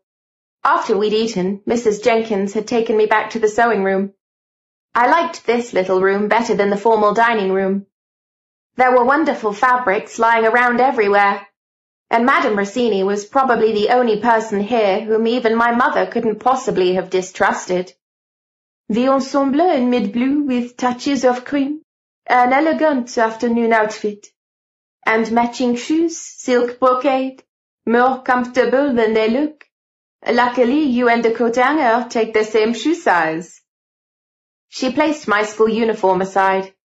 Oh mon Dieu, the most beautiful girl in the world would look like a scarecrow in this, if they would only shorten the skirt to a fashionable length. Ah, oh, that ugly yellow. Whoever designed this hated schoolgirls. He really hated them. Can I keep my own underwear on? Only the panties, said Madame Rossini. Wrong for the period, but no one will be looking under your skirt. Or so I hope. If they do, just kick them good and hard. It may not look like it, but these shoes have toes reinforced with iron. Have you been to the toilet? It is more difficult with the dress on. Yes, I have. You've asked me that three times already, Madame Rossini. We must make sure of everything. The way people fussed about me here kept surprising me, and all these little details. After dinner, Mrs. Jenkins had even handed me a brand new toiletry bag so that I could brush my teeth and wash my face. I'd expected the corset to cut off my air supply and squeeze the roast veal right out of me, but it was surprisingly comfortable. I thought women fell down fainting in rows from wearing these things. Oh, they did. First, because they laced them too tight, and second, you could have cut the air with a knife. Because nobody washed, they just put on more perfume, said Madame Rossini, shuddering at the idea. The most beautiful fashions, but not a good time for hygiene. You're not wearing a corset like those poor creatures. You have a special one, a la Madame Rossini, comfy like a second skin. I see. I was terribly excited when I climbed into the hooped petticoat. This feels like carrying a birdcage around with me. This is nothing, Madame Rossini assured me, as she carefully put the dress over my head. The hoop is tiny, not like they were at Versailles at the time. Twelve feet in diameter, and yours is not whalebone, but featherweight high-tech carbon fiber. But don't worry, no one will see. Pale blue fabric, patterned with cream-coloured sprigs of flowers, was billowing all around me. It would also have looked pretty good as a sofa cover. But I had to admit that even with the enormous skirt and seemingly impossible length, it was very comfortable, not to mention a perfect fit. Enchanting, said Madame Rossini, pushing me over to the mirror. Oh, I said, surprised. Who'd have thought a sofa cover could look so good, and me in it?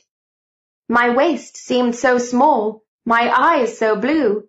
Wow, although my low décolletage reminded me of an opera singer about to explode. We'll put a little lace in there, said Madame Rossini, who had followed the direction of my eyes. After all, it is an afternoon gown. In the evening, yes, you have to show what you have got. I hope to have the pleasure of making you a ball gown.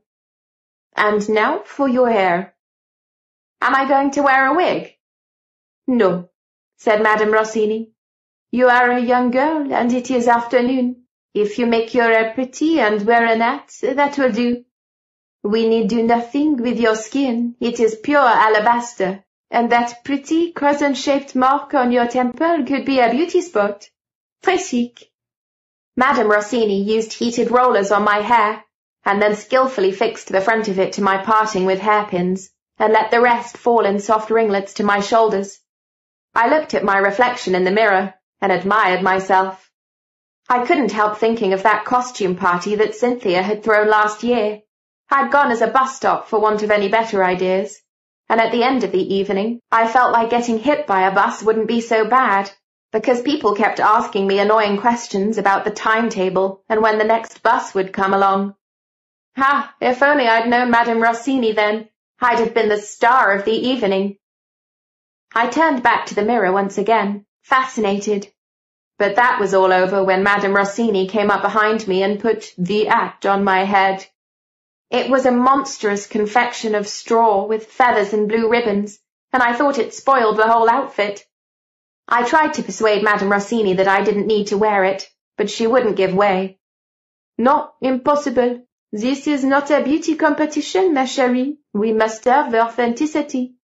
I looked for my mobile in the jacket of my school uniform. Could you at least take a photo of me, without the hat? Madame Rossini laughed. Bien sûr, my dear. I posed, and Madame Rossini took about thirty photos of me from all sides, some of them even with the hat on. At least Leslie would have a good laugh. There now, I will go up and tell them you are ready. Stay here and don't touch that hat. It is perfect. Yes, Madame Rossini, I said dutifully. As soon as she had left the room, I tapped in Leslie's mobile number fingers flying, and texted her one of those hat pictures. She called back fourteen seconds later. Thank goodness the reception here in Madame Rossini's sewing room was good. I'm on the bus, Leslie shouted into my ear, but I have my notebook and pen all ready, only you'll have to speak up. Talking at top speed, I told Leslie all about what had happened, trying to explain where I was and what my mum had said. Although I was talking in rather a confused way, Leslie seemed to be following me. She was thrilled when I told her I'd bought her back a key from the past. She kept saying in turn, wow, crazy, and do be careful. When I described Gideon, she wanted to hear all the details. She said, I don't think long hair's so bad. It can look quite sexy. Think of a Knight's Tale. But don't forget to check out the ears he's hiding under there. They don't make any difference. He's a conceited jerk. And anyway, he's in love with Charlotte. Did you get that bit about the Philosopher's Stone down? Yes, I've made notes of it all. As soon as I'm home, I'll go online. This Count Saint-Germain. Why does the name seem so familiar to me? Could it be from a film? No, I'm thinking of the Count of Monte Cristo. Suppose he really can read thoughts. Just think of something harmless, or count backward from a thousand, in steps of eight at a time, then you won't be able to think of anything else. I'll try. Oh, see if you can find out anything about a little boy called Robert White, who drowned in a swimming pool eighteen years ago. Okay, I got that, said Leslie. Wow, this is weird. We should have gotten you a knife, or pepper spray or something. I know. You can take your mobile with you. I tripped my way over to the door in my long, full dress, and peered cautiously out into the passage. What, into the past? Do you think I'll be able to call you from there? Don't be silly. But you can take photos. They'd be a help to us. Oh, and I'd just love to see one of your Gideon. With his ears showing, if possible. Ears tell you a lot about a person, especially the earlobes. I could hear footsteps. I quietly closed the door. Here we go. I'll be in touch later, Leslie. Just be careful, said Leslie yet again but then I closed my phone and slipped it into my décolletage. The little space under my breasts was just the right size for a mobile. I wondered what ladies in the old days used to keep in there. Little bottles of poison, miniature revolvers, love letters. The first thing that went through my head when Gideon came into the room was, why doesn't he have to wear a hat? The second was, how can anyone look good in a red moire waistcoat? dark green trousers that cut off at the knee, and striped silk stockings. If I thought anything else, it was probably, I hope to goodness no one can guess what I'm thinking right now. The green eyes passed swiftly over me. Nice hat. Damn him. Lovely, said Mr. George, coming into the room behind him. Madame Rossini, you've worked wonders. Yes, I know, said Madame Rossini. She had stayed out in the corridor. The sewing room wasn't big enough for all of us. My skirt took up half the space on its own. Gideon had tied his hair at the back of his neck, and I saw my chance to get my own back.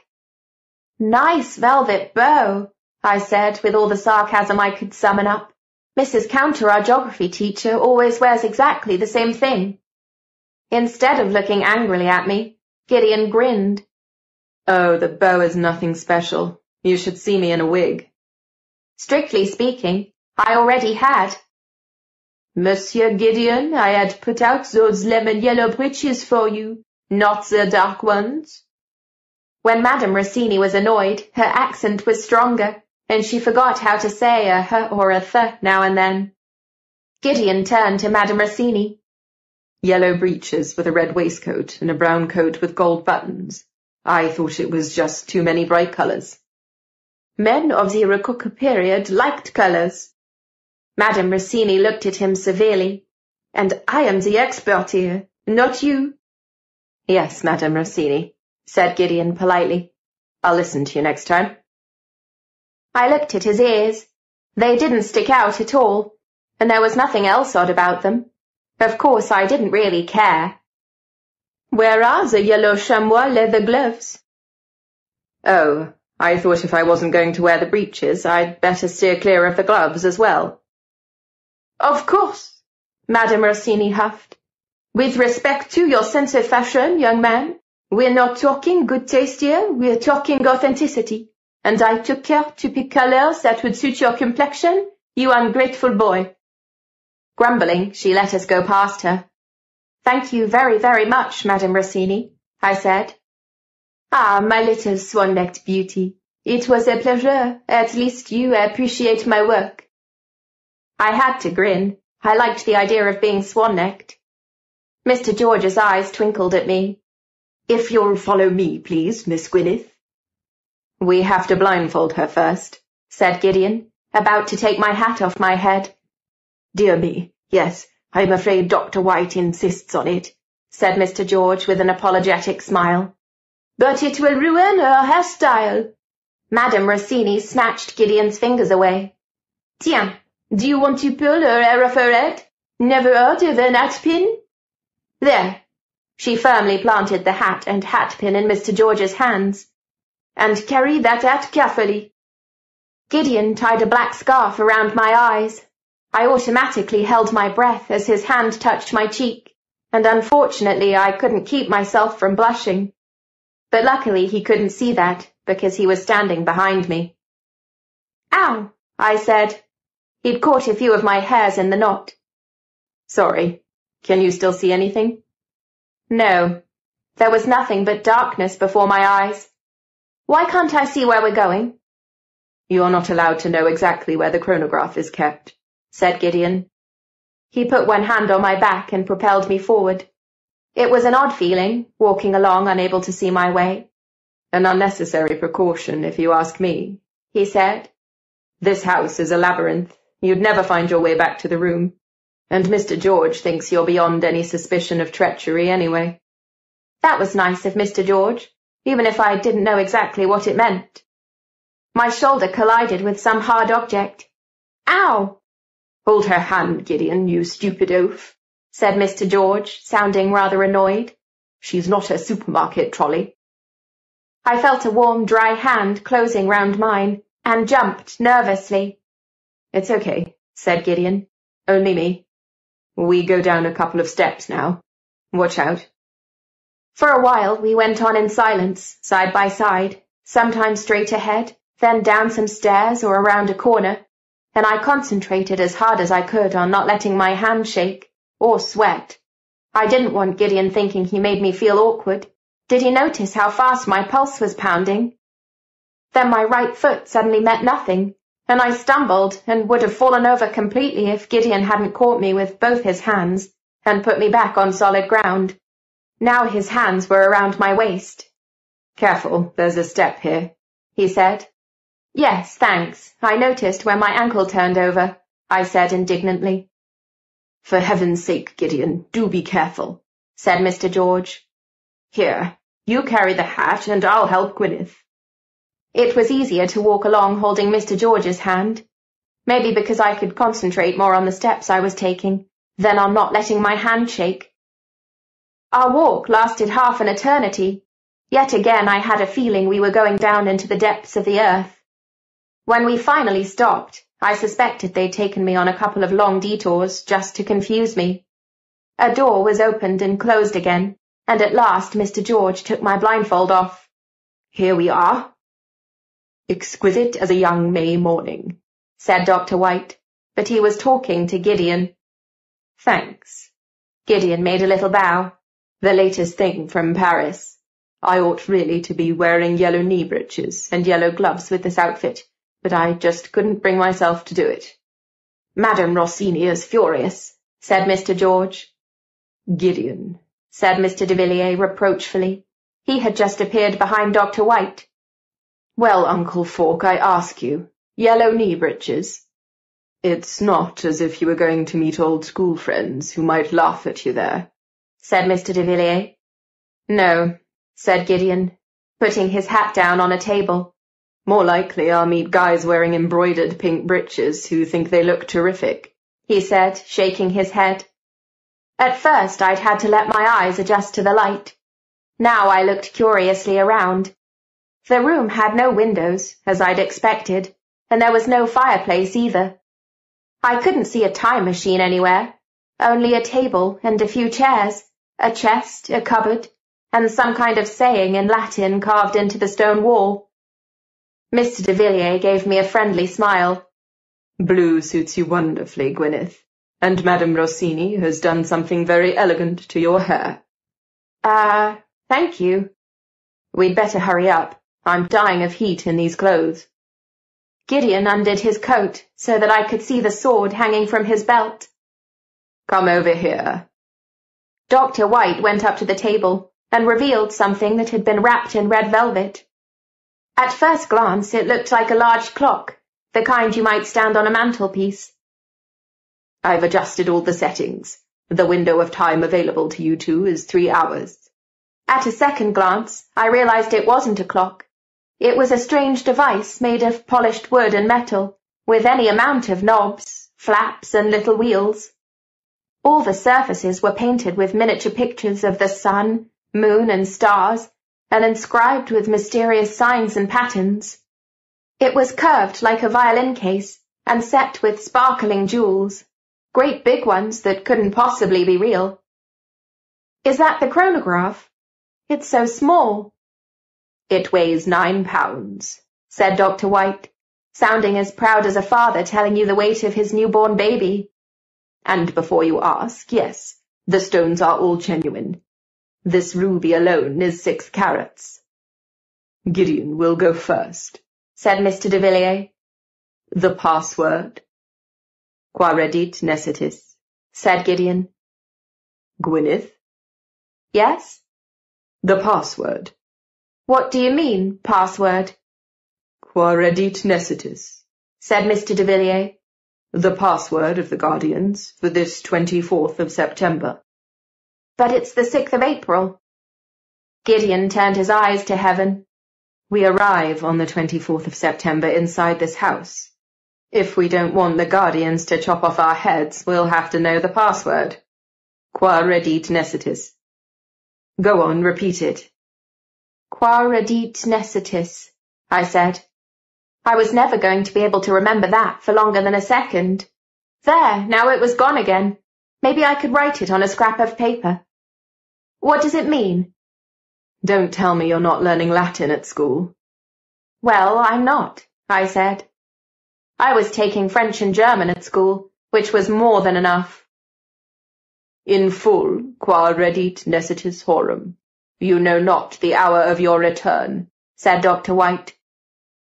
Rather a flowery translation, said Mr. George. One could also say, you don't know when... Gentlemen.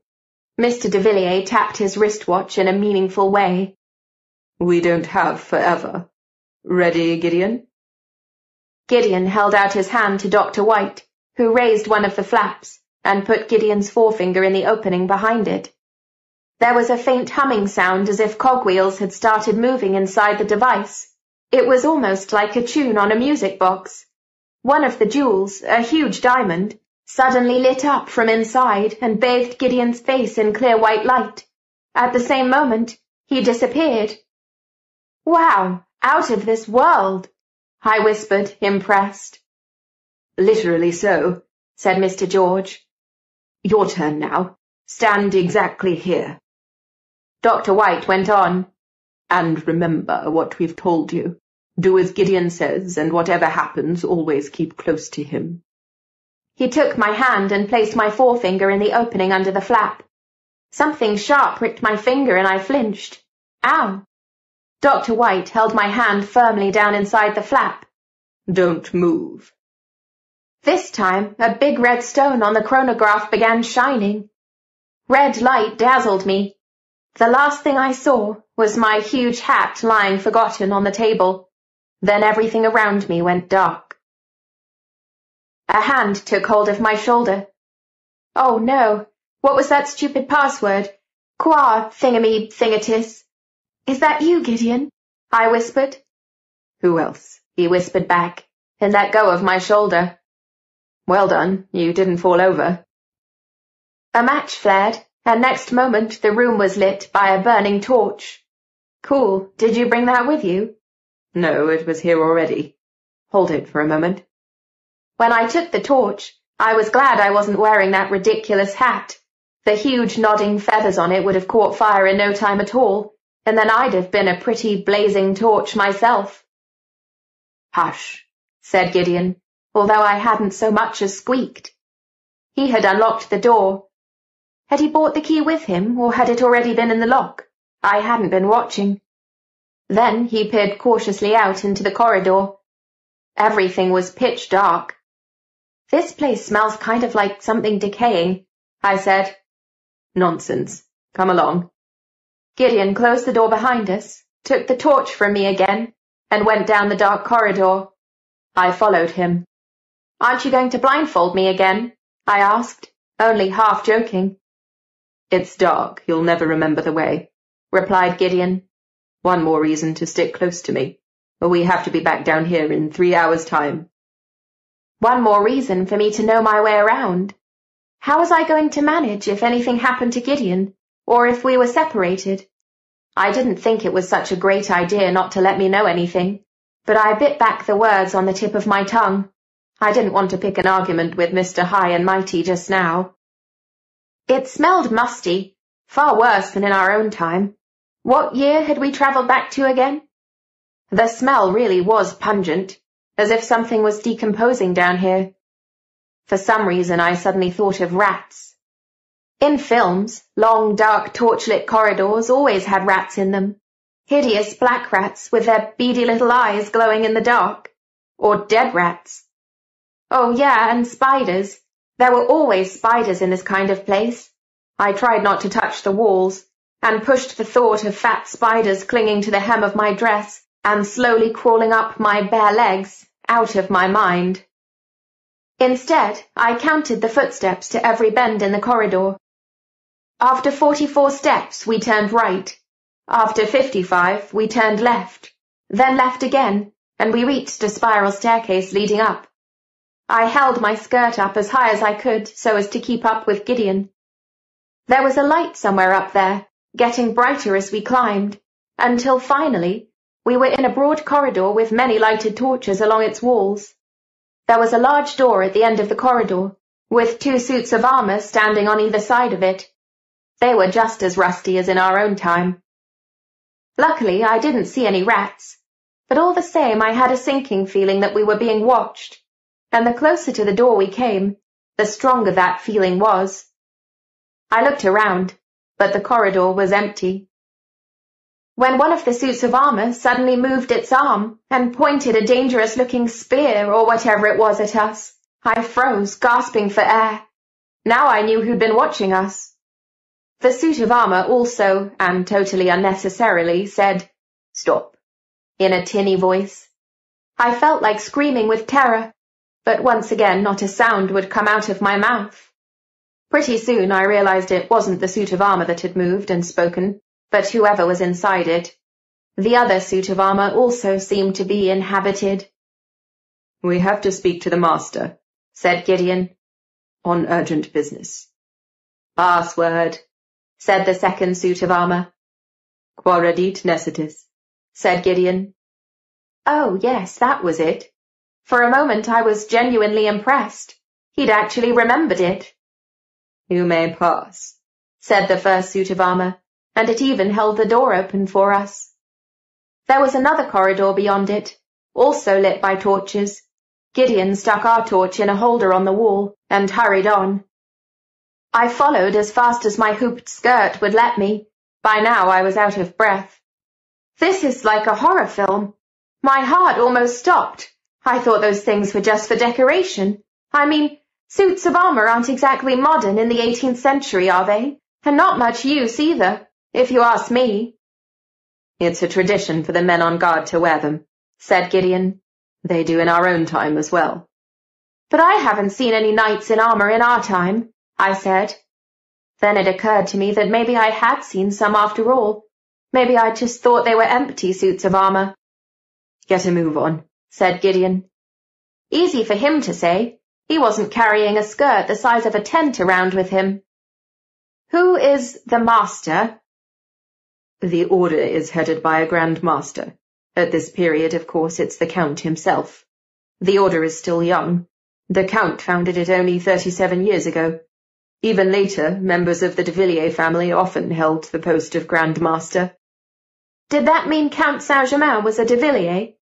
If he was, then why was he called Saint-Germain? What about now? Uh, I mean in our time. Who's the Grand Master today? At the moment, my Uncle Falk, said Gideon. He took over from your grandfather, Lord Montrose. Oh, my dear kindly grandfather, Grand Master of the Lodge of Count Saint-Germain.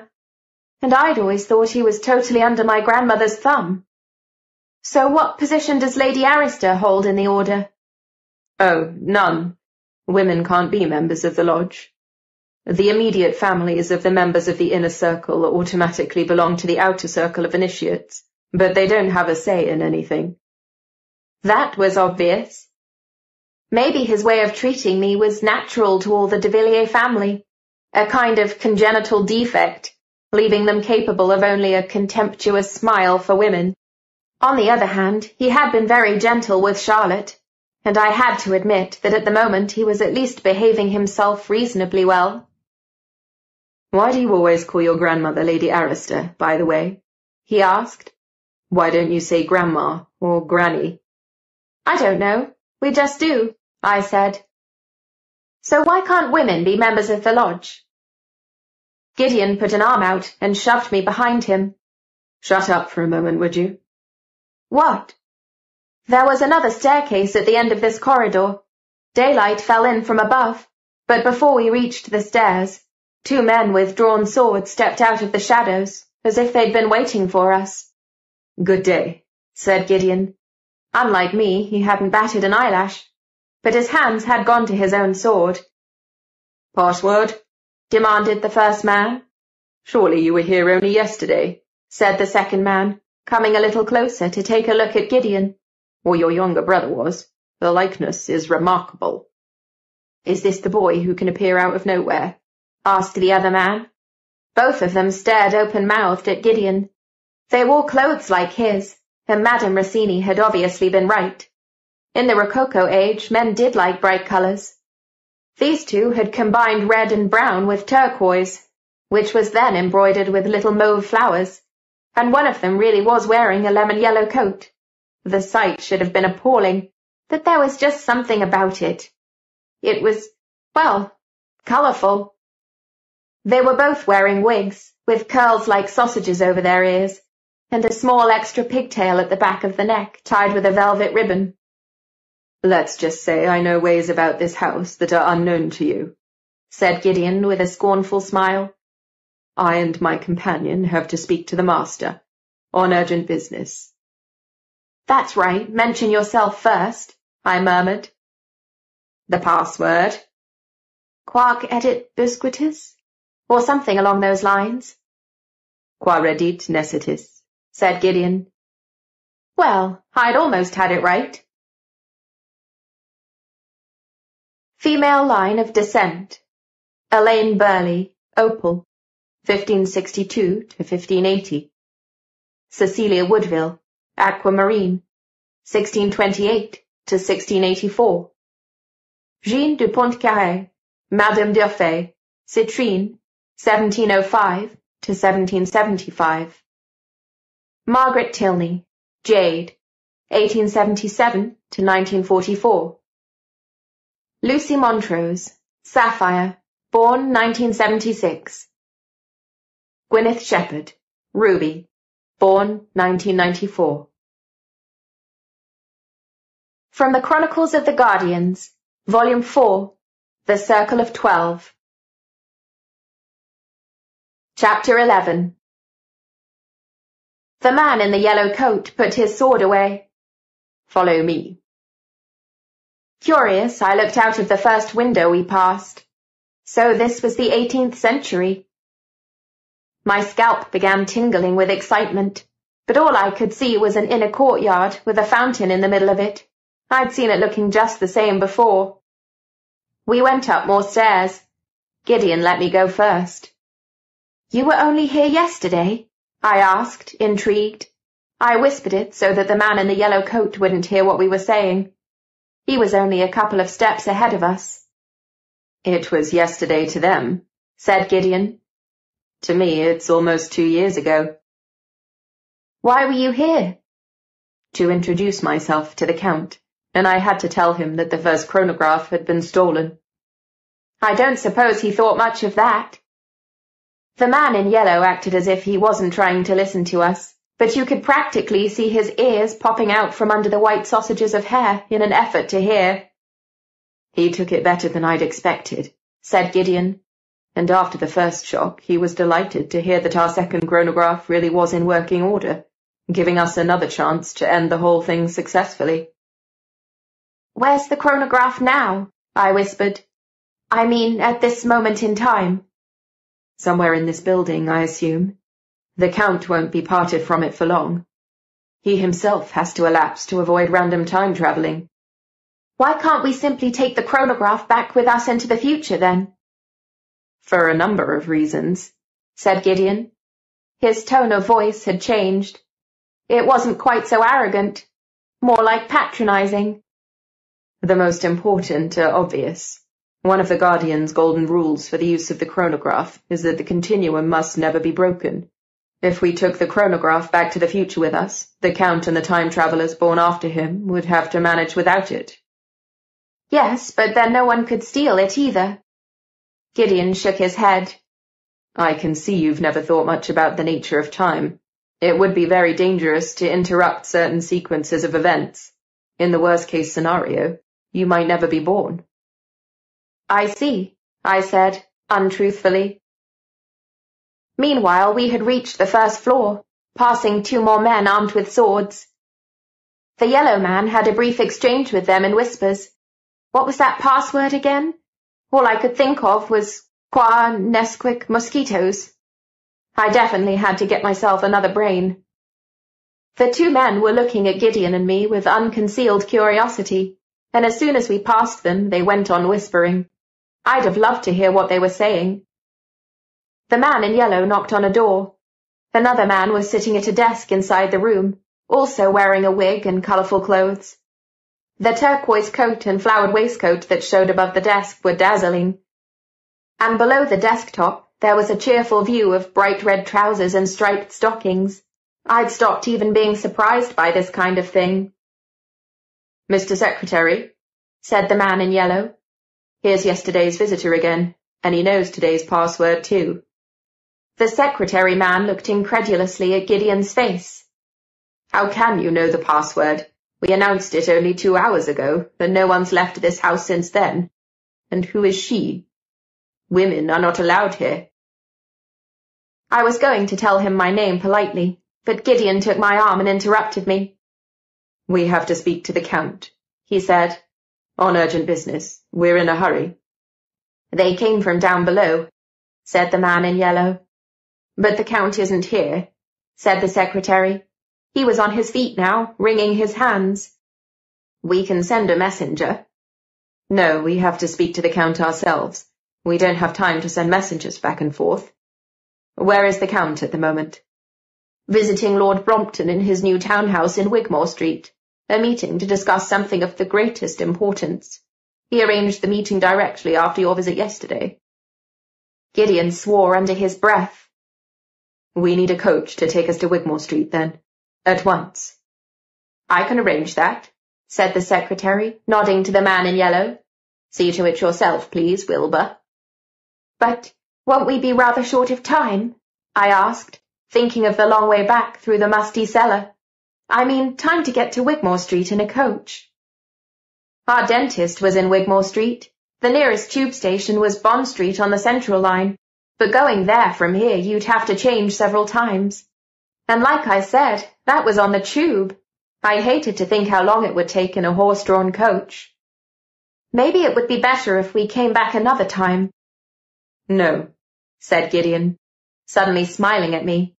There was something in his face that I couldn't quite interpret. A wish for adventure, maybe.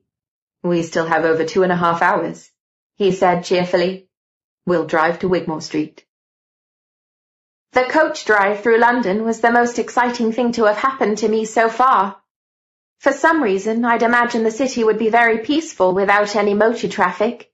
People strolling along carrying sunshades and wearing hats. A carriage now and then trotting by at a comfortable pace. No exhaust fumes.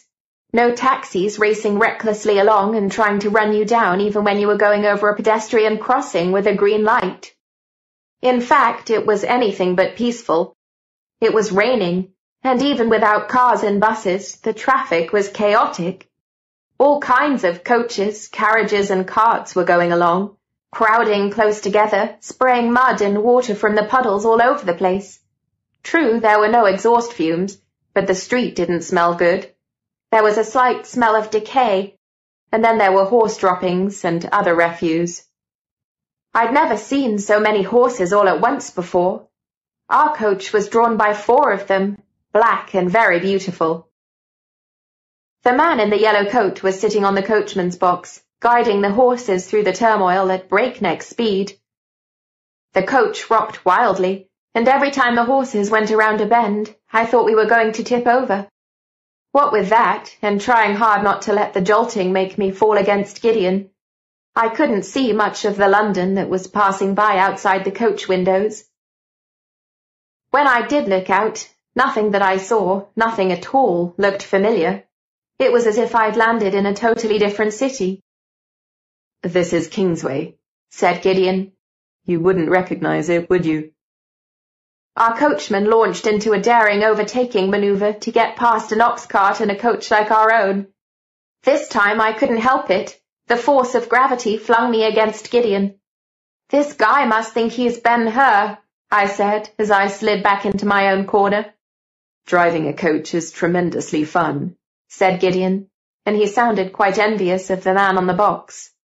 It's even better in an open carriage, of course. I'd like to drive a phaeton. Once again the coach swayed, and I started feeling slightly nauseated. You needed a strong stomach to ride in one of these. And I'd like to be in a jag, I murmured. Still, I had to admit that we arrived in Wigmore Street sooner than I'd have thought possible. I looked around as we got out in front of a very grand house, but I didn't recognize anything about this part of town from our own time. Even though, unfortunately, like I said, I'd had to go to the dentist more often than I wanted to. But there was a vague sense of familiarity about it all, and the rain had stopped, the footman who opened the door claimed at first that Lord Brompton was not at home, but Gideon convincingly assured him that he knew that wasn't true, and said that if the footman didn't take us both to his lordship and his lordship's visitor at once, he would lose his job that very day. He put his signet ring into the intimidated footman's hand and told him to hurry up. Do you have your own signet ring? I asked as we waited in the entrance hall. Yes, of course, said Gideon. Are you scared? No, why? Should I be?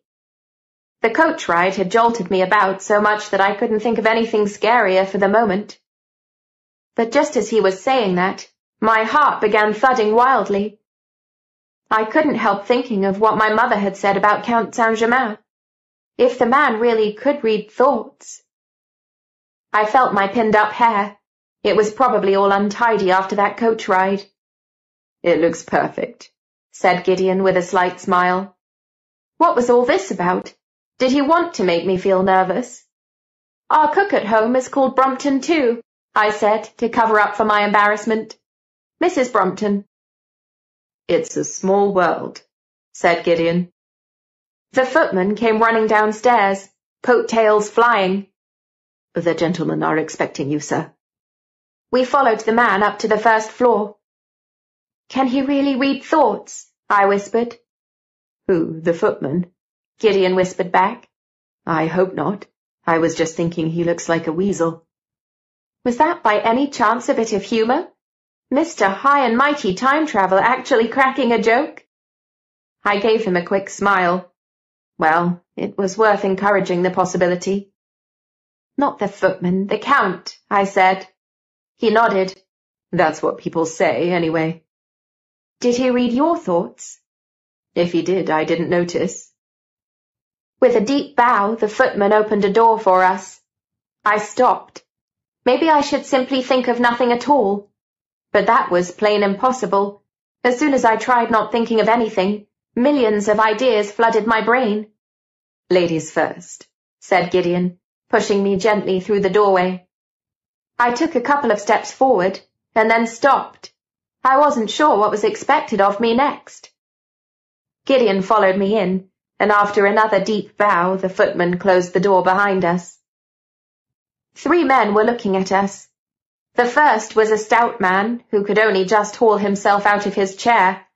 The second, a younger man with a very muscular build, the only one of the three not to be wearing a wig, and the third was lean and tall, with features just like those of the portrait in the documents room.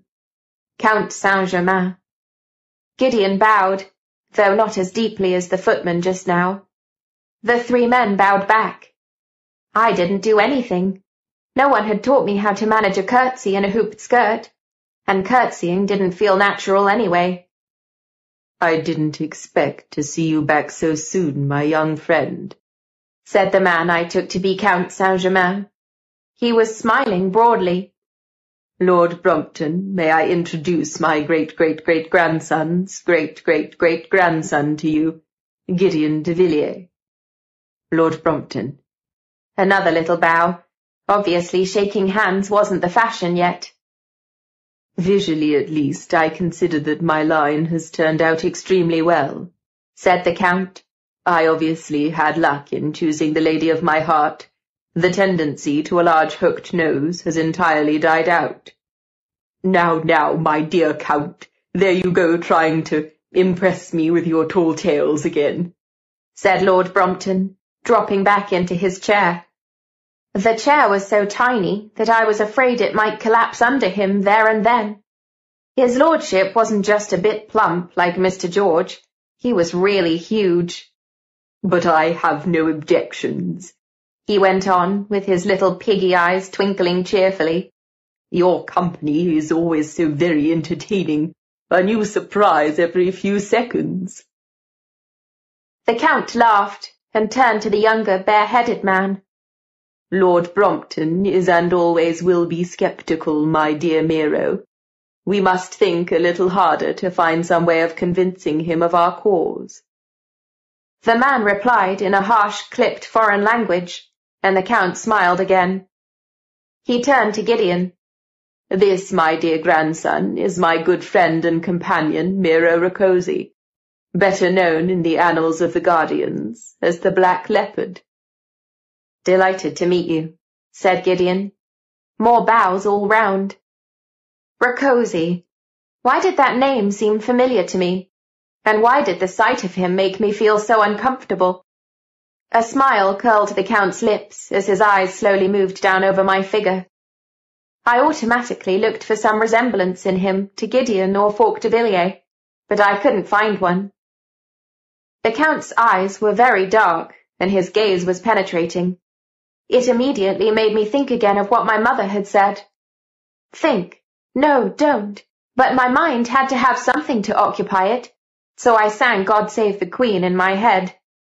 The Count switched to French, which I didn't understand at first, particularly as inside my head I was busy singing the national anthem at the top of my imaginary voice, but which, with some hesitation, and leaving gaps on account of my poor command of French vocabulary, I translated as, And so you, pretty girl, are a gap of the good gap, Jeanne d'Urfé. I was told you had red hair. Yikes! It was probably a fact that learning vocabulary was actually essential to understanding a foreign language, like our French teacher had always said. And sadly, I didn't know anyone called Jeanne d'Urfé, so I really couldn't understand what he was talking about anyway. She doesn't know French, said Gideon, also in French. And she isn't the girl you were expecting. But how can that be? The Count shook his head. All this is extremely gap. Unfortunately, the wrong girl was prepared for the gap. Yes, unfortunately. A mistake. This is Gwyneth Shepherd, a cousin of the Charlotte Montrose I mentioned to you yesterday. Ah, another granddaughter of Lord Montrose. The last gap, and thus a cousin of the gap. Count Saint-Germain's dark eyes were resting on me, and I began singing in my mind again. Send her victorious, happy and glorious. It's the gap, gap that I simply don't understand. Our scientists say that it's perfectly possible for a genetic gap to... The Count raised his hand to interrupt Gideon. I know, I know. That may be so, according to the laws of science, but nonetheless, I do not feel happy about it. I shared his feelings. No French, then? he asked, switching to German. I was a little better at German, or at least my mark had been a regular B for four years now, but once again there were those annoying gaps in my vocabulary. Why has she been so poorly prepared? She hasn't been prepared at all, sir. She speaks no foreign languages. Gideon was speaking German too now. And in every other respect, she is also entirely gap. Charlotte and Gwyneth were born on the same day, but everyone mistakenly assumed that Gwyneth was born a day later. How could such a thing be overlooked? Oh, at last I could understand every word again. They'd switched back to English, which the Count spoke without a trace of a foreign accent. Why, I wonder, do I begin to feel that the guardians of your time no longer take their work entirely seriously? I think you'll find the answer in this letter. Gideon took a sealed envelope out of the inside pocket of his coat and handed it to the Count. A piercing glance rested on me. Frustrate their knavish tricks on the Arhos, we fix God save us all. I firmly avoided his dark eyes and looked at the other two men instead. Lord Brompton seemed to have as many gaps in his French and German vocabulary as I did. His mouth was slightly open above his many double chins, and he was looking a little foolish. And the other man, Rakoczy, was inspecting his fingernails closely. He was still quite young, maybe around thirty, and he had dark hair and a thin, long face.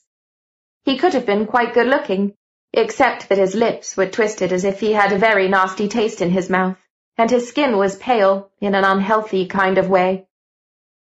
I was just wondering whether he'd been putting pale grey powder on his face when he suddenly raised his eyes and looked straight at me. Those eyes were pitch black, and I couldn't see where their irises and pupils began and ended. There was an oddly dead look about them, although I couldn't have explained why. Automatically, I went back to singing God Save the Queen in my head. Meanwhile, the Count had broken the seal and unfolded the letter, and with a sigh he began to read it. Now and then he raised his head and looked at me.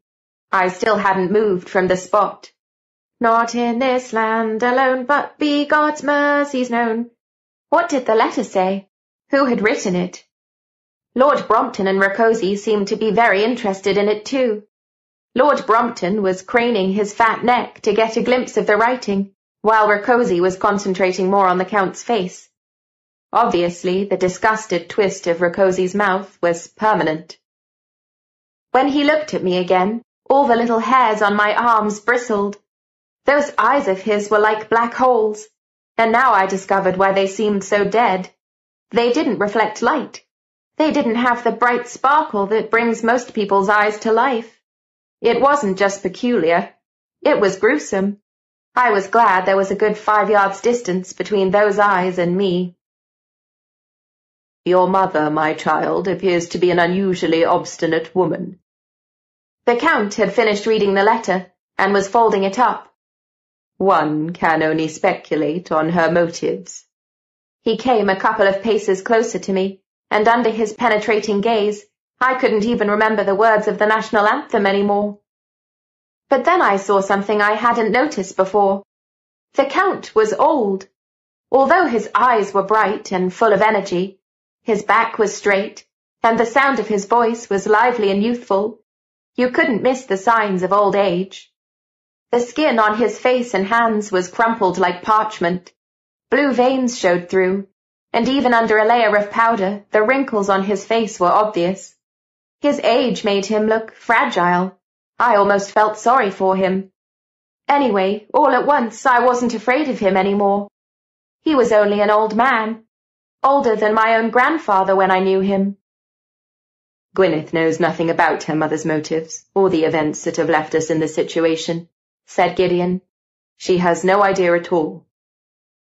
Strange, very strange, said the Count, as he walked once all around me. We really have never met before?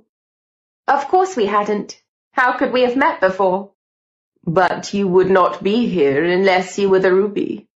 Ruby red with G major, the magic of the raven, brings the circle of twelve home into safe haven. When he had finished circling me, he stood before me and looked straight into my eyes. What is your magic, girl?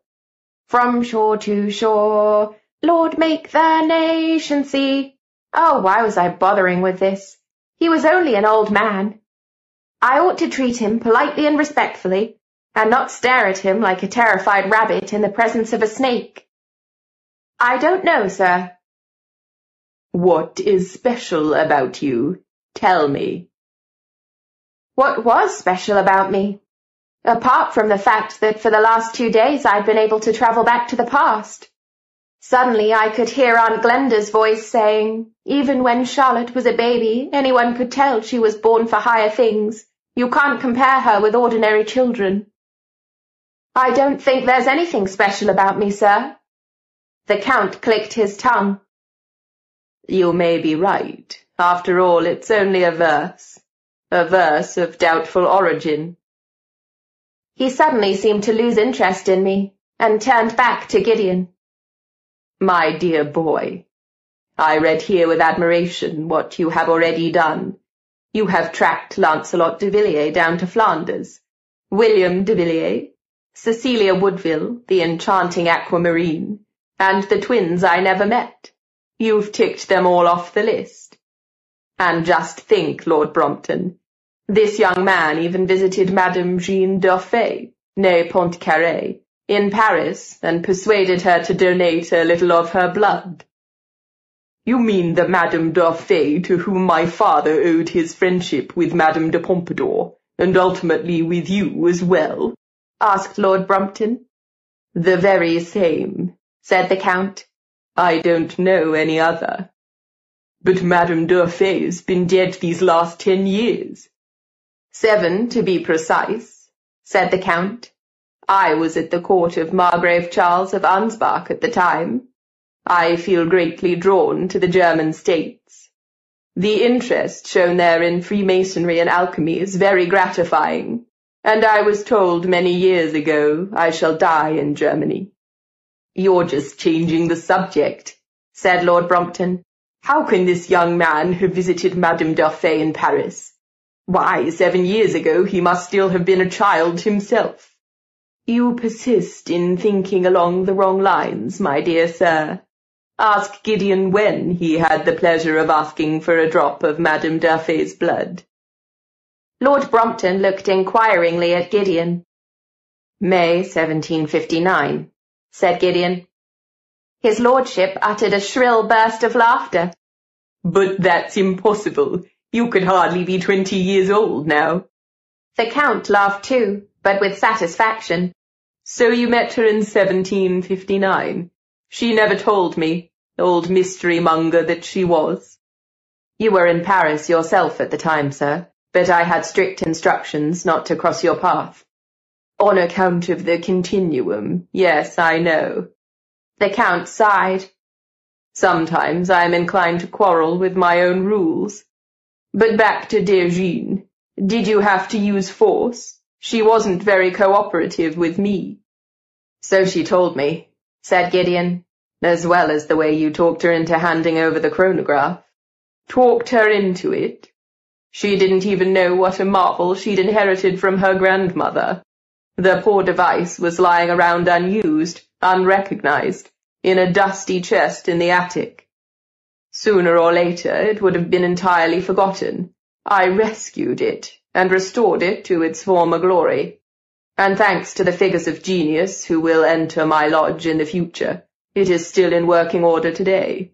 That is little short of a miracle. Madame d'Urfé also thought you were prepared to strangle her, just because she couldn't remember her great-grandmother's maiden name and date of birth. Strangle her? Yikes! How horrible was that? Quite so.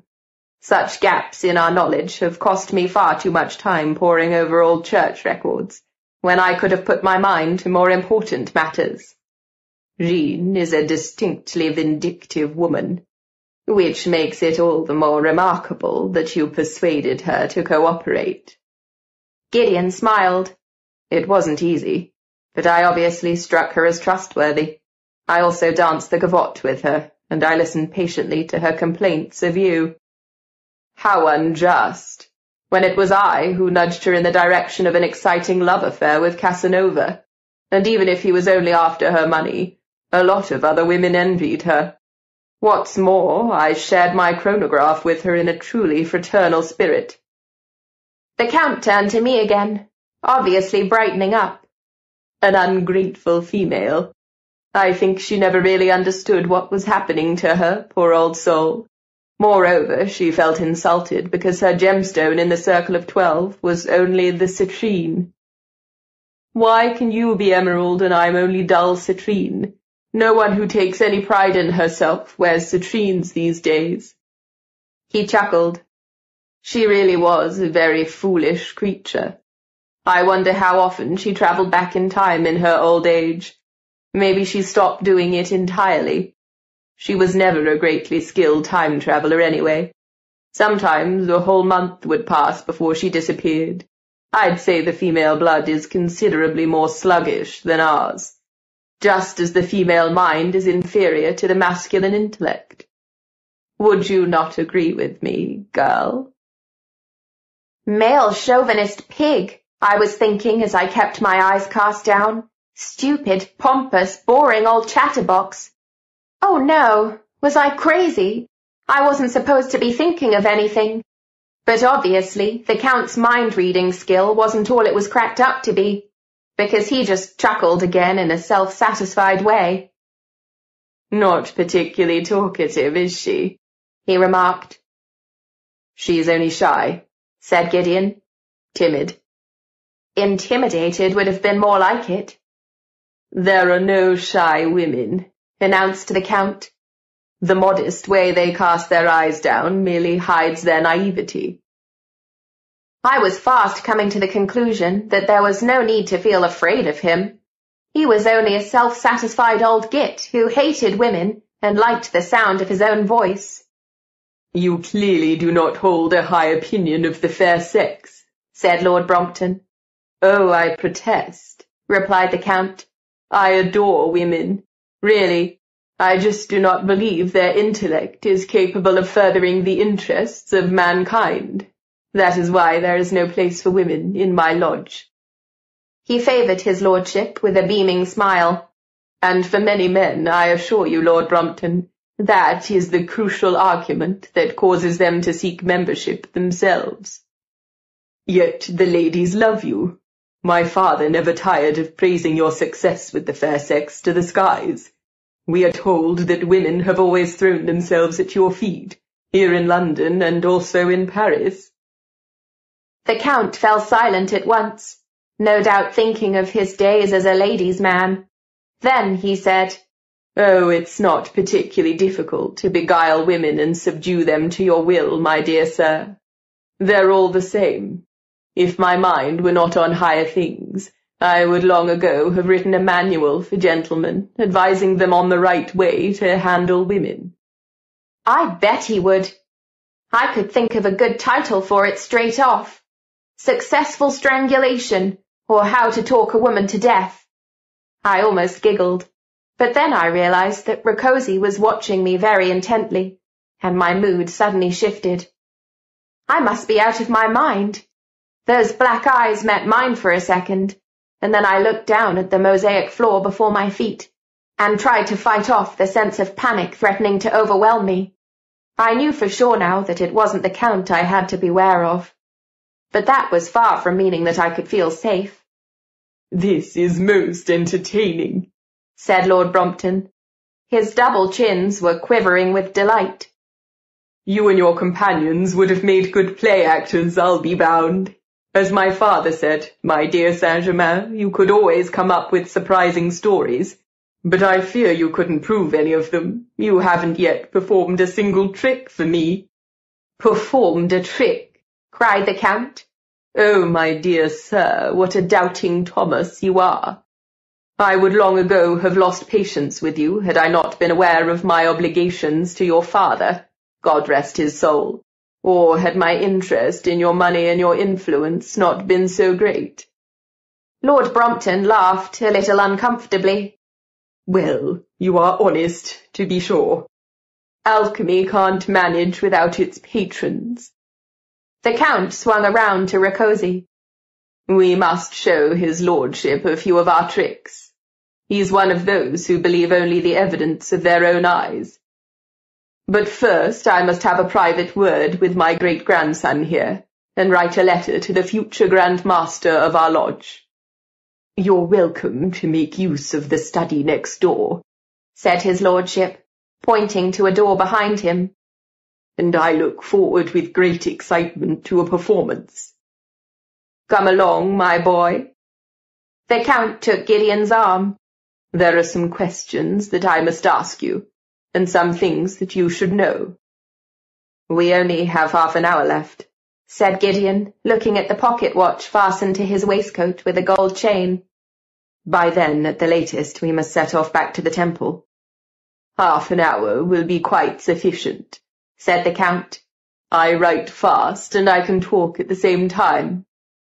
Gideon laughed briefly. He actually seemed to think the Count witty, and he had obviously forgotten that I was still there too. I cleared my throat. Halfway to the door, he turned to look at me, and raised an eyebrow inquiringly. I answered his question just as silently, because I could hardly say it out loud. For goodness sake, don't leave me alone with these weirdos. Gideon hesitated. She would only be in the way, said the Count. Wait for me here, said Gideon, in an unexpectedly gentle tone of voice.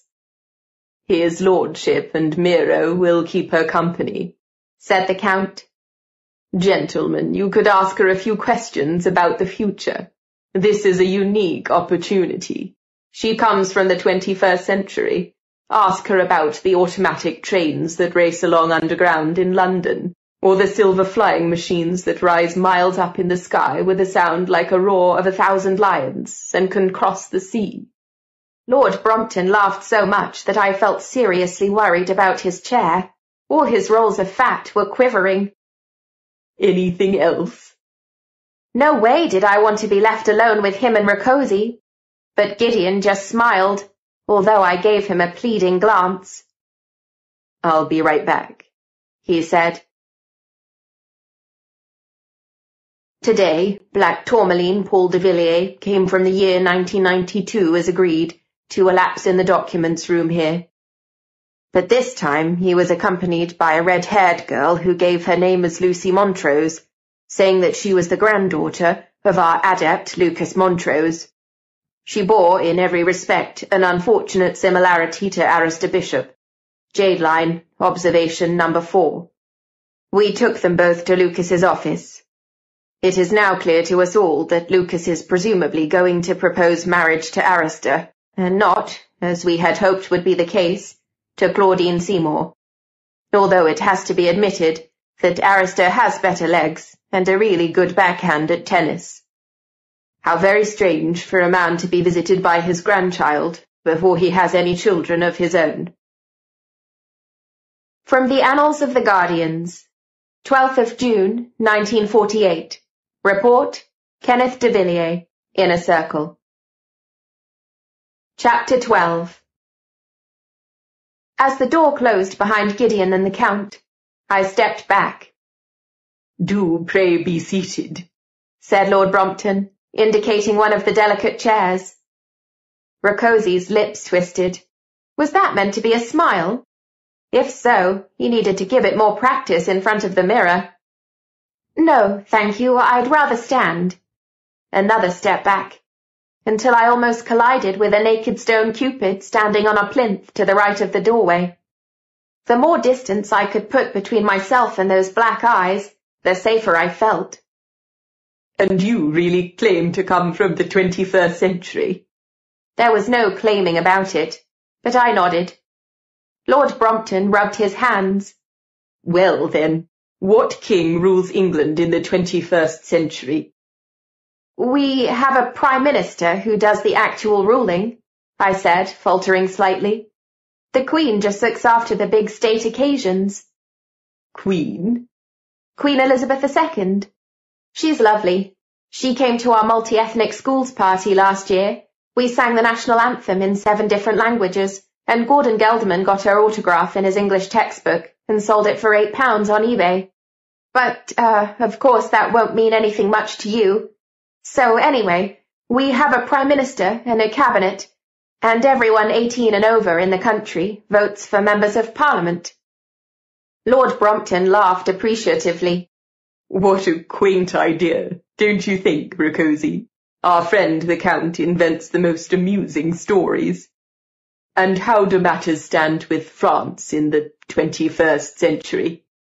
I think they have a prime minister in France too. No king, not even for state occasions. Well, they got rid of the aristocracy in the French Revolution, you see, and the king along with him. Poor Marie Antoinette had her head chopped off by the guillotine. Isn't that terrible? Oh, yes, surely, laughed his lordship.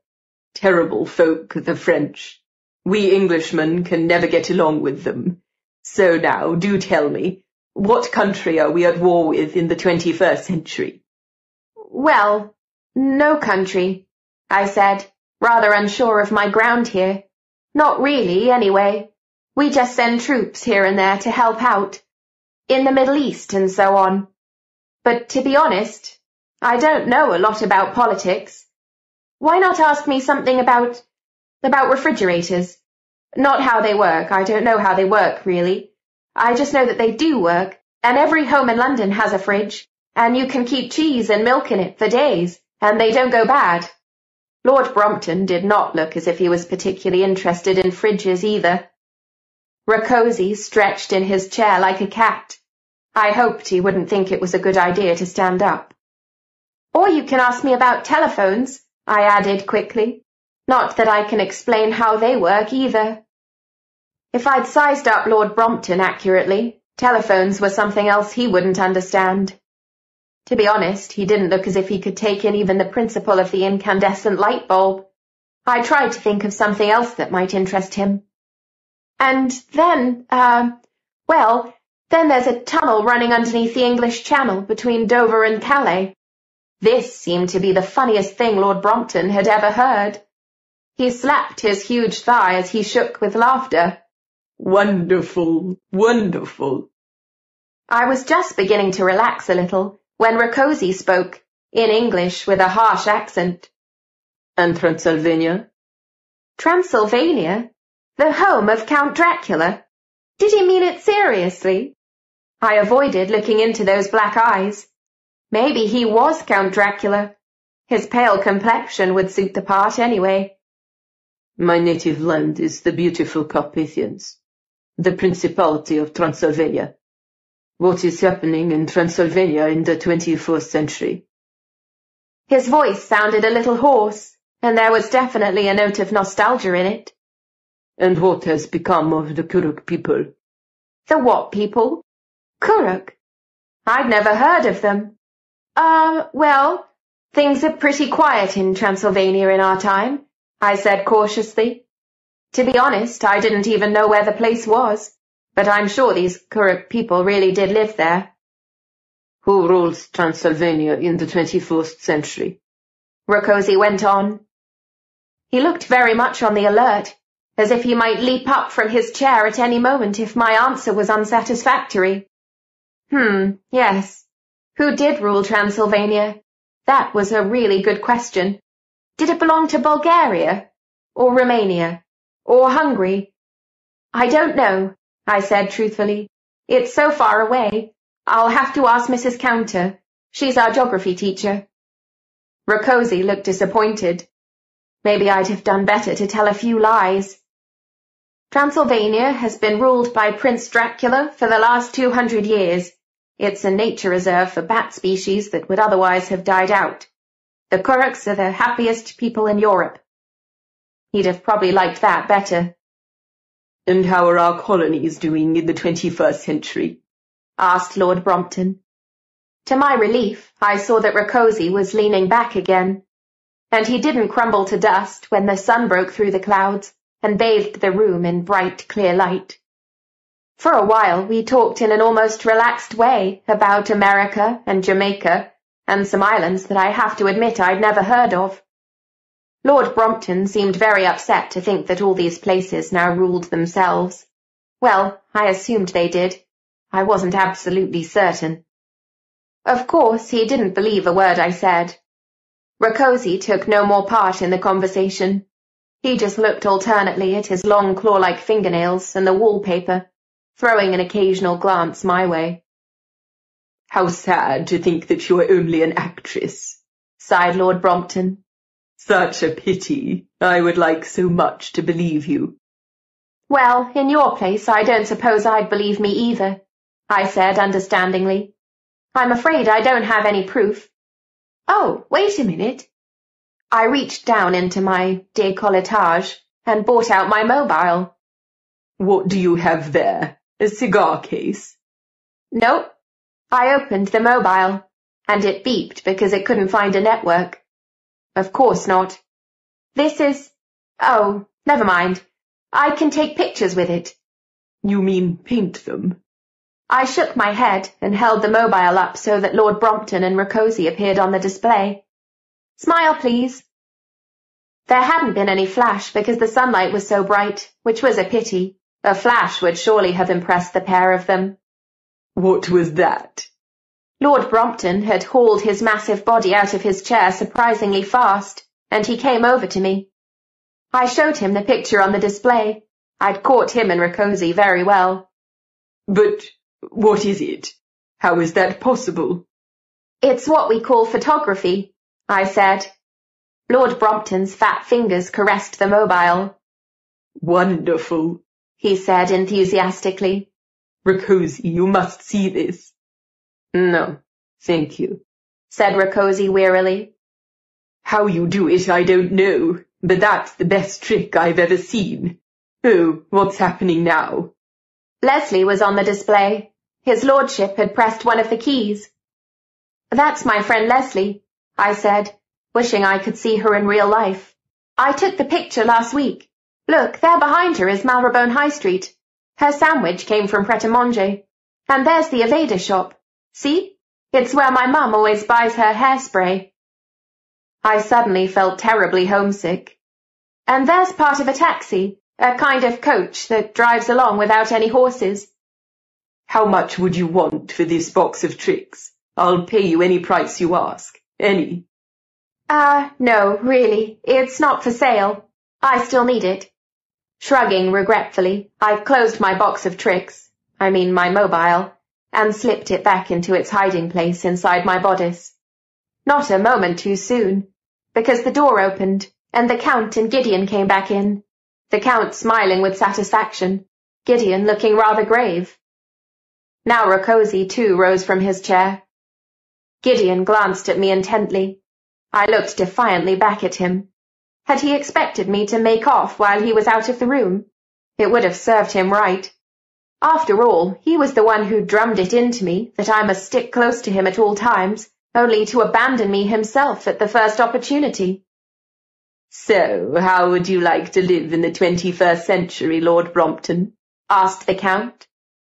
I should like it very much. What fantastic ideas you do have, said his lordship, clapping his hands. It was really most amusing.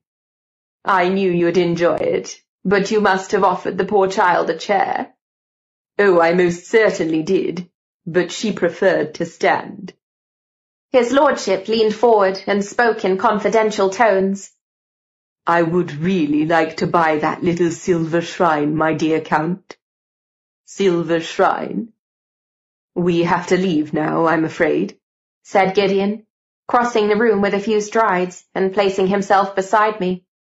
I understand, I understand. The twenty-first century awaits you, of course, said Lord Brompton. I thank you most warmly for visiting me. It was wonderfully entertaining. I can only agree with you, said the Count.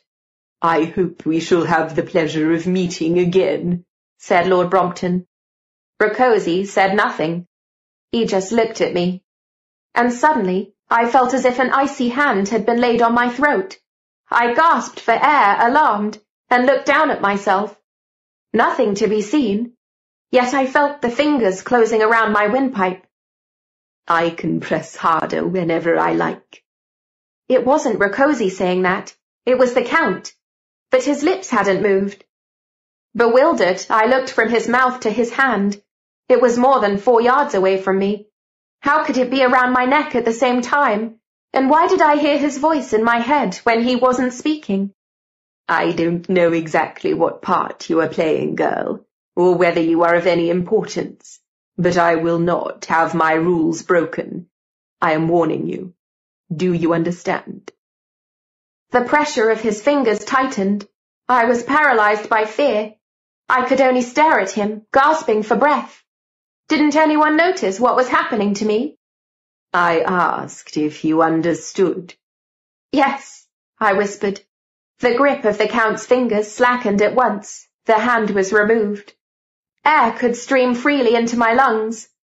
The Count's lips curled, and he shook his wrist. We shall meet again, he said. Gideon bowed. The three men bowed back. I was the only one who stood perfectly still, unable to move at all until Gideon took my hand and led me out of the room. Even when we were sitting in the coach again, I still felt terribly nervous, weak, exhausted, and dirty in a strange kind of way. How had the Count managed to speak to me without the others hearing? And how had he touched me when he was four yards away? My mother had been right. He could get into your mind and control your feelings. I'd let his conceited, erratic way of talking and his frail old appearance mislead me. I had hopelessly underestimated him. How stupid of me. In fact, I'd underestimated this whole strange story that I'd fallen into. The coach had started moving and was rocking just as much as it had on the outward journey. Gideon had told the Guardian in the yellow coat to hurry, as if he needed to. The Guardian had been driving like a man who was tired of life even on the way to Lord Brompton's house. Are you all right? You look as if you'd seen a ghost. Gideon took off his coat and put it on the seat beside him. Quite hot for September here. Not a ghost, I said, unable to look him in the eye. My voice shook slightly. Only Count Saint-Germain and one of his tricks. He wasn't particularly civil to you, Gideon admitted. But that was only to be expected. He obviously had other ideas of what you should be like. When I said nothing, he went on.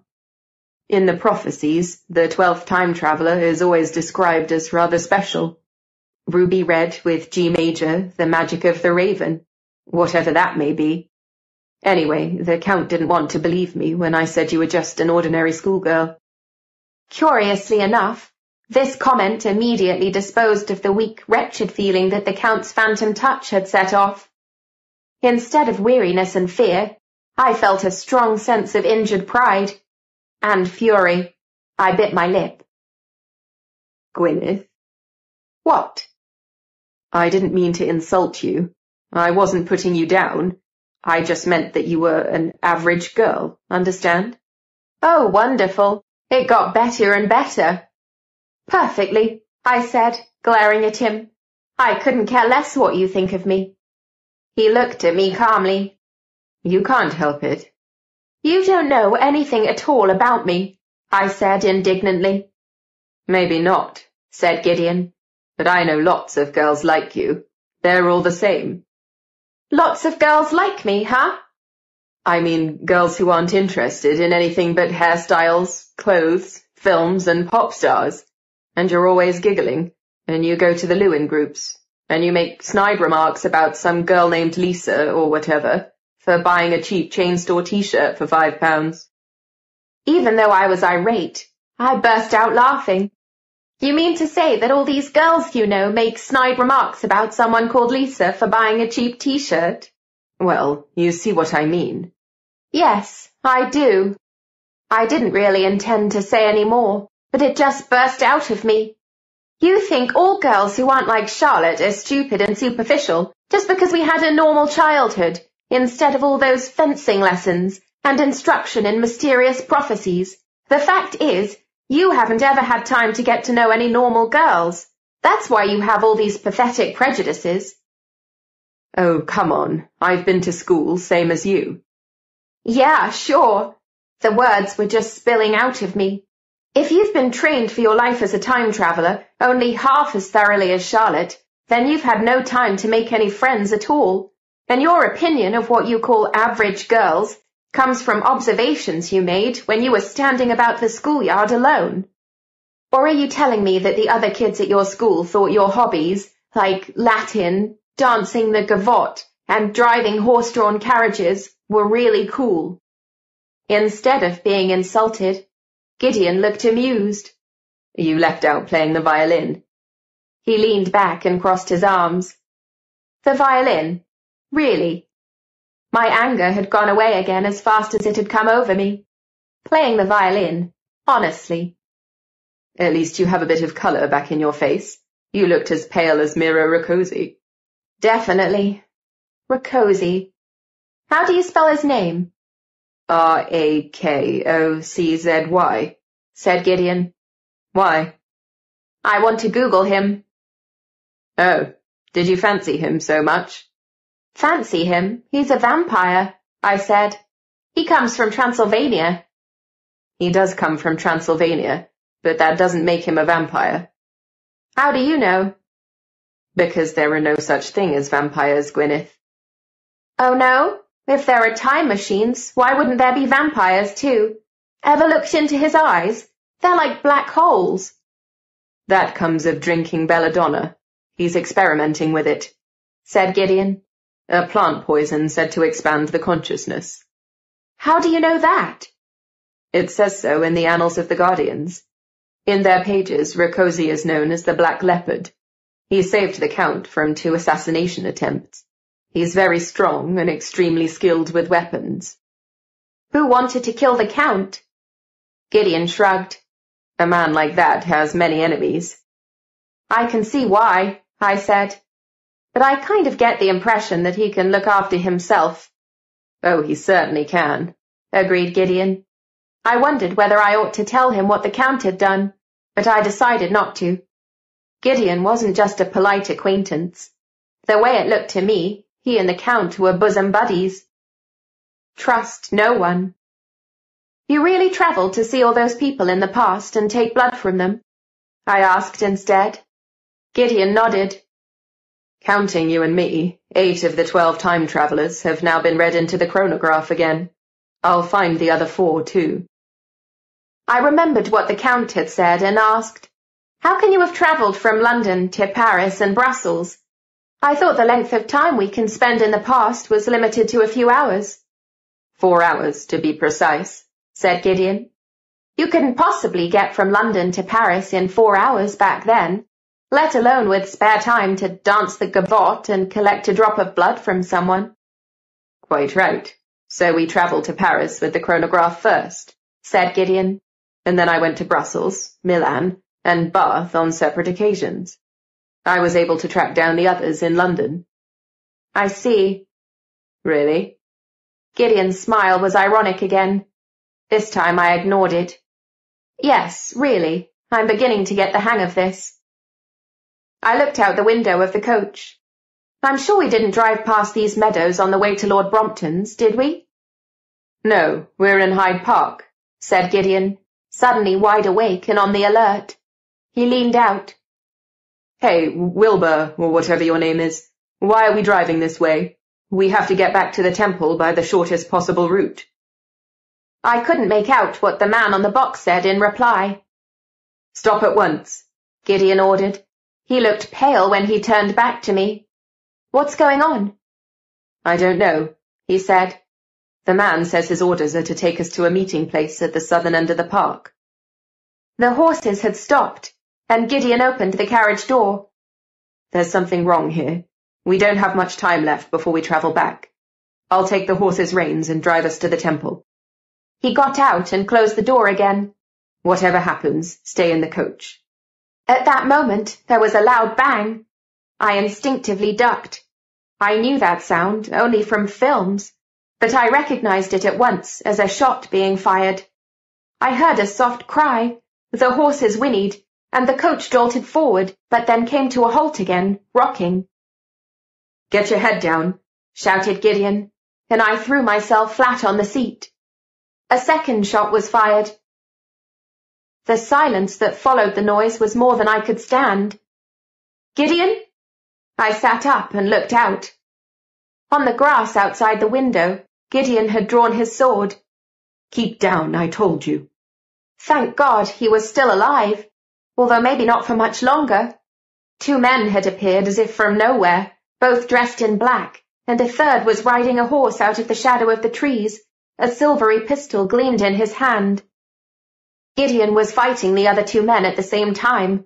They were all silent, and except for their gasping and the clash of their swords, there was nothing to hear. For a few seconds I watched, fascinated, admiring Gideon's skill with a sword. It was like something out of a film. Every thrust, feint, and leap was perfect, as if stuntmen had been working on the choreography for days. But when one of the men in black cried out and fell to his knees, with a jet of blood shooting out of his throat, I came to my senses. This wasn't a film. This was for real. And though the swords might be deadly weapons, the man who'd been hit was now lying on the ground, twitching and making horrible sounds. There didn't seem to me much they could do against pistols. Why wasn't Gideon carrying a pistol? It would have been easy to bring a useful weapon like that from home. And where was the coachman? Why wasn't he fighting beside Gideon? By now, the mounted man had come up to them and got off his horse.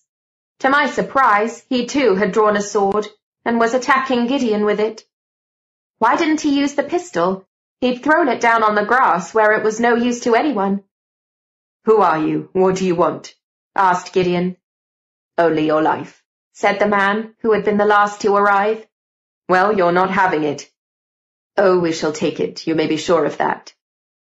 And as I watched it through the window, the fight went on, still like a well-rehearsed ballet. The wounded man was now lying motionless on the ground, so that the others had to fight around him.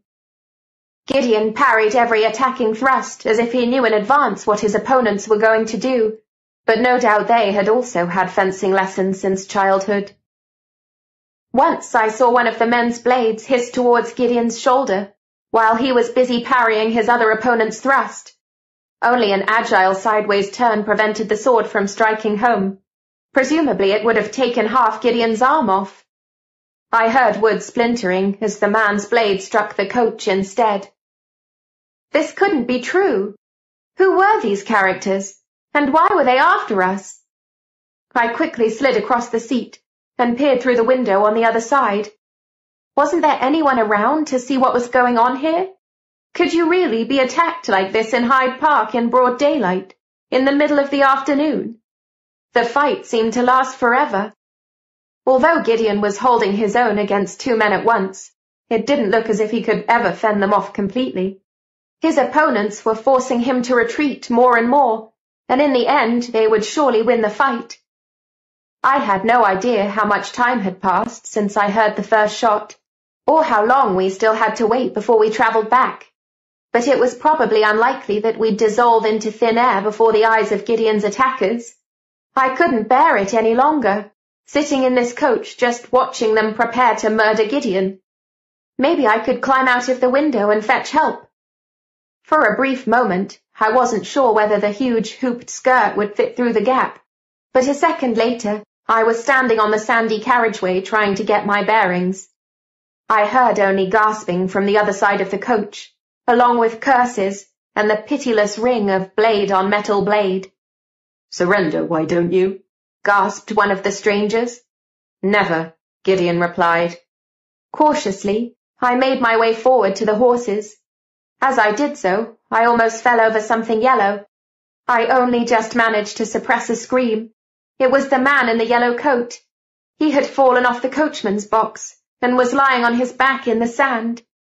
I saw, with horror, that part of his face was missing, and his clothes were drenched in blood. The eye of the undamaged part of his face was wide open, looking into nowhere. The shot I'd heard had been aimed at him. It was a ghastly sight. I felt my stomach churn. I'd never seen a dead person before, I'd have given anything to be sitting in the cinema now, so I could close my eyes and know it wasn't real. But this was real. This man was dead, and Gideon was out there in genuine danger of death himself. The clash of metal roused me from my numb state. Gideon groaned, and that finally brought me back to my senses. Before I knew what I was doing, I'd spotted the sword at the dead man's side and clutched it tightly. It was much heavier than I'd expected, but I immediately felt better. True, I had no idea how to handle a sword, but it was certainly sharp and pointed. I knew that all right. The fighting carried on. I risked a glance around the coach and saw that the two men had managed to force Gideon back against it on the other side. Some strands of his hair had worked free from the ribbon holding it back and fallen over his forehead. One of his sleeves was ripped wide, but to my relief I saw no blood. He was still uninjured. I looked all around one last time, but there was no help in sight. Weighing up the sword in my hand, I stepped firmly forward. At least the sight of me would distract the two men. I might be able to give Gideon an advantage that way. Instead, the opposite happened. The two men were fighting with their backs to me, so they didn't see me. But Gideon's eyes widened in horror when he caught sight of me. For a fraction of a second he hesitated, and that was long enough for one of the black-clad strangers to score another hit on him, just next to his ripped sleeve. But this time blood flowed. Gideon fought on as if nothing had happened. You can't last much longer, cried the man triumphantly, attacking Gideon with more force than before. Pray if you can, because you're about to meet your maker. I clasped the hilt of my sword in both hands and ran at him, ignoring Gideon's shocked expression. The man didn't hear me coming. They didn't notice me until the sword had sliced through the black coat that one of them was wearing and slid soundlessly into his flesh. For a frightful moment, I thought I must have missed. Maybe I'd run the sword through the gap between the man's body and his arm. But then his breathing slowed. He let go of his weapon and dropped to the ground like a felled tree. I couldn't bring myself to release the hilt of the sword until he was lying there, nearly dead. Oh my God! Gideon used the other man's momentary alarm to thrust at him so hard that he too fell to his knees. Are you out of your mind? Gideon shouted at me as he kicked his opponent's sword aside with his foot and put the point of his own blade to the man's neck. The other man collapsed entirely. Please, please, let me live he said. My teeth were beginning to chatter. This can't have happened. I didn't really just run a sword through a man's body, did I? The man I'd attacked let out another gurgling breath. The other one looked as if he was about to burst into tears. Who are you, and what do you want from us? asked Gideon coldly. I was only obeying orders. Please, don't. Who ordered you to do what? A drop of blood formed on the man's throat, where the point of the sword met it. Gideon's lips were tightly compressed, as if he could only just manage to keep the blade still. I don't know any names. I swear I don't. And then his face, distorted by fear, began to blur in front of me. The green grass of the park spun around and around. I closed my eyes, almost relieved to fall into the whirlpool. A flat, amber, calcinatio. A. Opal, putrefactio. B flat, agate, sublimatio. B. Aquamarine, solutio. C. Emerald, distillatio. D flat, citrine, coagulatio. D. Carnelian, extractio. E flat, jade, digestio. E. Black tourmaline, ceratio. F. Sapphire, fermentatio. F sharp, diamond, multiplicatio. G. Ruby, projectio. From the Secret Writings of Count Saint-Germain Chapter 13 I'd made a soft landing in the middle of my own skirts, but I was in no fit state to stand up. Every bone in my body seemed to have dissolved. I was trembling all over, and my teeth were chattering frantically. Get up. Gideon held out his hand to me. He had put his sword back in his belt. I saw with a shudder that there was blood on it. Come on, Gwyneth. People are already looking at us. It was evening, and it must have been dark for some time, but we landed under a streetlight somewhere in the park. A jogger with headphones on glanced at us in surprise as he ran past. Didn't I tell you to wait in the coach? I didn't react, so Gideon took my arm and pulled me to my feet. His face was completely drained of colour. That was incredibly reckless and dreadfully dangerous and... He swallowed hard and stared at me. And Damn it, rather brave of you. I thought when the blade struck a rib I'd feel it, I said, my teeth still chattering. I didn't expect it to be like, like cutting up a cake. Why didn't that man have any bones? I'm sure he did, said Gideon, but you were lucky and thrust the sword somewhere in between them. Will he die? Gideon shrugged. Not if it was a clean wound. But 18th century surgery can't really be compared with an episode of Grey's Anatomy. If it was a clean wound, what did that mean? How could a wound be clean? What had I done? I might have just killed a man. The full realization of that almost made me sink to the ground again. Come on, we have to get back to the temple. The others will be worrying. He obviously knew exactly where we were in the park because he led me purposefully on along the path, past two women walking their dogs who stared at us curiously. I'm a murderer, I whispered. Ever heard of self-defense? You were only defending yourself. Or, rather me, come to think of it. He gave me a crooked smile, and it occurred to me that only an hour ago I'd have sworn he would never admit to such a thing. And sure enough, he didn't. Not that it was at all necessary, he added. Oh, so it wasn't necessary. What about your arm? You're bleeding. It's nothing. Dr. White will see to it. For a while, we went along side by side in silence. The cool evening air felt good. My pulse gradually slowed down, and my teeth stopped chattering. My heart missed a beat when I suddenly saw you, said Gideon at last. He had let go of my arm now. Obviously, he trusted me to stay on my feet by myself. Why didn't you take a pistol? I said crossly. The other man had one. In fact, he had two, said Gideon. Then why didn't he use them? He did. He killed poor Wilbur, and the shot from the second pistol only just missed me. But why didn't he shoot again after that? Because back then each pistol only fired one shot, said Gideon. Those neat little handguns you see in James Bond films hadn't been invented yet. But they have been invented now. Why do you take a stupid sword into the past instead of a proper pistol? I'm not a professional killer, said Gideon. But that's just... I mean, otherwise, what's the advantage of coming from the future? Oh, here we are. We had reached Apsley House on Hyde Park Corner. People out for an evening stroll, or jogging, or walking their dogs were giving us odd looks.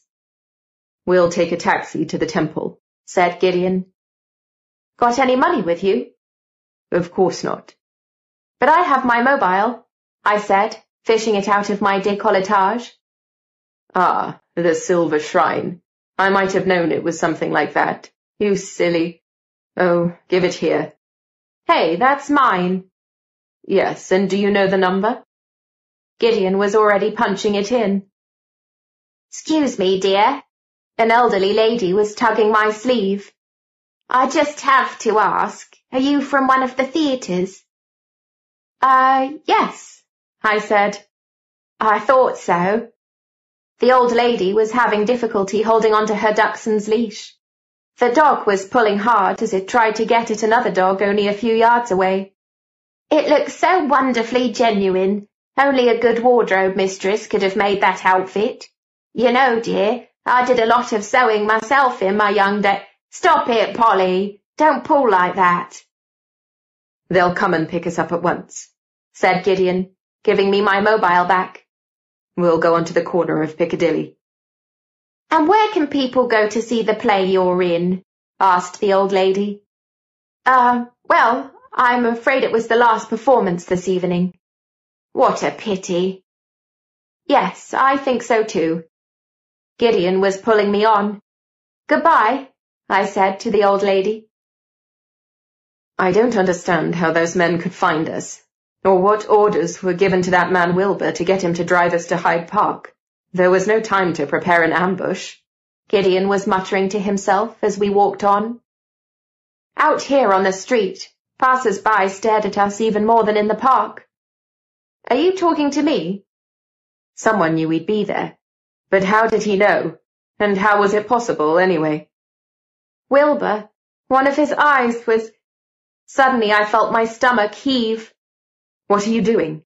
I retched, but nothing would come up. Gwyneth, we have to get moving. Breathe deeply and it'll pass. I stopped dead. This was too much. Oh, so it'll pass. I made myself speak very slowly and distinctly, although I really felt like screeching. And so if I've just killed a man, will that pass too? My entire life has been turned upside down today. Will that pass? Will the fact that an arrogant, long-haired, violin-playing creep in silk stockings can't think of anything better to do than order me about, even though I've just saved his stupid life, will that disappear as well? If you ask me, it's not surprising that I feel like puking. And just in case you're wondering, you make me want to throw up too. Okay, so maybe my voice had risen to a bit of a screech with that last remark, but it could have been worse. All at once, I realized how good it felt to get all that off my chest. For the first time that day, I felt truly liberated, and the nausea suddenly disappeared. Gideon was staring at me with such a blank expression that I'd have giggled if I hadn't been so angry. Aha! Just for once he seemed to be left speechless. And now I want to go home, I said, trying to round off my triumph with as much dignity as possible. Unfortunately, I didn't bring it off entirely, because at the thought of my family, my lip began to quiver, and I felt my eyes filling with tears. Damn it, damn it, damn it. It's all right, said Gideon. His surprisingly gentle tone of voice was too much for my self-control. The tears came rolling down my cheeks before I could stop them. Hey, Gwyneth, I'm sorry. Gideon came right up to me, took me by the shoulder, and drew me close to him. I'm an idiot. I was forgetting what this must be like for you, he murmured, somewhere just above my ear. And I remember perfectly well how stupid I felt the first time I travelled back, in spite of all that fencing practice, and the violin lessons. He stroked my hair. I just sobbed louder.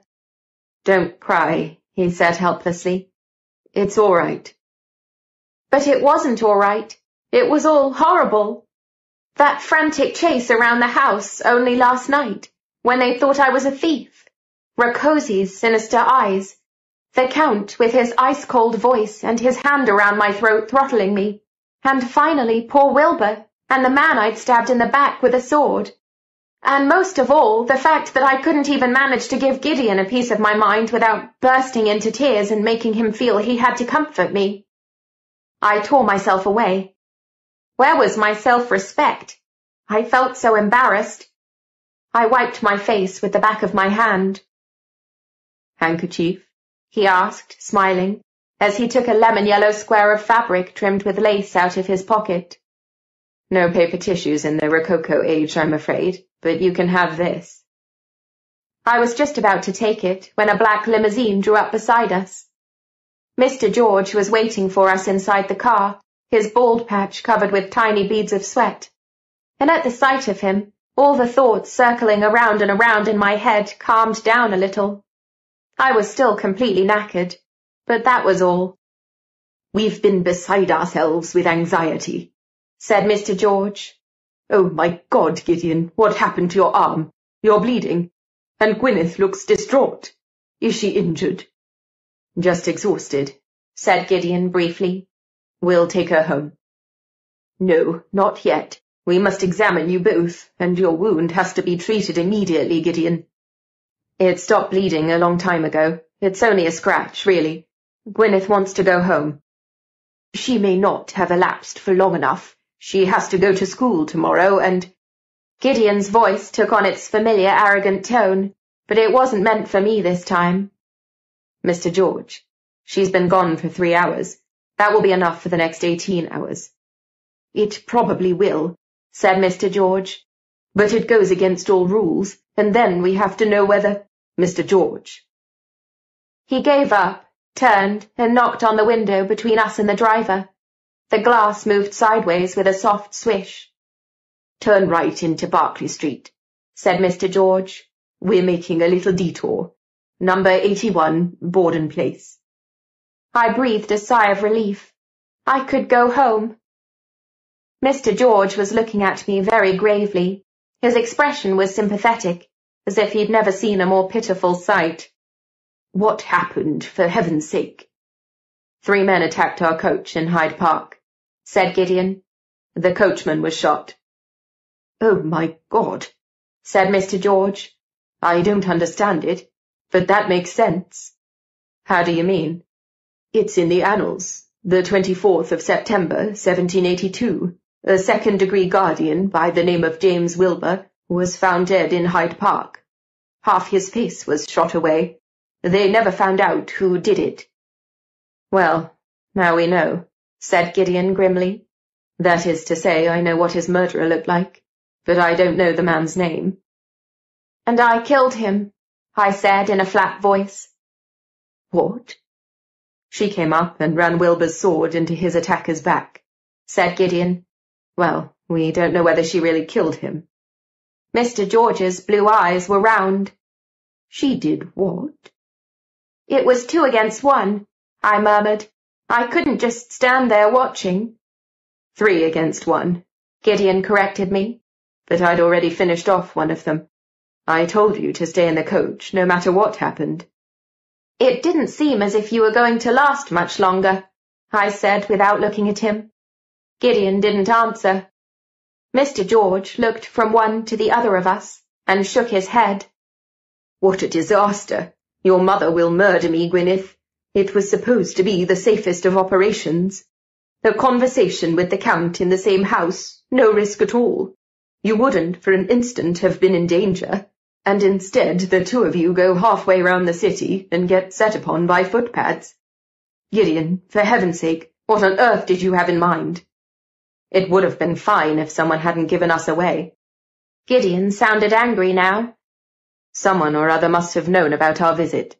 Someone who was in a position to persuade this man Wilbur to drive us to a meeting place in the park. But why would anyone want to kill you two? And who could have known you would be visiting the Count on that very day? None of it makes sense. Mr. George was chewing his lower lip. Ah, here we are, I looked up. Yes, we really were in front of our house, all its windows brightly lit. Somewhere inside, my mum was waiting for me. So was my bed. Thank you, said Gideon. I turned and looked at him. What for? Maybe, Maybe I really wouldn't have lasted much longer, he said. Another crooked grin flitted across his face. I think you actually did save my stupid life. Oh, I didn't know what to say. All I could do was look at him, noticing that my silly lower lip was beginning to quiver again. Gideon quickly brought out his lace-edged handkerchief. This time I took it. Better mop your face with this, or your mother might think you've been crying, he said. He meant to make me laugh, but at this moment that was right out of the question. At least I didn't burst into tears again. The driver opened the car door, and Mr. George got out. I'll take her to the door, Gideon. I won't be a minute. Good night, I managed to say. Sleep well, said Gideon, smiling. See you tomorrow. Gwen? Gwenny? Caroline was shaking me awake. You'll be late if you don't get up now. I pulled the covers over my head. I didn't want to wake up. Even in my dreams, I'd known there were dreadful memories waiting for me when I came out of my present blissfully drowsy state. Honestly, Grinny, it's quarter past. I kept my eyes closed, but it was no good. Too late. The memories came rushing in at me like Attila attacking the, uh, the Vandals. The events of the last two days were unraveling vividly before me like a film, but I couldn't remember how I wound up in my bed, only that Mr. Bernard had opened the door to me last night. Good evening, Miss Gwyneth. Good evening, Mr. George, sir. Good evening, Mr. Bernard. I've brought Gwyneth home a little earlier than we planned. Please give my regards to Lady Arista. Of course, sir. Good evening, sir. Mr. Bernard was expressionless as ever when he closed the door behind Mr. George. Pretty dress, Miss Gwyneth, he had said to me. Late eighteenth century. I think so. I'd been so tired that I could have rolled up on the rug in the hall and gone to sleep on the spot. I'd never looked forward to my bed so much. I was just afraid of running into Aunt Glenda, Charlotte, and Lady Arista on my way up to the third floor. They'd all pester me with scolding and questions. I'm afraid the family has already had dinner, but I've prepared a little snack for you in the kitchen. Oh, that's so kind, Mr. Bernard, but I— You want to go to bed, said Mr. Bernard, and a tiny smile appeared on his face. I suggest you go straight to your room. The ladies are all in the music room. They won't hear you if you keep as quiet as a mouse. Then I will tell your mother that you are back, and give her the snack to take up to you. I'd been too tired even to feel surprised by his caution and his concern for me. I just said, Thank you very much, Mr. Bernard, and went upstairs. I had only the vaguest memory of the snack and my conversation with Mum. I'd already been half asleep. I'm sure I couldn't have made the effort of chewing anything, but maybe it had been soup. Oh, how lovely! Caroline had discovered the dress hung over the back of a chair along with its frilled petticoat. Did you bring it back from the past? No, I had it on before I went. I sat up. Did Mum tell you about the odd thing that's happened? Caroline nodded. Not that she had to tell us much. Aunt Glenda was shouting loud enough for all the neighbours to hear, acting as if Mum were a thief who had stolen poor Charlotte's time-travel gene. How about Charlotte? She went to her room and wouldn't come out, no matter how Aunt Glenda pleaded with her. Aunt Glenda shouted that Charlotte's whole life had been ruined, and it was all Mum's fault. Grandmother said Aunt Glenda had better take a tablet, or she would be obliged to call the doctor. And Aunt Maddie kept on talking about that eagle, the sapphire, the mountain ash, and the clock in the tower. Sounds dreadful, I said. It was actually exciting, said Caroline. Nick and I think it's a good thing you have the gene instead of Charlotte, even if Aunt Glenda says you have a pea-sized brain and two left feet. She's so rude. She stroked the shining fabric of the bodice. Can you put the dress on to show me after school today? Sure, I said, but you can try it on yourself if you like. Caroline giggled. It's much too big for me, Gwynny. And now you really must get up. or you won't have time for any breakfast. A refreshing shower finally woke me up, and as I washed my hair, my thoughts kept circling around yesterday evening, or more accurately, the half an hour, well, that's what it had felt like, that I'd spent shedding tears and snot in Gideon's arms.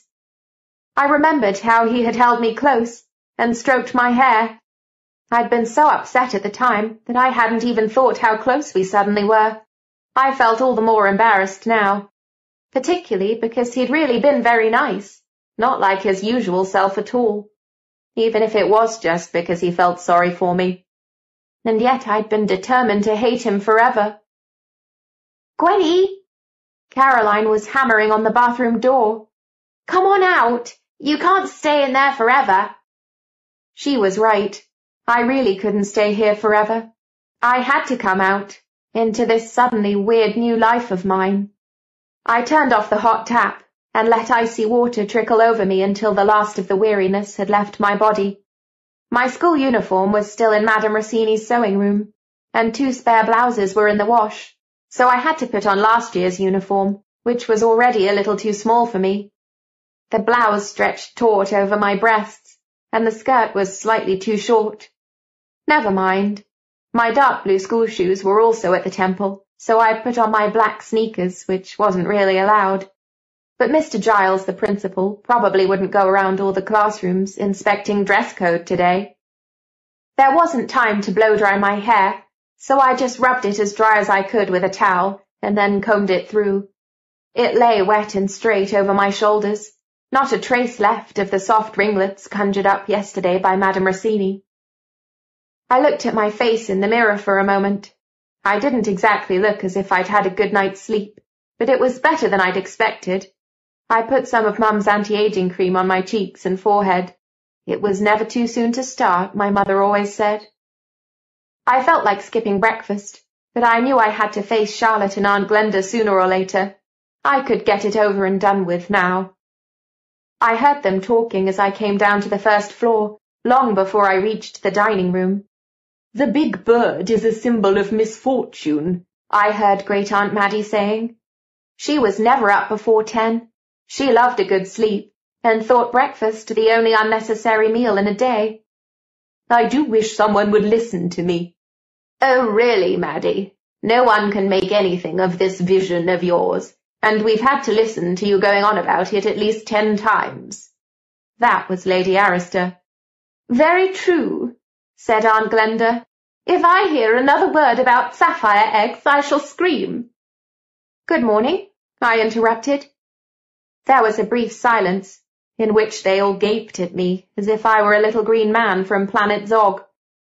Good morning, child, said Lady Arista. I hope you slept well. Fine, thank you. I was very tired. I'm sure it was all rather too much for you, said Aunt Glenda patronizingly. But she was right. It had been. I sat down in my usual place opposite Charlotte, who obviously hadn't touched her toast. She looked as if the sight of me had spoiled her appetite. Mamma Nick was smiling at me in a conspiratorial way, and Caroline pushed a bowl of cornflakes and milk over to me. At the other end of the table, Great Aunt Maddie waved to me. My little angel, I'm so glad to see you. You'll cast some light on all this confusion. What with all the shouting yesterday evening, no one could get a clear idea of anything. Glenda was digging up ancient history from back when our Lucy ran off with that handsome de Villiers boy. I never did understand why everyone kicked up such a fuss because Grace let them stay with her for a few days. You'd think that would have been forgotten long ago. But no, no sooner has a little grass grown over it than some clumsy camel comes along and rakes it all up again. Caroline giggled. She was probably imagining Aunt Glenda as a camel. This is not a TV series, Maddie, said Lady Arista sharply. Thank goodness, no, it isn't, said Great Aunt Maddie. If it were, I'd have lost track of the plot ages ago. It's perfectly simple, said Charlotte in a chilly voice. Everyone thought I'd have the gene, but Gwyneth has it instead. She pushed her plate away from her and stood up. So now she'll just have to see if she can manage. Charlotte, wait. But Aunt Glenda was not in time to keep Charlotte from storming out of the room. Before she followed her, she gave Mum a nasty look. You should be ashamed of yourself, Grace. She's in a dangerous mood, said Nick. Lady Arista heaved a deep sigh. Mum sighed as well. I have to go to work now, Gwyneth. I agreed with Mr. George that he will pick you up from school today. You'll be sent to a lapse to the year 1956, in a nice safe cellar where you can get on with your homework in peace. Bummer, said Nick. I was thinking just the same. And after that you will come straight home, said Lady Arista. But the day will be over by then, I said. Was this going to be my routine from now on? Going to the temple to elapse after school, sitting about in a boring cellar doing homework, then going home to dinner? What a nightmare! Great Aunt Maddie swore under her breath, because the sleeve of her dressing gown had landed in the marmalade on her toast. This is no time of day to be up and about. That's what I always say. So you do, said Nick. Mum kissed him, Caroline and me goodbye, like every morning. Then she put a hand on my shoulder and said quietly, If by any chance you happen to see my dad, give him a kiss from me. Lady Arista jumped slightly at these words. She sipped her tea in silence, then looked at her watch and said, You must hurry if you're going to be at school on time. I'm definitely going to open a detective agency someday, said Leslie. We were bunking off geography with Mrs. Counter and had squeezed into one of the cubicles in the girls' toilets. Leslie was sitting on the loo lid with a fat folder on her knees. I was leaning against the door, which was scribbled all over in ballpoint and colour pen. Jenny loves Adam, Malcolm is an arse, life is crap, and other similar remarks. Investigating mysteries must be in my blood, said Leslie. Maybe I'll study history too, and specialize in old myths and ancient writings. And then I'll be like Tom Hanks in the Da Vinci Code. I'll look better, of course. And I'll hire a really hot guy to be my assistant. You do that, I said. Sounds exciting. Whereas I'm going to spend the rest of my life hanging about in a cellar without any windows in the year 1956. Only for three hours a day, said Leslie. I bought her right up to date, and it looked as if she had a much better grasp of all these complications than I did. She'd heard it all, up to my story about the men in the park and my guilty conscience.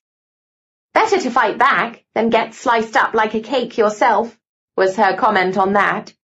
Oddly enough, that made me feel better than Mr. George's or Gideon's reassurances. Telekinesis was the word Leslie used for the Count's ability to strangle me from several yards away.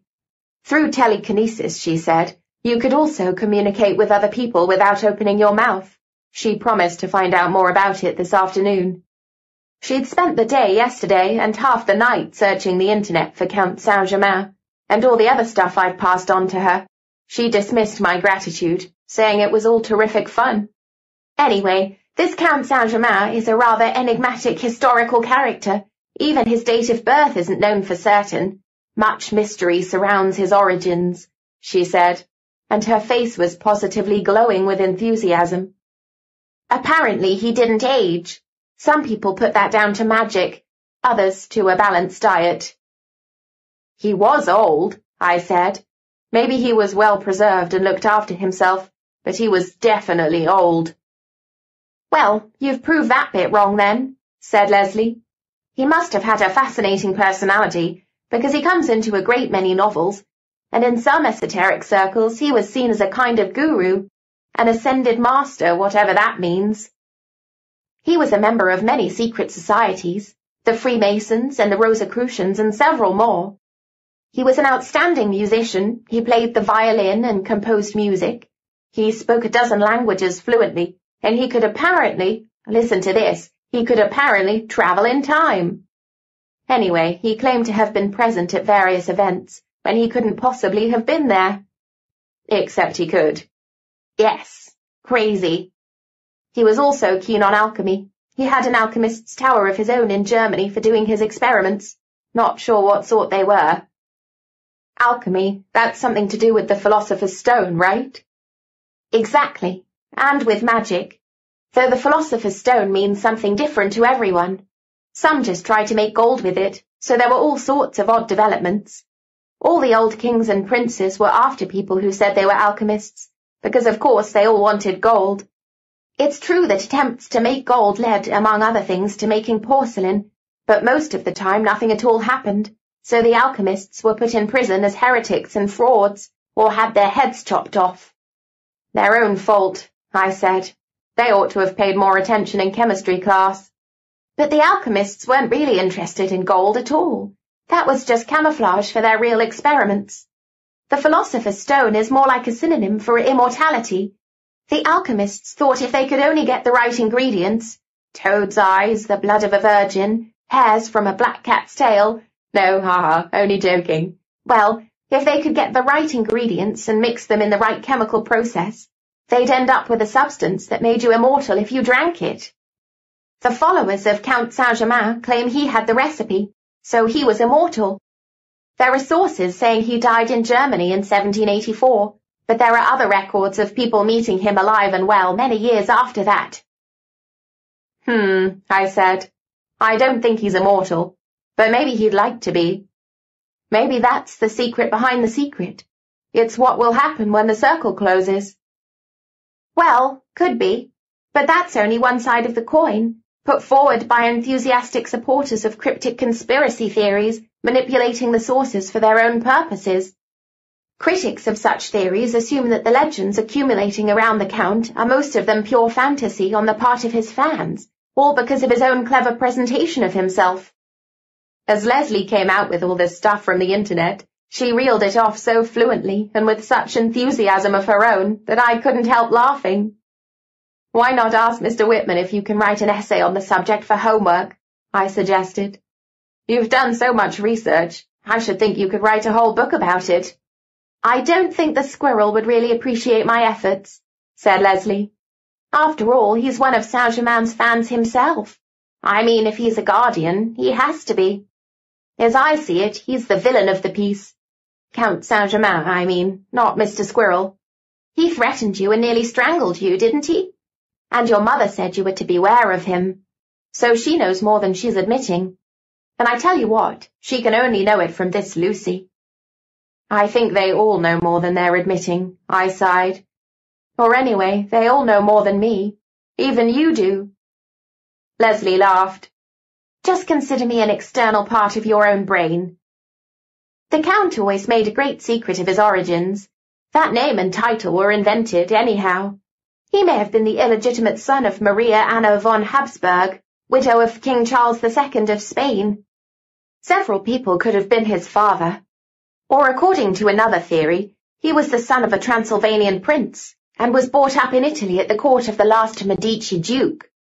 One way or another, none of it can really be proved, so everyone's just groping about in the dark. But now the two of us have a new theory. Do we? Leslie rolled her eyes. Of course we do. We now know that one of his parents must have come from the de Villiers family anyway. How do we know that? Oh, Gwen, you said it yourself that the first time traveller was a de Villiers, so the Count must have been a member of that family, whether or not he was born in wedlock. You understand that, don't you? Otherwise his descendants wouldn't have the same surname. Hmm, yes, I said uncertainly. I couldn't quite sort out this theory of his descent. But I think there's something in that Transylvanian theory, too. It can't be coincidence that that man Rakoczy comes from Transylvania. I'll do some more research into him, Leslie promised. Oh, watch out! The door outside the cubicles swung, and someone came into the girls' toilets. She, at least we assumed it was a she, went into the cubicle next to ours to use the loo. We kept perfectly still until she had gone again. Without washing her hands, said Leslie. Yuck, I'm glad we don't know who that was. No paper towels left, I said. My legs were getting pins and needles. Do you think we'll be in trouble? Mrs. Counter is sure to notice we're missing, and if she doesn't, then someone will tell on us. All the students look the same to Mrs. Counter. She doesn't notice anything. She's called me Lily since year seven, and she gets you mixed up with Cynthia of all people. No, listen, this is more important than geography. You must be as well prepared as possible. The more you know about your enemies, the better. I only wish I knew who my enemies are. You can't trust anyone, said Leslie, just like my mother. If we were in a film, the villain would turn out to be the least expected person, but as we aren't in a film, I'd go for the character who tried to strangle you. But who set those men in black on us in Hyde Park? It can't have been the Count. He needs Gideon to visit the other time travellers and get a drop of their blood so as to close the circle. Yes, so he does. Leslie chewed her lower lip thoughtfully. But maybe there are several villains in this film. I mean, Lucy and Paul could also be the baddies. Well, they stole the chronograph. And what about the man in black who stands outside number 18? I shrugged. He was there this morning, same as usual. Why? Do you think he'll suddenly whip out a sword? No, I think he's more likely to be one of the Guardians, standing there in that silly way, just on principle. Leslie turned back to her folder. I couldn't find out anything about the Guardians themselves, by the way. They seem to be a very secret lodge indeed. But some of the names you mentioned, Churchill, Wellington, Newton, were Freemasons too, so we can assume that both secret societies had at least some connection. Oh, and I didn't find out anything on the internet about a boy called Robert White who drowned. But you can look up all the editions of The Times and The Observer for the last forty years in the library. I'm sure I'll find something there. What else? Oh, yes. Mountain ash tree, sapphire, raven. Well, of course you can interpret that in all sorts of different ways, but with this mysterious stuff, Everything can always mean anything, which means nothing is certain. We must try to go by the facts and not all these fantastic ideas. You'll have to find out more, particularly about Lucy and Paul, and why they stole the chronograph. They obviously know something that the others don't know, or don't want to, or that they have very different ideas about. The door opened again. This time the footsteps were firm and energetic, and they were coming straight toward the door of our cubicle. Leslie Hay and Gwyneth Shepherd, come out of there at once and go back to your class. At first, Leslie and I were stunned. Then Leslie said, You do know these are the girls' toilets, don't you, Mr. Whitman? I'll count to three, said Mr. Whitman. One. We'd opened the door before he reached three. I'll have to note this on your records, said Mr. Whitman, looking at us like a very stern squirrel. I'm very disappointed in you. You in particular, Gwyneth. The fact that you've taken your cousin's place doesn't mean you can do or not do exactly as you like. Charlotte never neglected her schoolwork. Yes, Mr. Whitman, I said. This authoritarian attitude wasn't at all like him. He was usually so charming, and only ever a tiny bit sarcastic. Now, off you go to your class. How did you know where we were? asked Leslie. Mr. Whitman did not reply. He reached out his hand for Leslie's folder. And for now, I'm confiscating this. Oh, no, you can't.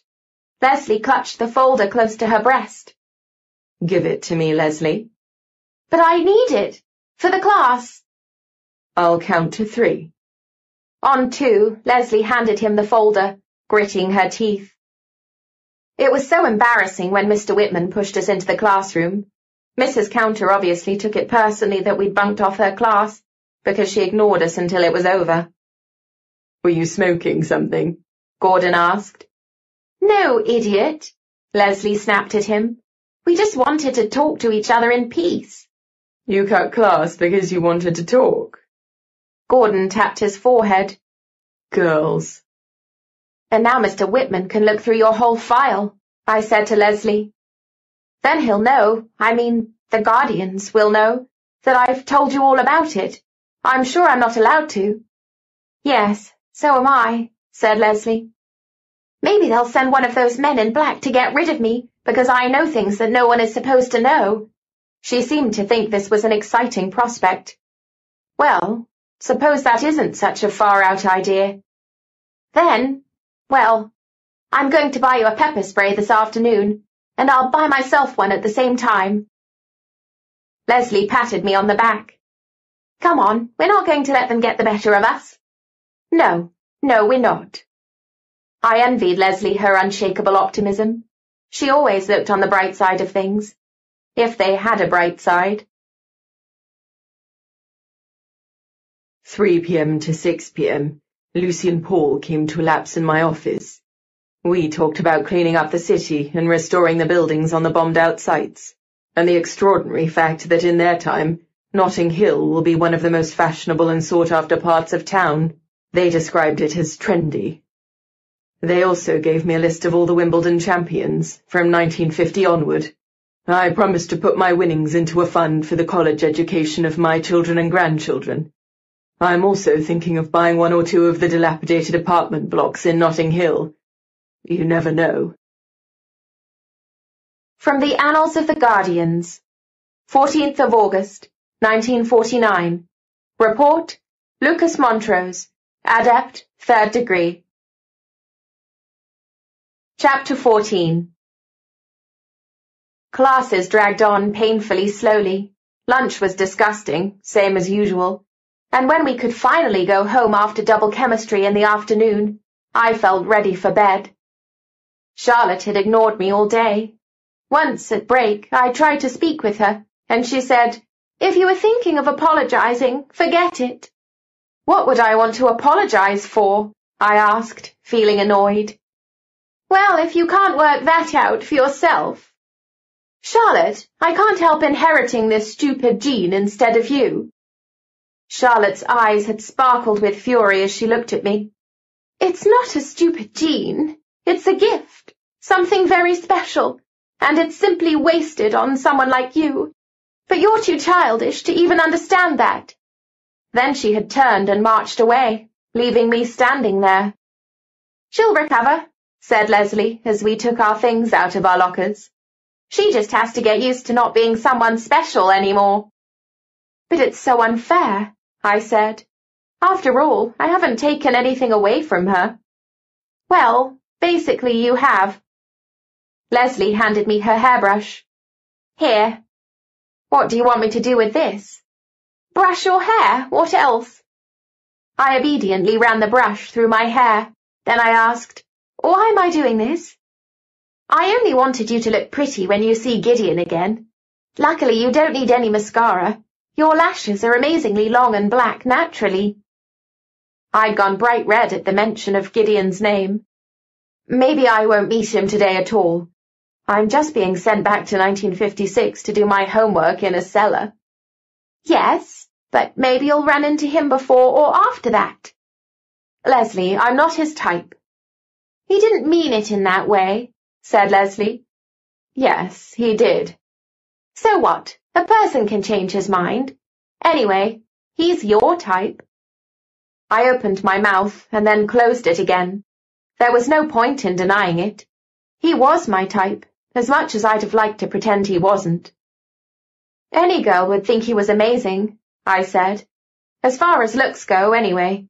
But he needles me all the time, and he orders me about, and he's just so, he's just so incredibly great.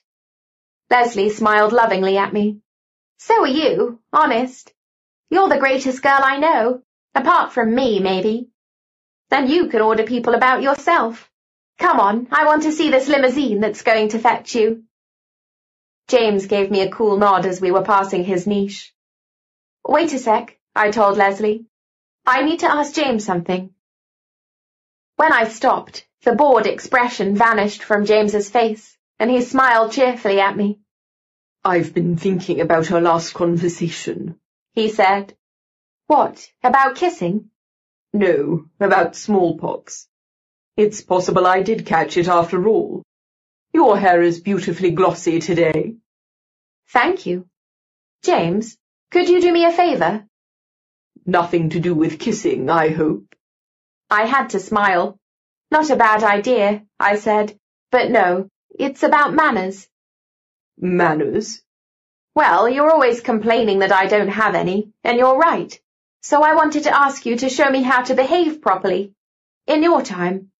How to talk, how to curtsy, how to... Oh, I don't know what. Hold a fan, dance, how to behave when the Prince Regent is in the room. Exactly. Oh, yes, I can teach you that, said James. Great, I said, and was turning to go. Oh, and James, can you fence as well? With a sword? Of course, said James. I don't wish to boast, but I am considered one of the best fencers in town by my friends at the club. Galliano himself says I have a considerable talent. Super, I said. You're a real friend. You want that ghost to teach you fencing? Leslie had been following our conversation with interest. Of course, she'd only been able to hear my side of it. Can a ghost hold a sword? We'll see, I said. Anyway, he knows his way around the 18th century. After all, it's where he comes from. Gordon Gelderman caught up with us on the steps. You were talking to that niche in the wall again, Gwyneth. I saw you. Yes, it's my favourite bit of wall, Gordon. I'd hurt its feelings if I didn't stop and talk to it. You do know you're weird, right? Yes, Gordon dear, I know.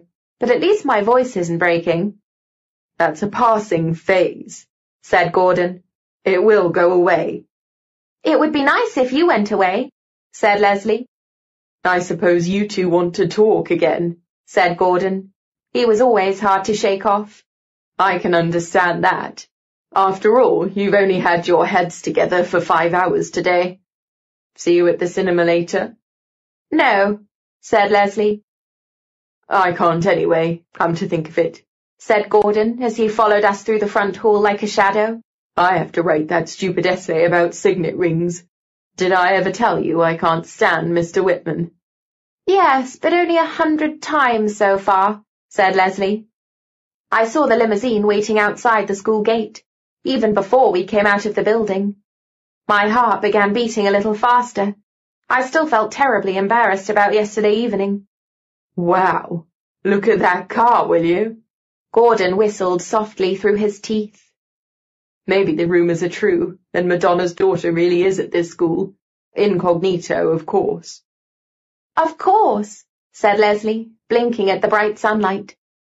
That's why they send a limousine to fetch her, so no one will notice that she's incognito. Several of the students were gaping at the limousine. Cynthia and her friend Sarah were standing on the steps as well, eyes popping out of their heads but not at the sight of the limousine, at something farther to the right of it. And I thought that twit wouldn't have anything to do with boys, said Sarah. Not even hot guys like that. Could be he's her cousin, said Cynthia, or her brother. My hand was clutching Leslie's arm tightly. Sure enough, there stood Gideon in our schoolyard, very casual in jeans and a t-shirt, and he was talking to Charlotte. Leslie identified him at once. And I thought he had long hair, she said accusingly. He does, I said. Shoulder length, said Leslie. That's different. Very cool. He's gay. Bet you anything he's gay, said Gordon, leaning one arm on my shoulder so that he could see past Cynthia and me better. Oh my God, he's touching her, said Cynthia. He's taking her hand. Charlotte's smile was visible all the way to where we were standing. She didn't often smile, apart from her infuriating know-it-all expression. But when she did, the look on her face was enchanting. She was even showing a dimple. Gideon was bound to notice it, and I was sure he was thinking that she was anything but an ordinary girl. He's stroking her cheek. Oh my God, he really was. The pang I felt was something I couldn't ignore. And now he's kissing her. We all held our breath. It really did look as if Gideon was going to kiss Charlotte. But only on the cheek, said Cynthia, relieved. So he's her cousin after all. Gwynnie, please say he's her cousin. No, I said. They're not related. And he isn't gay either, said Leslie. Wanna bet? I mean, Look at that signet ring he's wearing. Charlotte smiled radiantly at Gideon again, and walked away with a spring in her step. Obviously, her bad mood had gone away. Gideon turned to us. I realized what a sight we were, four girls and Gordon, gaping and giggling on the steps outside school. I know lots of girls like you. Just as I might have expected. Oh, great. Gwyneth, called Gideon. Finally. Cynthia, Sarah, and Gordon collectively held their breath. To be honest, so did I. Only Leslie kept her cool. She gave me a little push. Hurry up, will you? Your limousine is waiting. As I went down the steps, I could feel the others' eyes on my back. Their mouths were probably open too. Gordon's was for sure. Hi, I said when I had reached Gideon. It was all I could manage to say. In the sunlight his eyes were a brighter green than ever. Hi. He was looking at me rather too closely. Have you grown overnight? No. I tugged the jacket together over my breasts. It's my school uniform that's shrunk. Gideon grinned. Then he looked over my shoulder. Friends of yours up there? I think one of them's about to faint. Oh, my God. That's Cynthia Dale, I said, without turning around. She suffers from high estrogen levels. I can introduce you if you'd like. Gideon's smile grew wider. Maybe I'll take you up on that some other time. Now, come on. We have a lot still to do today. He took my arm. A loud squeal could be heard from the steps, and guided me toward the limousine. I'm only going to do homework, in the year 1956. There's been a change of plan. Gideon opened the car door for me. A synchronized screech from the steps. We're going to visit your great-great-grandmother. She especially asked for you to come along. He put his hand on my back to get me into the car. Another screech from the steps. I let myself fall into the back seat. There was a familiar, round face already in the car waiting for me. Hello, Mr. George. Gwyneth, my brave girl, how are you feeling today? Mr. George was beaming as if in competition with his shiny bald patch. Gideon sat down beside him. I'm, uh, fine, thank you. I went red because I was thinking what a picture of misery I must have been yesterday evening. At least Gideon hadn't made any cutting references to that. He was acting as if nothing at all had happened. What was that about my great-great-grandmother? I hurried to ask. I didn't really understand. No, we didn't entirely understand it ourselves, said Gideon, sighing. The limousine moved away. I resisted the temptation to look at my friends through the back window. Margaret Tilney, née Grand, was the grandmother of your grandmother Lady Arista, and the last time traveller in the female line before Lucy and you. The Guardians were able to read her into the first original chronograph without any problems, after her second journey back in time. That was in 1894. For the rest of her life, she died in 1944, she elapsed regularly with the aid of the chronograph. The annals describe her as very friendly and cooperative. Mr. George nervously passed his hand over his bald patch. During the bombing of London in the Second World War, a group of guardians went out into the country with her in the chronograph. She died there of pneumonia at the age of sixty-seven. How... how sad. I didn't understand exactly what I was supposed to make of this information. As you know, Gideon has already visited seven of the Circle of Twelve in the past, and taken a little of their blood for the new chronograph. Six, if we count the twins as one. So with your blood and his, only four of the circle are still missing. Opal, Jade, Sapphire, and Black Tourmaline. Elaine Burley, Margaret Tilney, Lucy Montrose, and Paul de Villiers, added Gideon. Those four have to be visited in the past, and a little blood taken from each of them. I'd grasped that idea by now. I wasn't entirely clueless. Exactly. We didn't think there could be any complications with Margaret. Mr. George leaned back in his seat. With the others, yes, but there was no reason to assume that there'd be any difficulty with Margaret Tilney. The course of her life was closely recorded by the Guardians. We know where she was on every single day of it. That's why it is also easy to arrange a meeting between her and Gideon. He travelled back last night to the year 1937 to meet Margaret Tilney at our house in the temple. Last night? Really? For goodness sake, when do you get any sleep? It was supposed to be a very quick visit, said Gideon. He crossed his arms over his chest. We planned only an hour for the whole operation. Mr. George said, But contrary to our expectations, when Gideon had explained the reasons, Margaret refused to let him have any of her blood. He looked expectantly at me. Was I supposed to say something? Maybe, uh, maybe she just didn't understand you, I said. After all, it was a very intricate story. She understood me perfectly. Gideon shook his head. Because she already knew that the first chronograph had been stolen, and that I'd be wanting some of her blood for the second one. But how could she have guessed what wouldn't happen until many years later? Could she see into the future? No sooner had I asked than I knew the answer. Slowly, I was really getting the hang of this time travel business.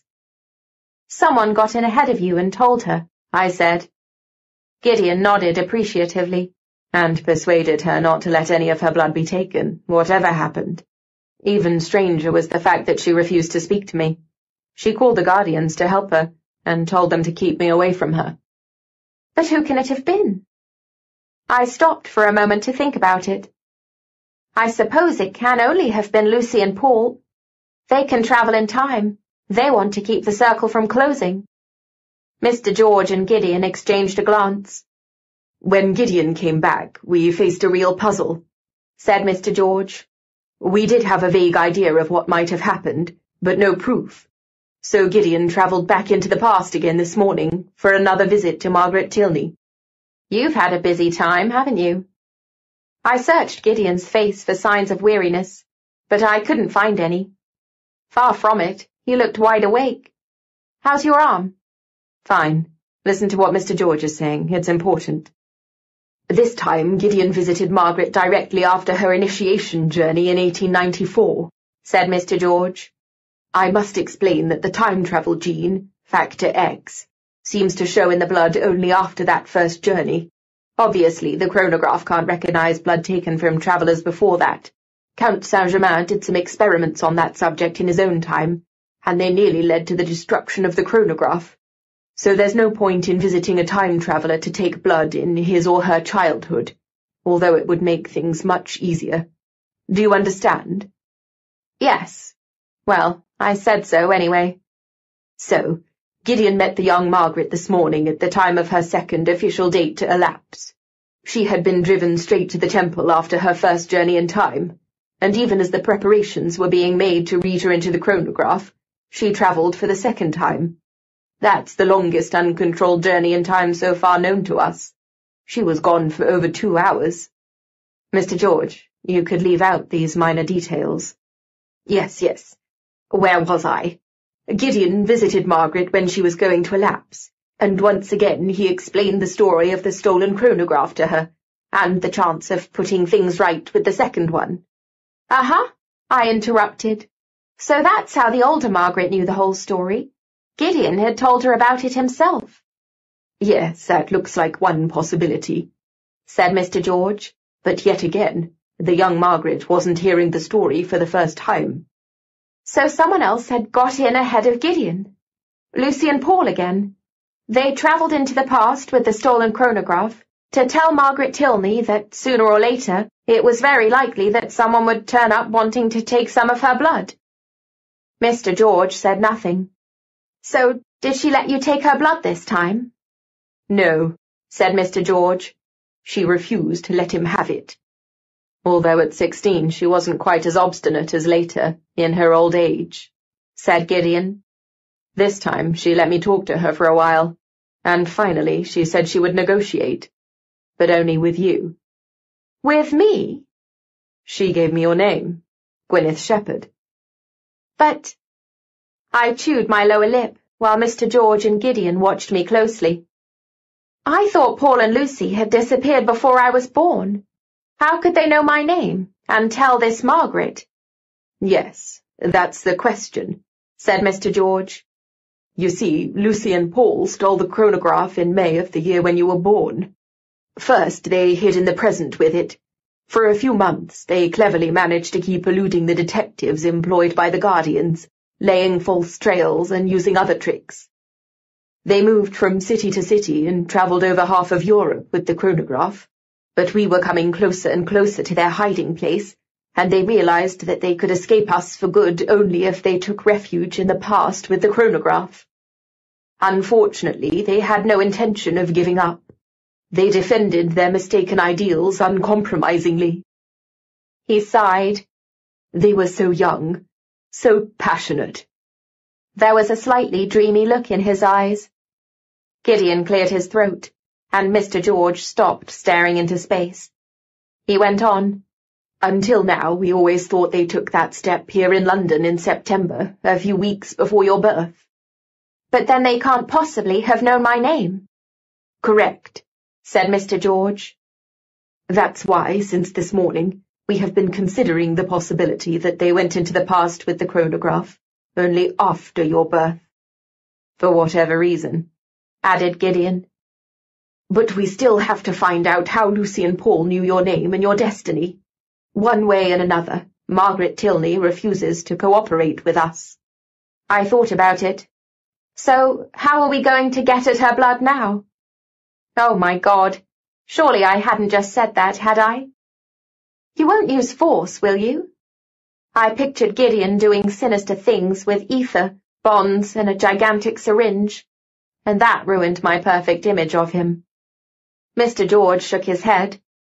One of the golden rules of the Guardians is that we use force only when nothing else will work. We try negotiation and amicable agreement first, so we will do as Margaret has suggested. We're going to send you to see her. So that I can convince her? So that we can find out about her motives and her informants. She'll talk to you. She said so herself. We want to know what she has to tell you. Gideon sighed. There's no getting around it, but myself, I've been talking to a brick wall all morning. Yes, Gwyneth, and that's why, at this moment, Madame Rossini is making you a nice summer dress for the year 1912, said Mr. George. You're going to meet your great-great-grandmother. Why 1912? We picked the year at random. All the same, Gideon thinks you may be falling into a trap. A trap? Gideon said nothing, just glanced at me. And he did look worried. By the laws of logic, that's as good as impossible, said Mr. George. Why would anyone set a trap for us? Gideon leaned toward me. Think about it. Lucy and Paul have the chronograph in their power, and ten of the twelve time travelers have already had their blood read into it. To close the circle so that they can use it for themselves, they only need blood from you and me. But Lucy and Paul wanted to stop the circle being closed and the secret from being revealed, I said. Once again, Mr. George and Gideon exchanged a glance. That's what your mother thinks, said Mr. George. And it was what I'd thought myself so far. And you don't. Look at it the other way around. Suppose Lucy and Paul want the secret all to themselves, said Gideon. Suppose that's why they stole the chronograph. Then all they still need to go one better than Count Saint-Germain would be our blood. I let the words sink in. Then I said, and since they can only meet us in the past, they have to lure us somewhere there to get at our blood. They may think that they can get it only by force, said Gideon, just as we know, looking at it from the other angle, that they aren't going to give us their blood willingly. I thought of the men who had attacked us yesterday in Hyde Park. Exactly, said Gideon, as if he had read my thoughts. If they'd killed us, they could have had as much of our blood as they wanted. It only remains to find out how they knew we'd be there. I know, Lucy and Paul. That's simply not their style, said Mr. George. They grew up knowing the golden rules of the Guardians, and I'm sure they wouldn't plan to get members of their own families murdered. They would prefer discussion and negotiation. You knew Lucy and Paul, past tense, Mr. George, said Gideon. But can you really be sure what they're like by now? I looked from one to the other of them. Well, anyway, I think it would be interesting to find out what my great-great-grandmother wants to meet me for, I said. And how can it be a trap if we choose the time of our visit ourselves? That's how I see it too, said Mr. George. Gideon sighed, resigned. It's all been decided now, anyway. Madame Rossini put an ankle-length white dress with a fine check pattern and a kind of sailor collar over my head. It was held in around the waist by a sky-blue satin sash, and there was a ribbon bow of the same material where the collar met a buttonhole. When I looked at myself in the mirror, I was a little disappointed. I saw the reflection of a demure good girl. The outfit reminded me slightly of what the servers wore at Mass in St. Luke's, where we sometimes went to church on Sundays. The fashions of 1912 can't of course be compared with the extravagance of the Rococo era, said Madame Rossini, as she handed me a pair of buttoned leather ankle boots. I would say the idea was to conceal rather than to reveal feminine charm. I'd say so too. And now your hair. Madame Rossini gently pushed me down on a chair and made a long side parting in my hair. Then she put it up in strands at the back of my head. Isn't that a bit, well, bushy over my ears? It's in period, said Madame Rossini. But I don't think it suits me, do you? Everything suits you, my little swan-necked beauty. Anyway, this isn't a beauty contest. It's all about authenticity, yes, I know. Madame Rossini laughed. Then that's all right. This time Dr. White came to collect me and take me to the cellar where the chronograph was hidden. He looked very bad-tempered as usual, but to make up for it, Robert, the little ghost boy, gave me a beaming smile. I smiled back. He really was very cute, with his blonde curls and dimples. Hello. No need to sound so effusively pleased to see me, said Dr. White, bringing out the black blindfold. Oh no, why do I have to have that on again? There's no reason to trust you, said Dr. White. Oh, let me do that, you clumsy fool. Madame Rossini snatched the black blindfold from his hand. This time no one is going to ruin my lovely hairstyle. A pity, really. Madame Rossini herself put the blindfold on, very carefully. Not a hair was disturbed. Good luck, ma petite, she said as Dr. White led me out. I waved in what I thought was her direction, by way of goodbye. Once again, it was an unpleasant feeling to be stumbling about in a void. All the same, the way was beginning to seem more familiar. And this time Robert kept warning me in advance. Two more steps, and now left through the secret doorway. Careful, mind the step. Another ten paces, and then we come to the big staircase. Great service you give here. Thanks a lot. Let's leave out the sarcasm, said Dr. White. Why can you hear me and he can't? asked Robert sadly. I'm afraid I don't know either, I said, and I felt so sorry for him it was almost too much for me. Is there anything you'd like to tell him? Robert did not reply. Glenda Montrose was right, said Dr. White. You really do have conversations with yourself. I put out my hand to feel my way along the wall. Oh, I recognize this spot. Now there's another step. Yes, there it is. And after twenty-four footsteps, we turn right. You've been counting. Only out of boredom. Why are you so suspicious, Dr. White? I am not at all suspicious. I trust you implicitly. At the moment. At the moment you are behaving reasonably well, or at the worst you are only somewhat infected by your mother's crazy notions but no one knows what you'll grow into, so I would be very sorry if you knew where the chronograph was kept. The cellar can't be all that large, I said. You've no idea, said Dr. White. We've already lost people in there. Really? Yes. There was a touch of laughter in his voice, so I knew he was only joking. Others have wandered around the passages for days before they found a way out. I'd like to tell him I'm sorry, said Robert. Obviously it had taken him a long time to work out what he wanted me to say. The poor little boy. I'd have liked to stop and give him a big hug. But it wasn't your fault. Are you so sure? Dr. White must still be thinking of the people lost in the cellar. Robert was sniffing. We had a quarrel in the morning. I told him I hated him and I wished I had a different father. But he wouldn't have taken it seriously. I'm sure he didn't. Yes, he did. And now he thinks I didn't love him.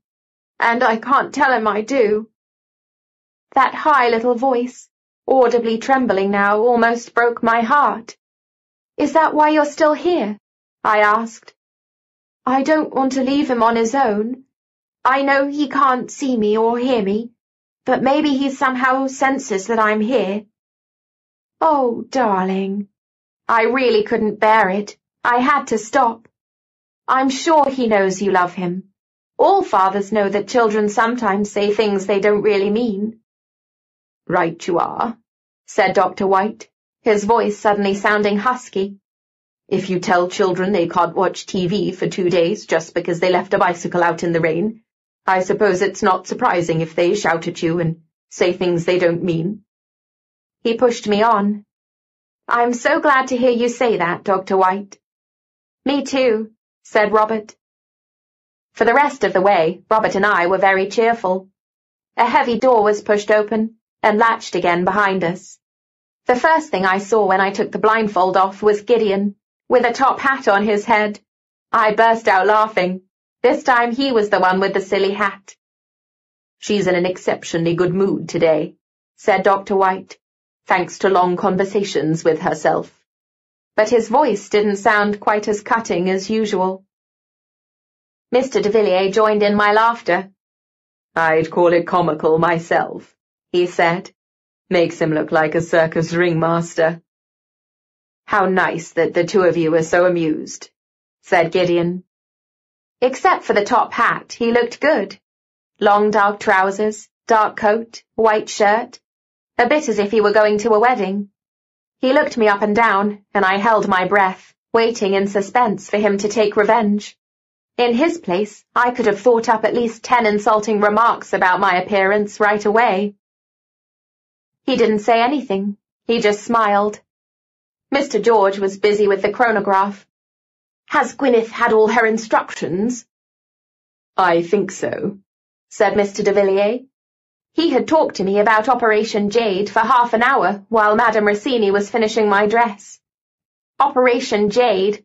I felt rather like Secret Service agent Emma Peel. Leslie and I loved Uma Thurman in The Avengers.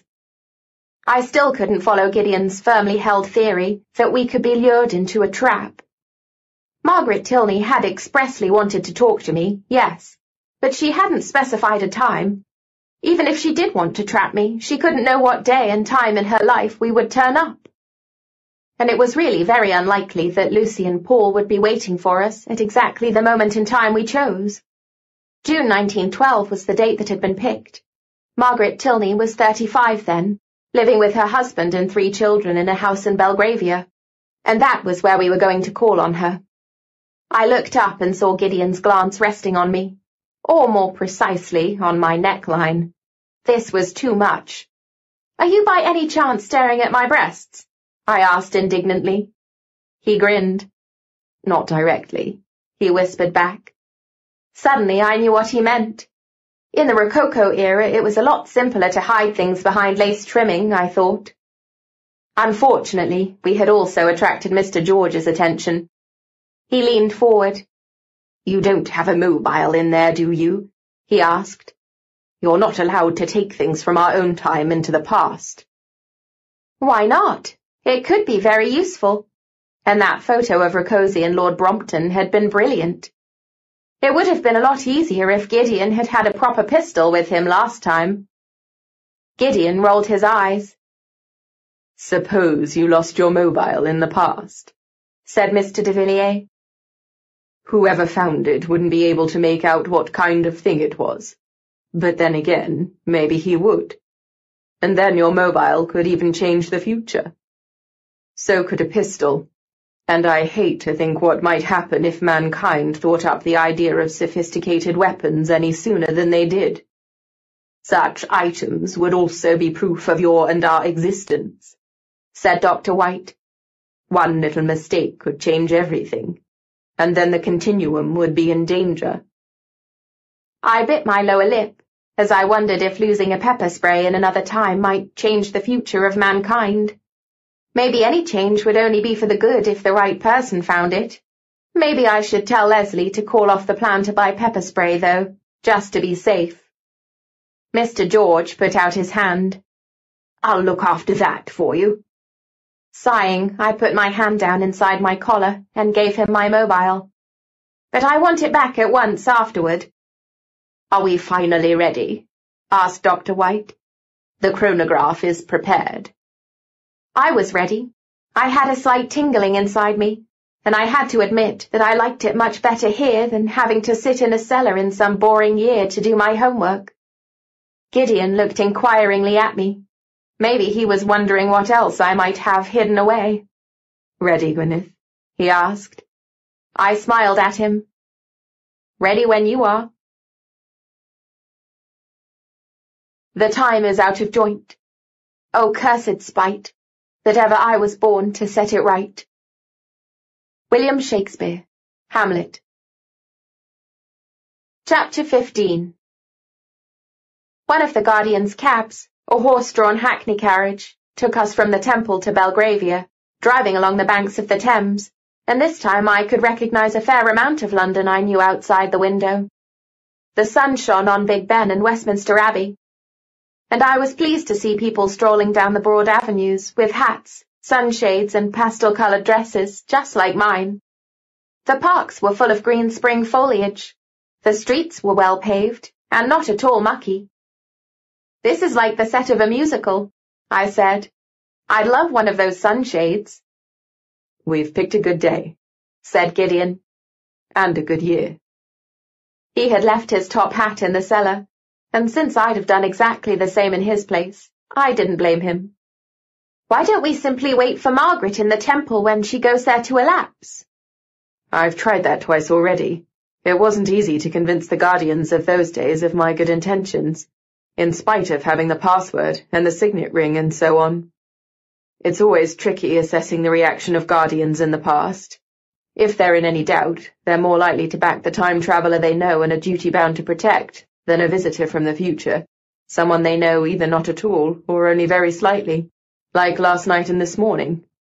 We may be more successful if we visit her at home, and it's bound to be more of a surprise. But couldn't she be guarded day and night by someone just waiting for us to turn up? We know she's expecting that. She's been expecting it for years, right? The annals of the Guardians don't say anything about additional personal protection. They just stipulate that a novice guardian has to keep a discreet eye on the place where every time traveller lives. The man in black! I cried. A man just like that stands outside our house.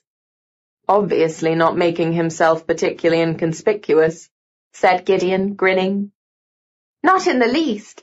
My little sister thinks he's a wicked magician. I thought of something. Do you have any brothers and sisters yourself?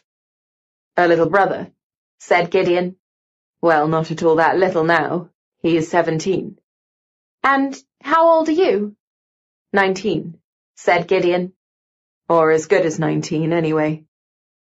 So if you've left school, what do you do? Officially, I'm down to study at the University of London next year, he said. But I think I can take this term off. What subject? Inquisitive, aren't you? Only making polite conversation. I'd picked up that expression from James. So what are you going to study? Medicine. He sounded a bit embarrassed.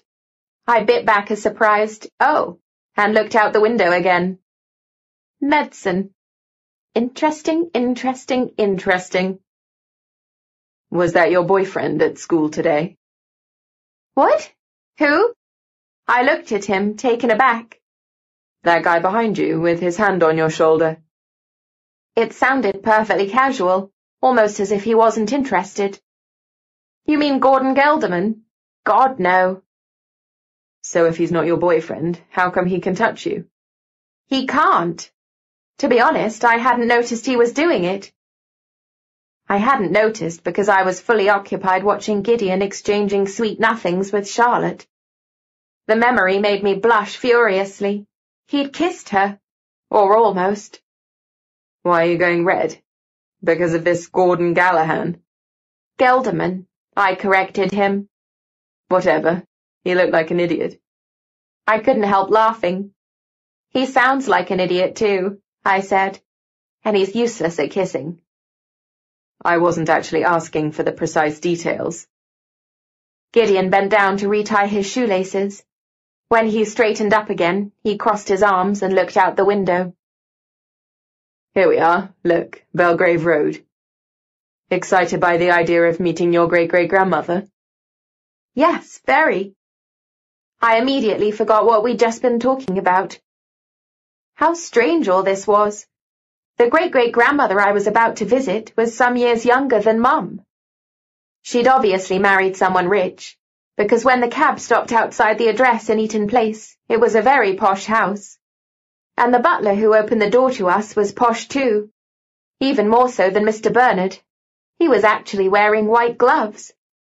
He examined us suspiciously when Gideon handed him a card and said we were paying a surprise tea-time call. He was sure, said Gideon, that his good friend Lady Tilney would be very pleased to hear that Gwyneth Shepherd had come to visit her. I suspect he doesn't think you're posh enough, I said as the butler disappeared with the visiting card. No hat and no side whiskers. No moustache either, said Gideon. Lord Tilney has one from ear to ear. See that portrait of him in front of us? Wow, I said. My great-great-grandmother had weird taste in men. It was the kind of moustache you'd have to put curlers in at night. Suppose she just gets the butler to say she's not at home, I asked. Maybe she doesn't want to see you again so soon. So soon is good. As far as she's concerned, the last time was eighteen years ago.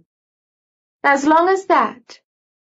A tall, slim woman with her red hair piled up in a style not unlike mine was standing on the stairs. She looked like Lady Arista, but thirty years younger. I saw, to my surprise, that the upright way she walked was just like Lady Arista as well. When she stopped in front of me, neither of us said anything. We were so absorbed in looking at each other. I could see a trace of Mum in my great-great-grandmother.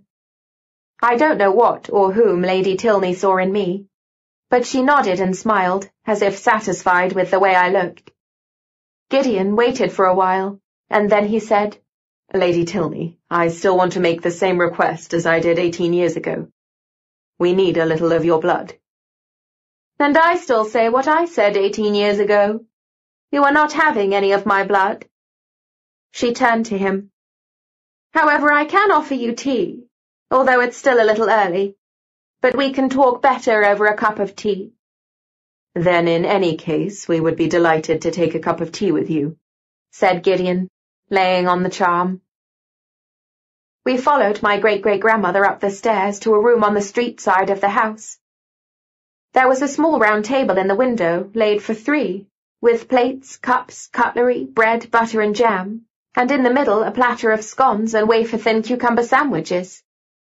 It looks almost as if you were expecting us, I said, while Gideon took a good look around the room. She smiled again. It does, doesn't it? One might think so. But in fact I am expecting some other guests. Do please sit down. No, thank you. In the circumstances, we'd rather not, said Gideon, suddenly very much on the alert. And we won't trouble you for long. We'd just like to have answers to a few questions. And what are they? How do you know my name? I interjected. Who told you about me? I had a visitor from the future. Her smile widened. It happens to me quite often. Lady Tilney, I tried to explain last time that your visitor was telling you lies, said Gideon. You're making a great mistake by trusting the wrong people. That's what I'm always telling her, said a male voice. A young man had appeared in the doorway. He casually sauntered closer. Margaret, I always say, you're making a great mistake by trusting the wrong people. Oh, those look delicious. Are they for us? Gideon had breathed in sharply. Now he put out his hand and clasped my wrist. Not a step closer, he said. The other man raised one eyebrow. I'm only helping myself to a sandwich, if you have no objection. Do please help yourselves.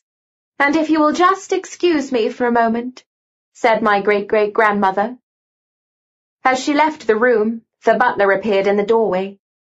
In spite of the white gloves, he now looked like the bouncer of some really trendy club. Gideon swore under his breath. Don't worry about Stillman, said the young man, although apparently he did once break a man's neck. An accident, wasn't it, Stillman? I stared at the young man. I couldn't help it. He had the same eyes as Falk de Villiers, yellow as amber, like a wolf's. Gwyneth Shepherd. When he smiled at me, he looked even more like Falk de Villiers, except that he was at least twenty years younger, and his hair was jet black and cut short. The way he was looking at me was scary. He seemed friendly, but there was something in his eyes that I couldn't interpret. Maybe anger, or pain. It's a pleasure to meet you. For a moment his voice sounded husky. He offered me his hand, but Gideon grabbed me with both arms and pulled me close. Don't you touch her. The raised eyebrow again. What are you afraid of, young man? I know exactly what you want from her. I could feel Gideon's heart beating against my back. Blood? The man took one of the tiny thin sandwiches and put it into his mouth. Then he held both his hands out to us, palms upward, and said, Look, no syringe, no scalpel, nothing. Now let go of the poor girl. You're crushing her. That strange glance again when he looked back at me. My name is Paul. Paul de Villiers. That's what I thought, I said. You're the man who persuaded my cousin Lucy to steal the chronograph. Why did you do it, Mr. de Villiers? Paul de Villiers' mouth twisted. It's funny to hear you call me Mr. de Villiers. And I think it's funny that you know me. Don't talk to him, said Gideon. His grip had relaxed slightly, and now he was holding me close to him with only one arm. With the other, he opened a side door behind him and glanced into the next room. Another man in white gloves was standing there. That's Frank, said Paul. And since he isn't as big and strong as Stillman, he has a pistol. Did you notice? I noticed, said Gideon, closing the door again. He'd been right. We had fallen into a trap. But how was that possible? Margaret Tilney couldn't have been laying a tea table for us and stationing a man with a pistol in the next room every day of her life. How did you know we'd be here today? I asked Paul. Hmm. If I were to tell you I didn't know, I just happened to look in by chance, I'm sure you wouldn't believe me, would you? He took a scone and sat down. How are your dear parents? Keep your mouth shut, snapped Gideon. But I was only asking how her parents are. Fine, I said. Mum, at least. My father's dead. Paul looked shocked. Dead? But Nicholas is a man like an oak tree, so strong and healthy. He had leukemia, I said. He died when I was seven. Oh, my God, I'm so very sorry. Paul was looking at me sadly and seriously. It must have been terrible for you, growing up without a father. Don't talk to him, Gideon repeated. He's just trying to keep us here until reinforcements arrive. Do you still think I'm after your blood and hers? There was a dangerous glint in his yellow eyes. I do indeed, said Gideon. And you think Stillman and I, plus Frank and a pistol, couldn't deal with you on our own? asked Paul sarcastically. I certainly do, said Gideon. Well, I'm sure my dear brother and the other Guardians have made you into a real fighting machine, said Paul. After all, you've had to pull the chestnuts out of the fire for them, or should I say the chronograph. In my time, we just learned a bit of fencing and how to play the violin to keep the tradition going. But I bet you can do martial arts and all that stuff. You need to know those things if you're going to travel around the past, getting people to shed blood. So far, those people have given their blood willingly, but only because they don't know where that will lead. No, because they don't want to see the destruction of all that the Guardians have been studying, protecting, and working for through the centuries. Blah, blah, blah. Yes, they kept going on at us in that emotional way as well. But we know the truth about Count Saint-Germain's intentions. And what is the truth? It burst out of me. There were footsteps on the stairs. Here come the reinforcements, said Paul without turning.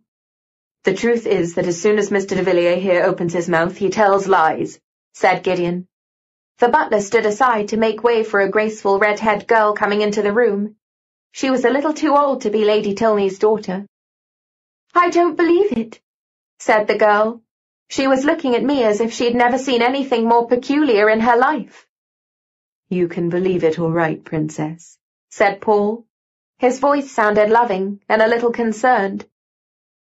The girl was standing in the doorway as if rooted to the spot. You're Lucy, I said. There was no mistaking the family likeness. Gwyneth, said Lucy. She really only breathed my name.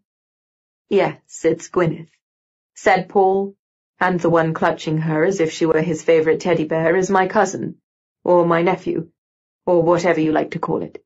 Unfortunately, he's very, very anxious to leave us. Please don't go, said Lucy. We have to talk to you both.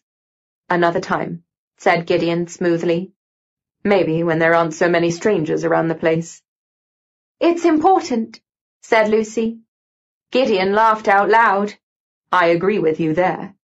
You're welcome to leave, young man, said Paul. Stillman will show you to the door, but Gwyneth will stay a little longer. I have a feeling it will be easier to talk to her. She hasn't yet been through all the brainwashing that you— Oh, hell. The curse was caused by the little black pistol that had suddenly appeared from nowhere in Gideon's hand. He was aiming it calmly at Lucy. Gwyneth and I will now leave the house without any fuss, he said. Lucy will accompany us to the door. You bastard, said Paul under his breath. He had risen to his feet and was looking undecidedly from Stillman to Lucy and us and back again, all in turn. Sit down, said Gideon. His voice was cold as ice, but I could feel his pulse racing. He still kept me firmly pressed to him with one arm around me. And you, Stillman, sit down too, please. There is still plenty of cucumber sandwiches. Paul sat down and looked at the side door.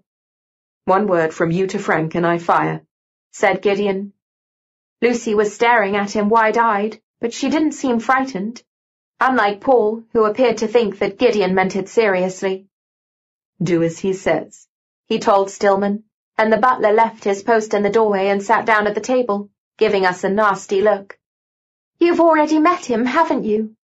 Lucy was looking Gideon straight in the eye. You've met Count Saint-Germain? Three times, said Gideon, and he knows exactly what you two are planning. Turn around. He put the barrel of the pistol against the back of Lucy's head. Now move forward. Princess, it's all right, Paul. For God's sake, they've given him a Smith & Wesson automatic. I thought that was against the golden rules. We'll let her go once we're out in the street, said Gideon. But if anyone up here moves before then, she's dead. Come on, Gwyneth. They'll have to try to get at your blood some other time. I hesitated. Maybe they really do just want to talk, I said.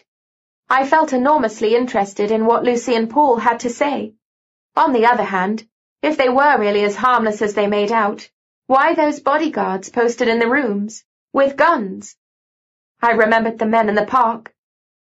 I'm certain they don't just want to talk, said Gideon.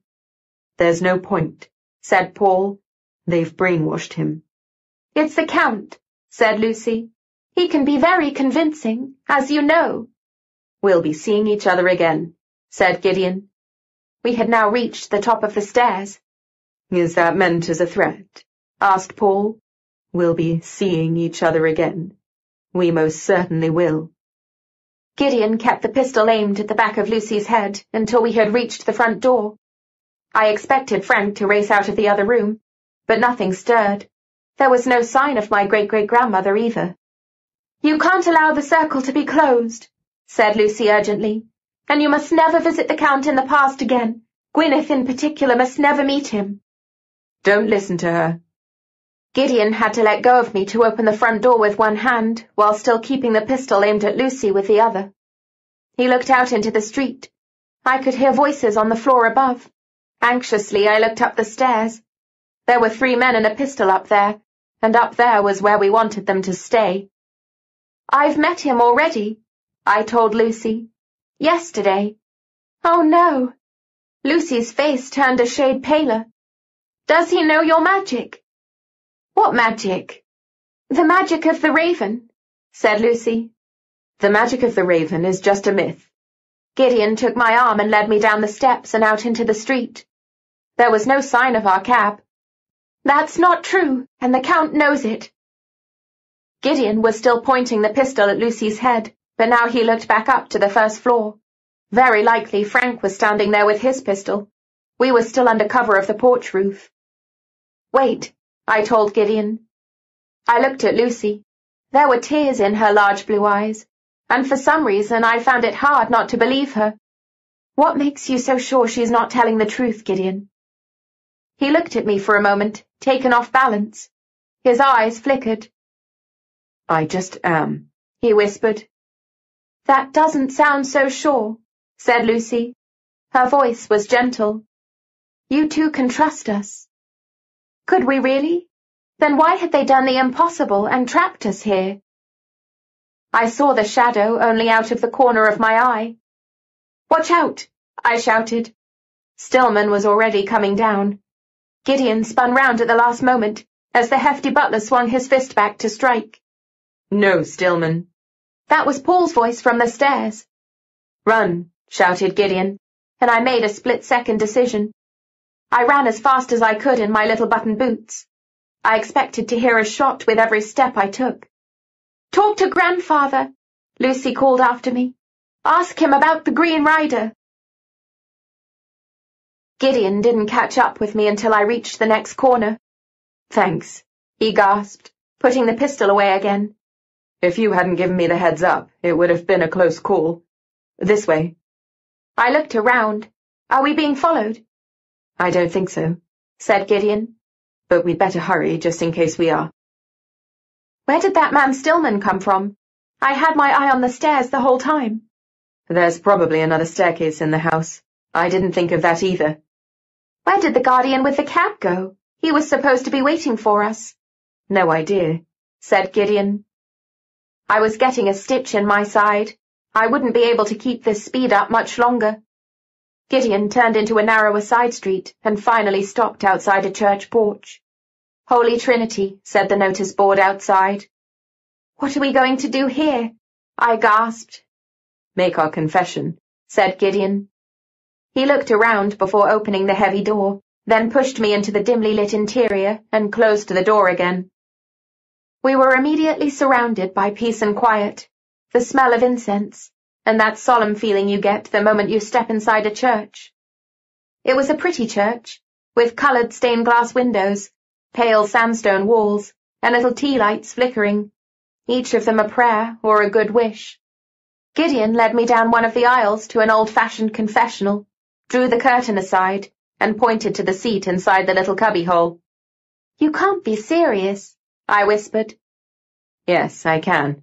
I'll sit on the other side, and we'll just wait here until we travel back. Puzzled, I dropped onto the seat. Gideon drew the curtain in front of my nose. A moment later, the little barred peephole between me and the other seat was pushed aside. Comfortable? I was getting my breath back and my eyes were adjusting to the dim light. Gideon was looking at me with an air of great solemnity. Well, my daughter, let us thank the Lord for the shelter of his house. I stared at him. How could he be so casual, almost exuberant? For goodness sake, he'd held a pistol to my cousin's head. It couldn't just have left him cold. How can you make jokes now? Suddenly he looked embarrassed. He shrugged. Can you think of a better way to pass the time? Yes, we could try making sense of what just happened. Why do Lucy and Paul say someone's brainwashing you? How would I know?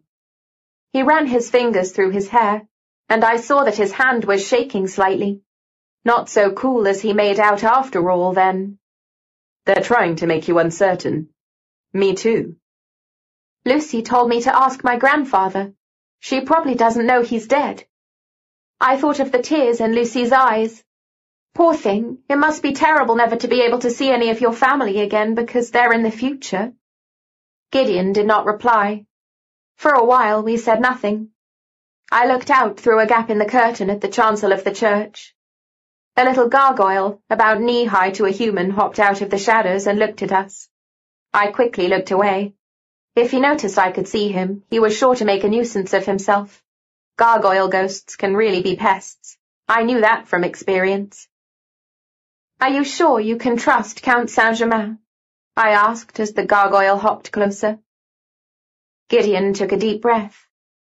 He's a genius. He's discovered things that no one before him Yes, I trust him. Whatever Lucy and Paul think, they're on the wrong track. He sighed.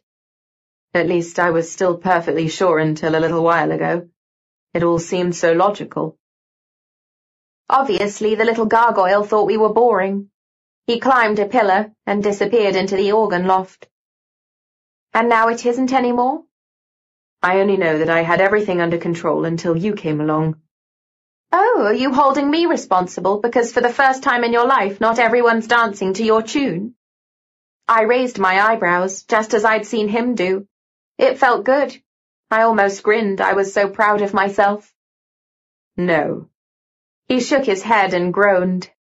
Gwyneth, why is everything so much more complicated with you than with Charlotte? He leaned forward, and there was something in his eyes that I'd never seen there before. Was that what you were discussing with her in the schoolyard today? I asked, feeling slightly jealous. Damn, how I'd given him an opening. A beginner's mistake. Jealous? He promptly asked with a broad grin. Not in the least. Charlotte always did as I said. You don't, which is a real pain. But kind of amusing, too. And sweet. This time it wasn't just his look that made me feel confused. Embarrassed, I pushed a strand of hair back from my face. My stupid hairstyle had come entirely undone during our dash. There was probably a trail of hairpins from Eaton Place to the door of this church. Why don't we go back to the temple? It's cozy here. If we go back to the temple, there'll be more endless discussions. And to be honest, I can do with a change from being ordered about by Uncle Falk. Aha, my move now. Not a good feeling, is it? He shook his head. No, not really. I heard sounds in the nave outside. I jumped and peered through the curtain, but it was only an old lady lighting a candle. Suppose we travel back in the next second.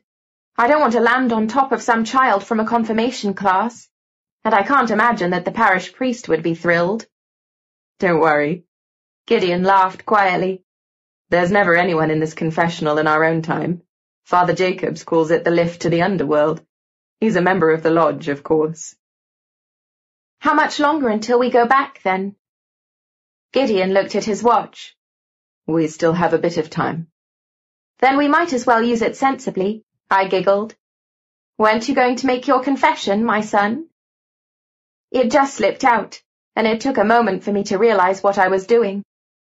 I was sitting with Gideon in a church confessional about a hundred years in the past, flirting with him for all I was worth.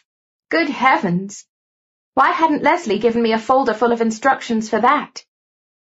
Only if you're going to tell me about your own sins, too.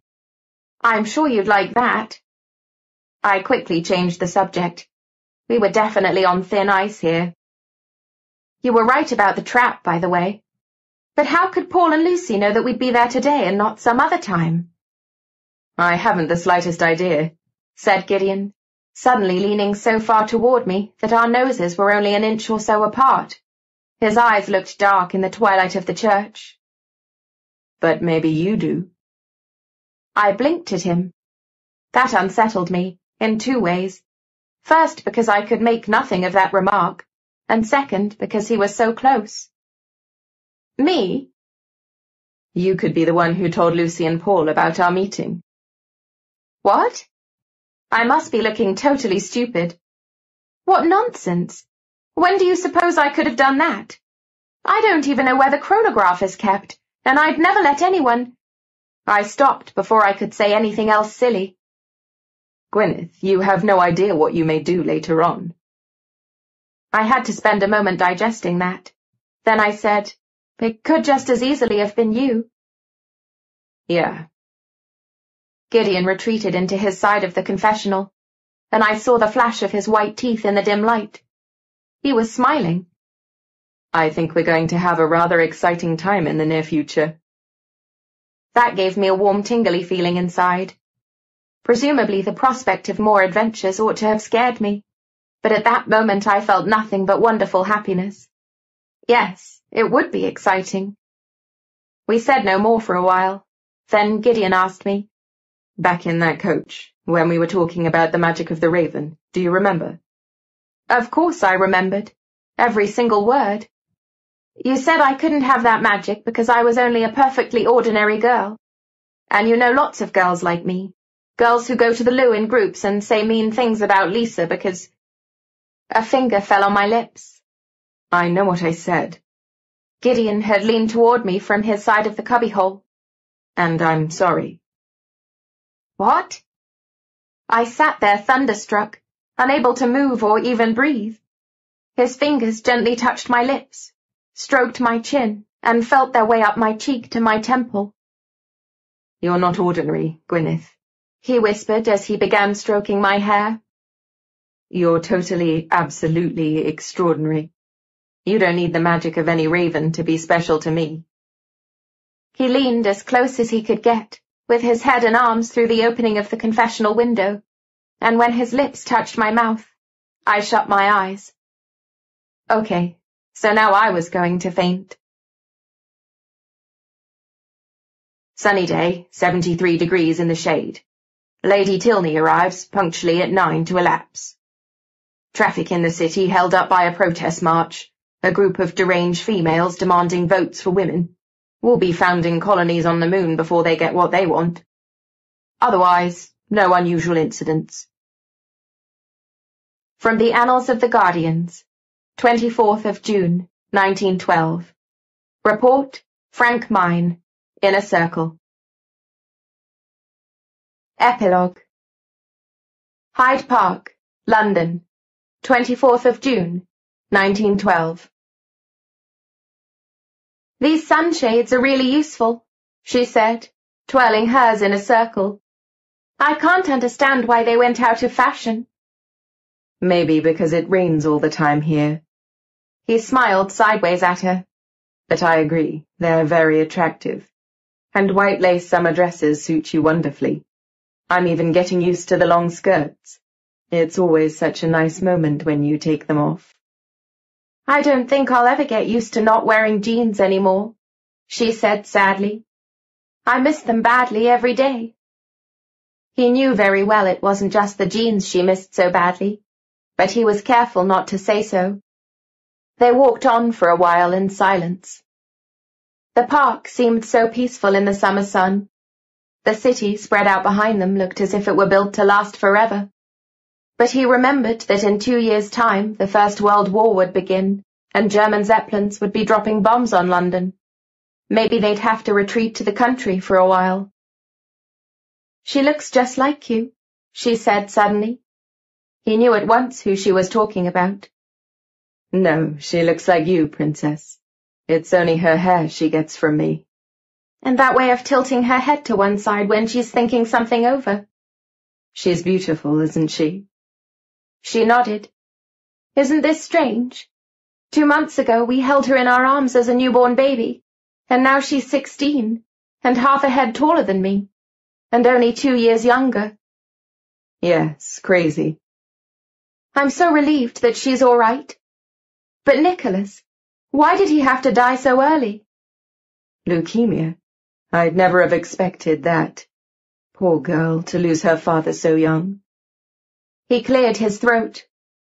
I hope she'll keep away from that boy, my, uh, nephew or whatever he is. These family trees are impossible. Oh, it's not that difficult. Your great-grandfather and his great-great-grandfather were twin brothers, so your great-great-grandfather is also his great-great-great-grandfather. She laughed, noticing his blank expression. I'll draw you a family tree sometime. I tell you, no one can work it out. Anyway, I don't like the young man. Did you notice the way he was ordering her about? Luckily, she wasn't taking it lying down. She's in love with him. No, she isn't. Yes, she is. She just doesn't know it yet. So how do you think you know it? Oh, because he's simply irresistible. My God, did you see his eyes? Green like a tiger's. I think I felt a bit weak at the knees myself when he flashed them at me, even though he was angry. What? You can't mean that seriously.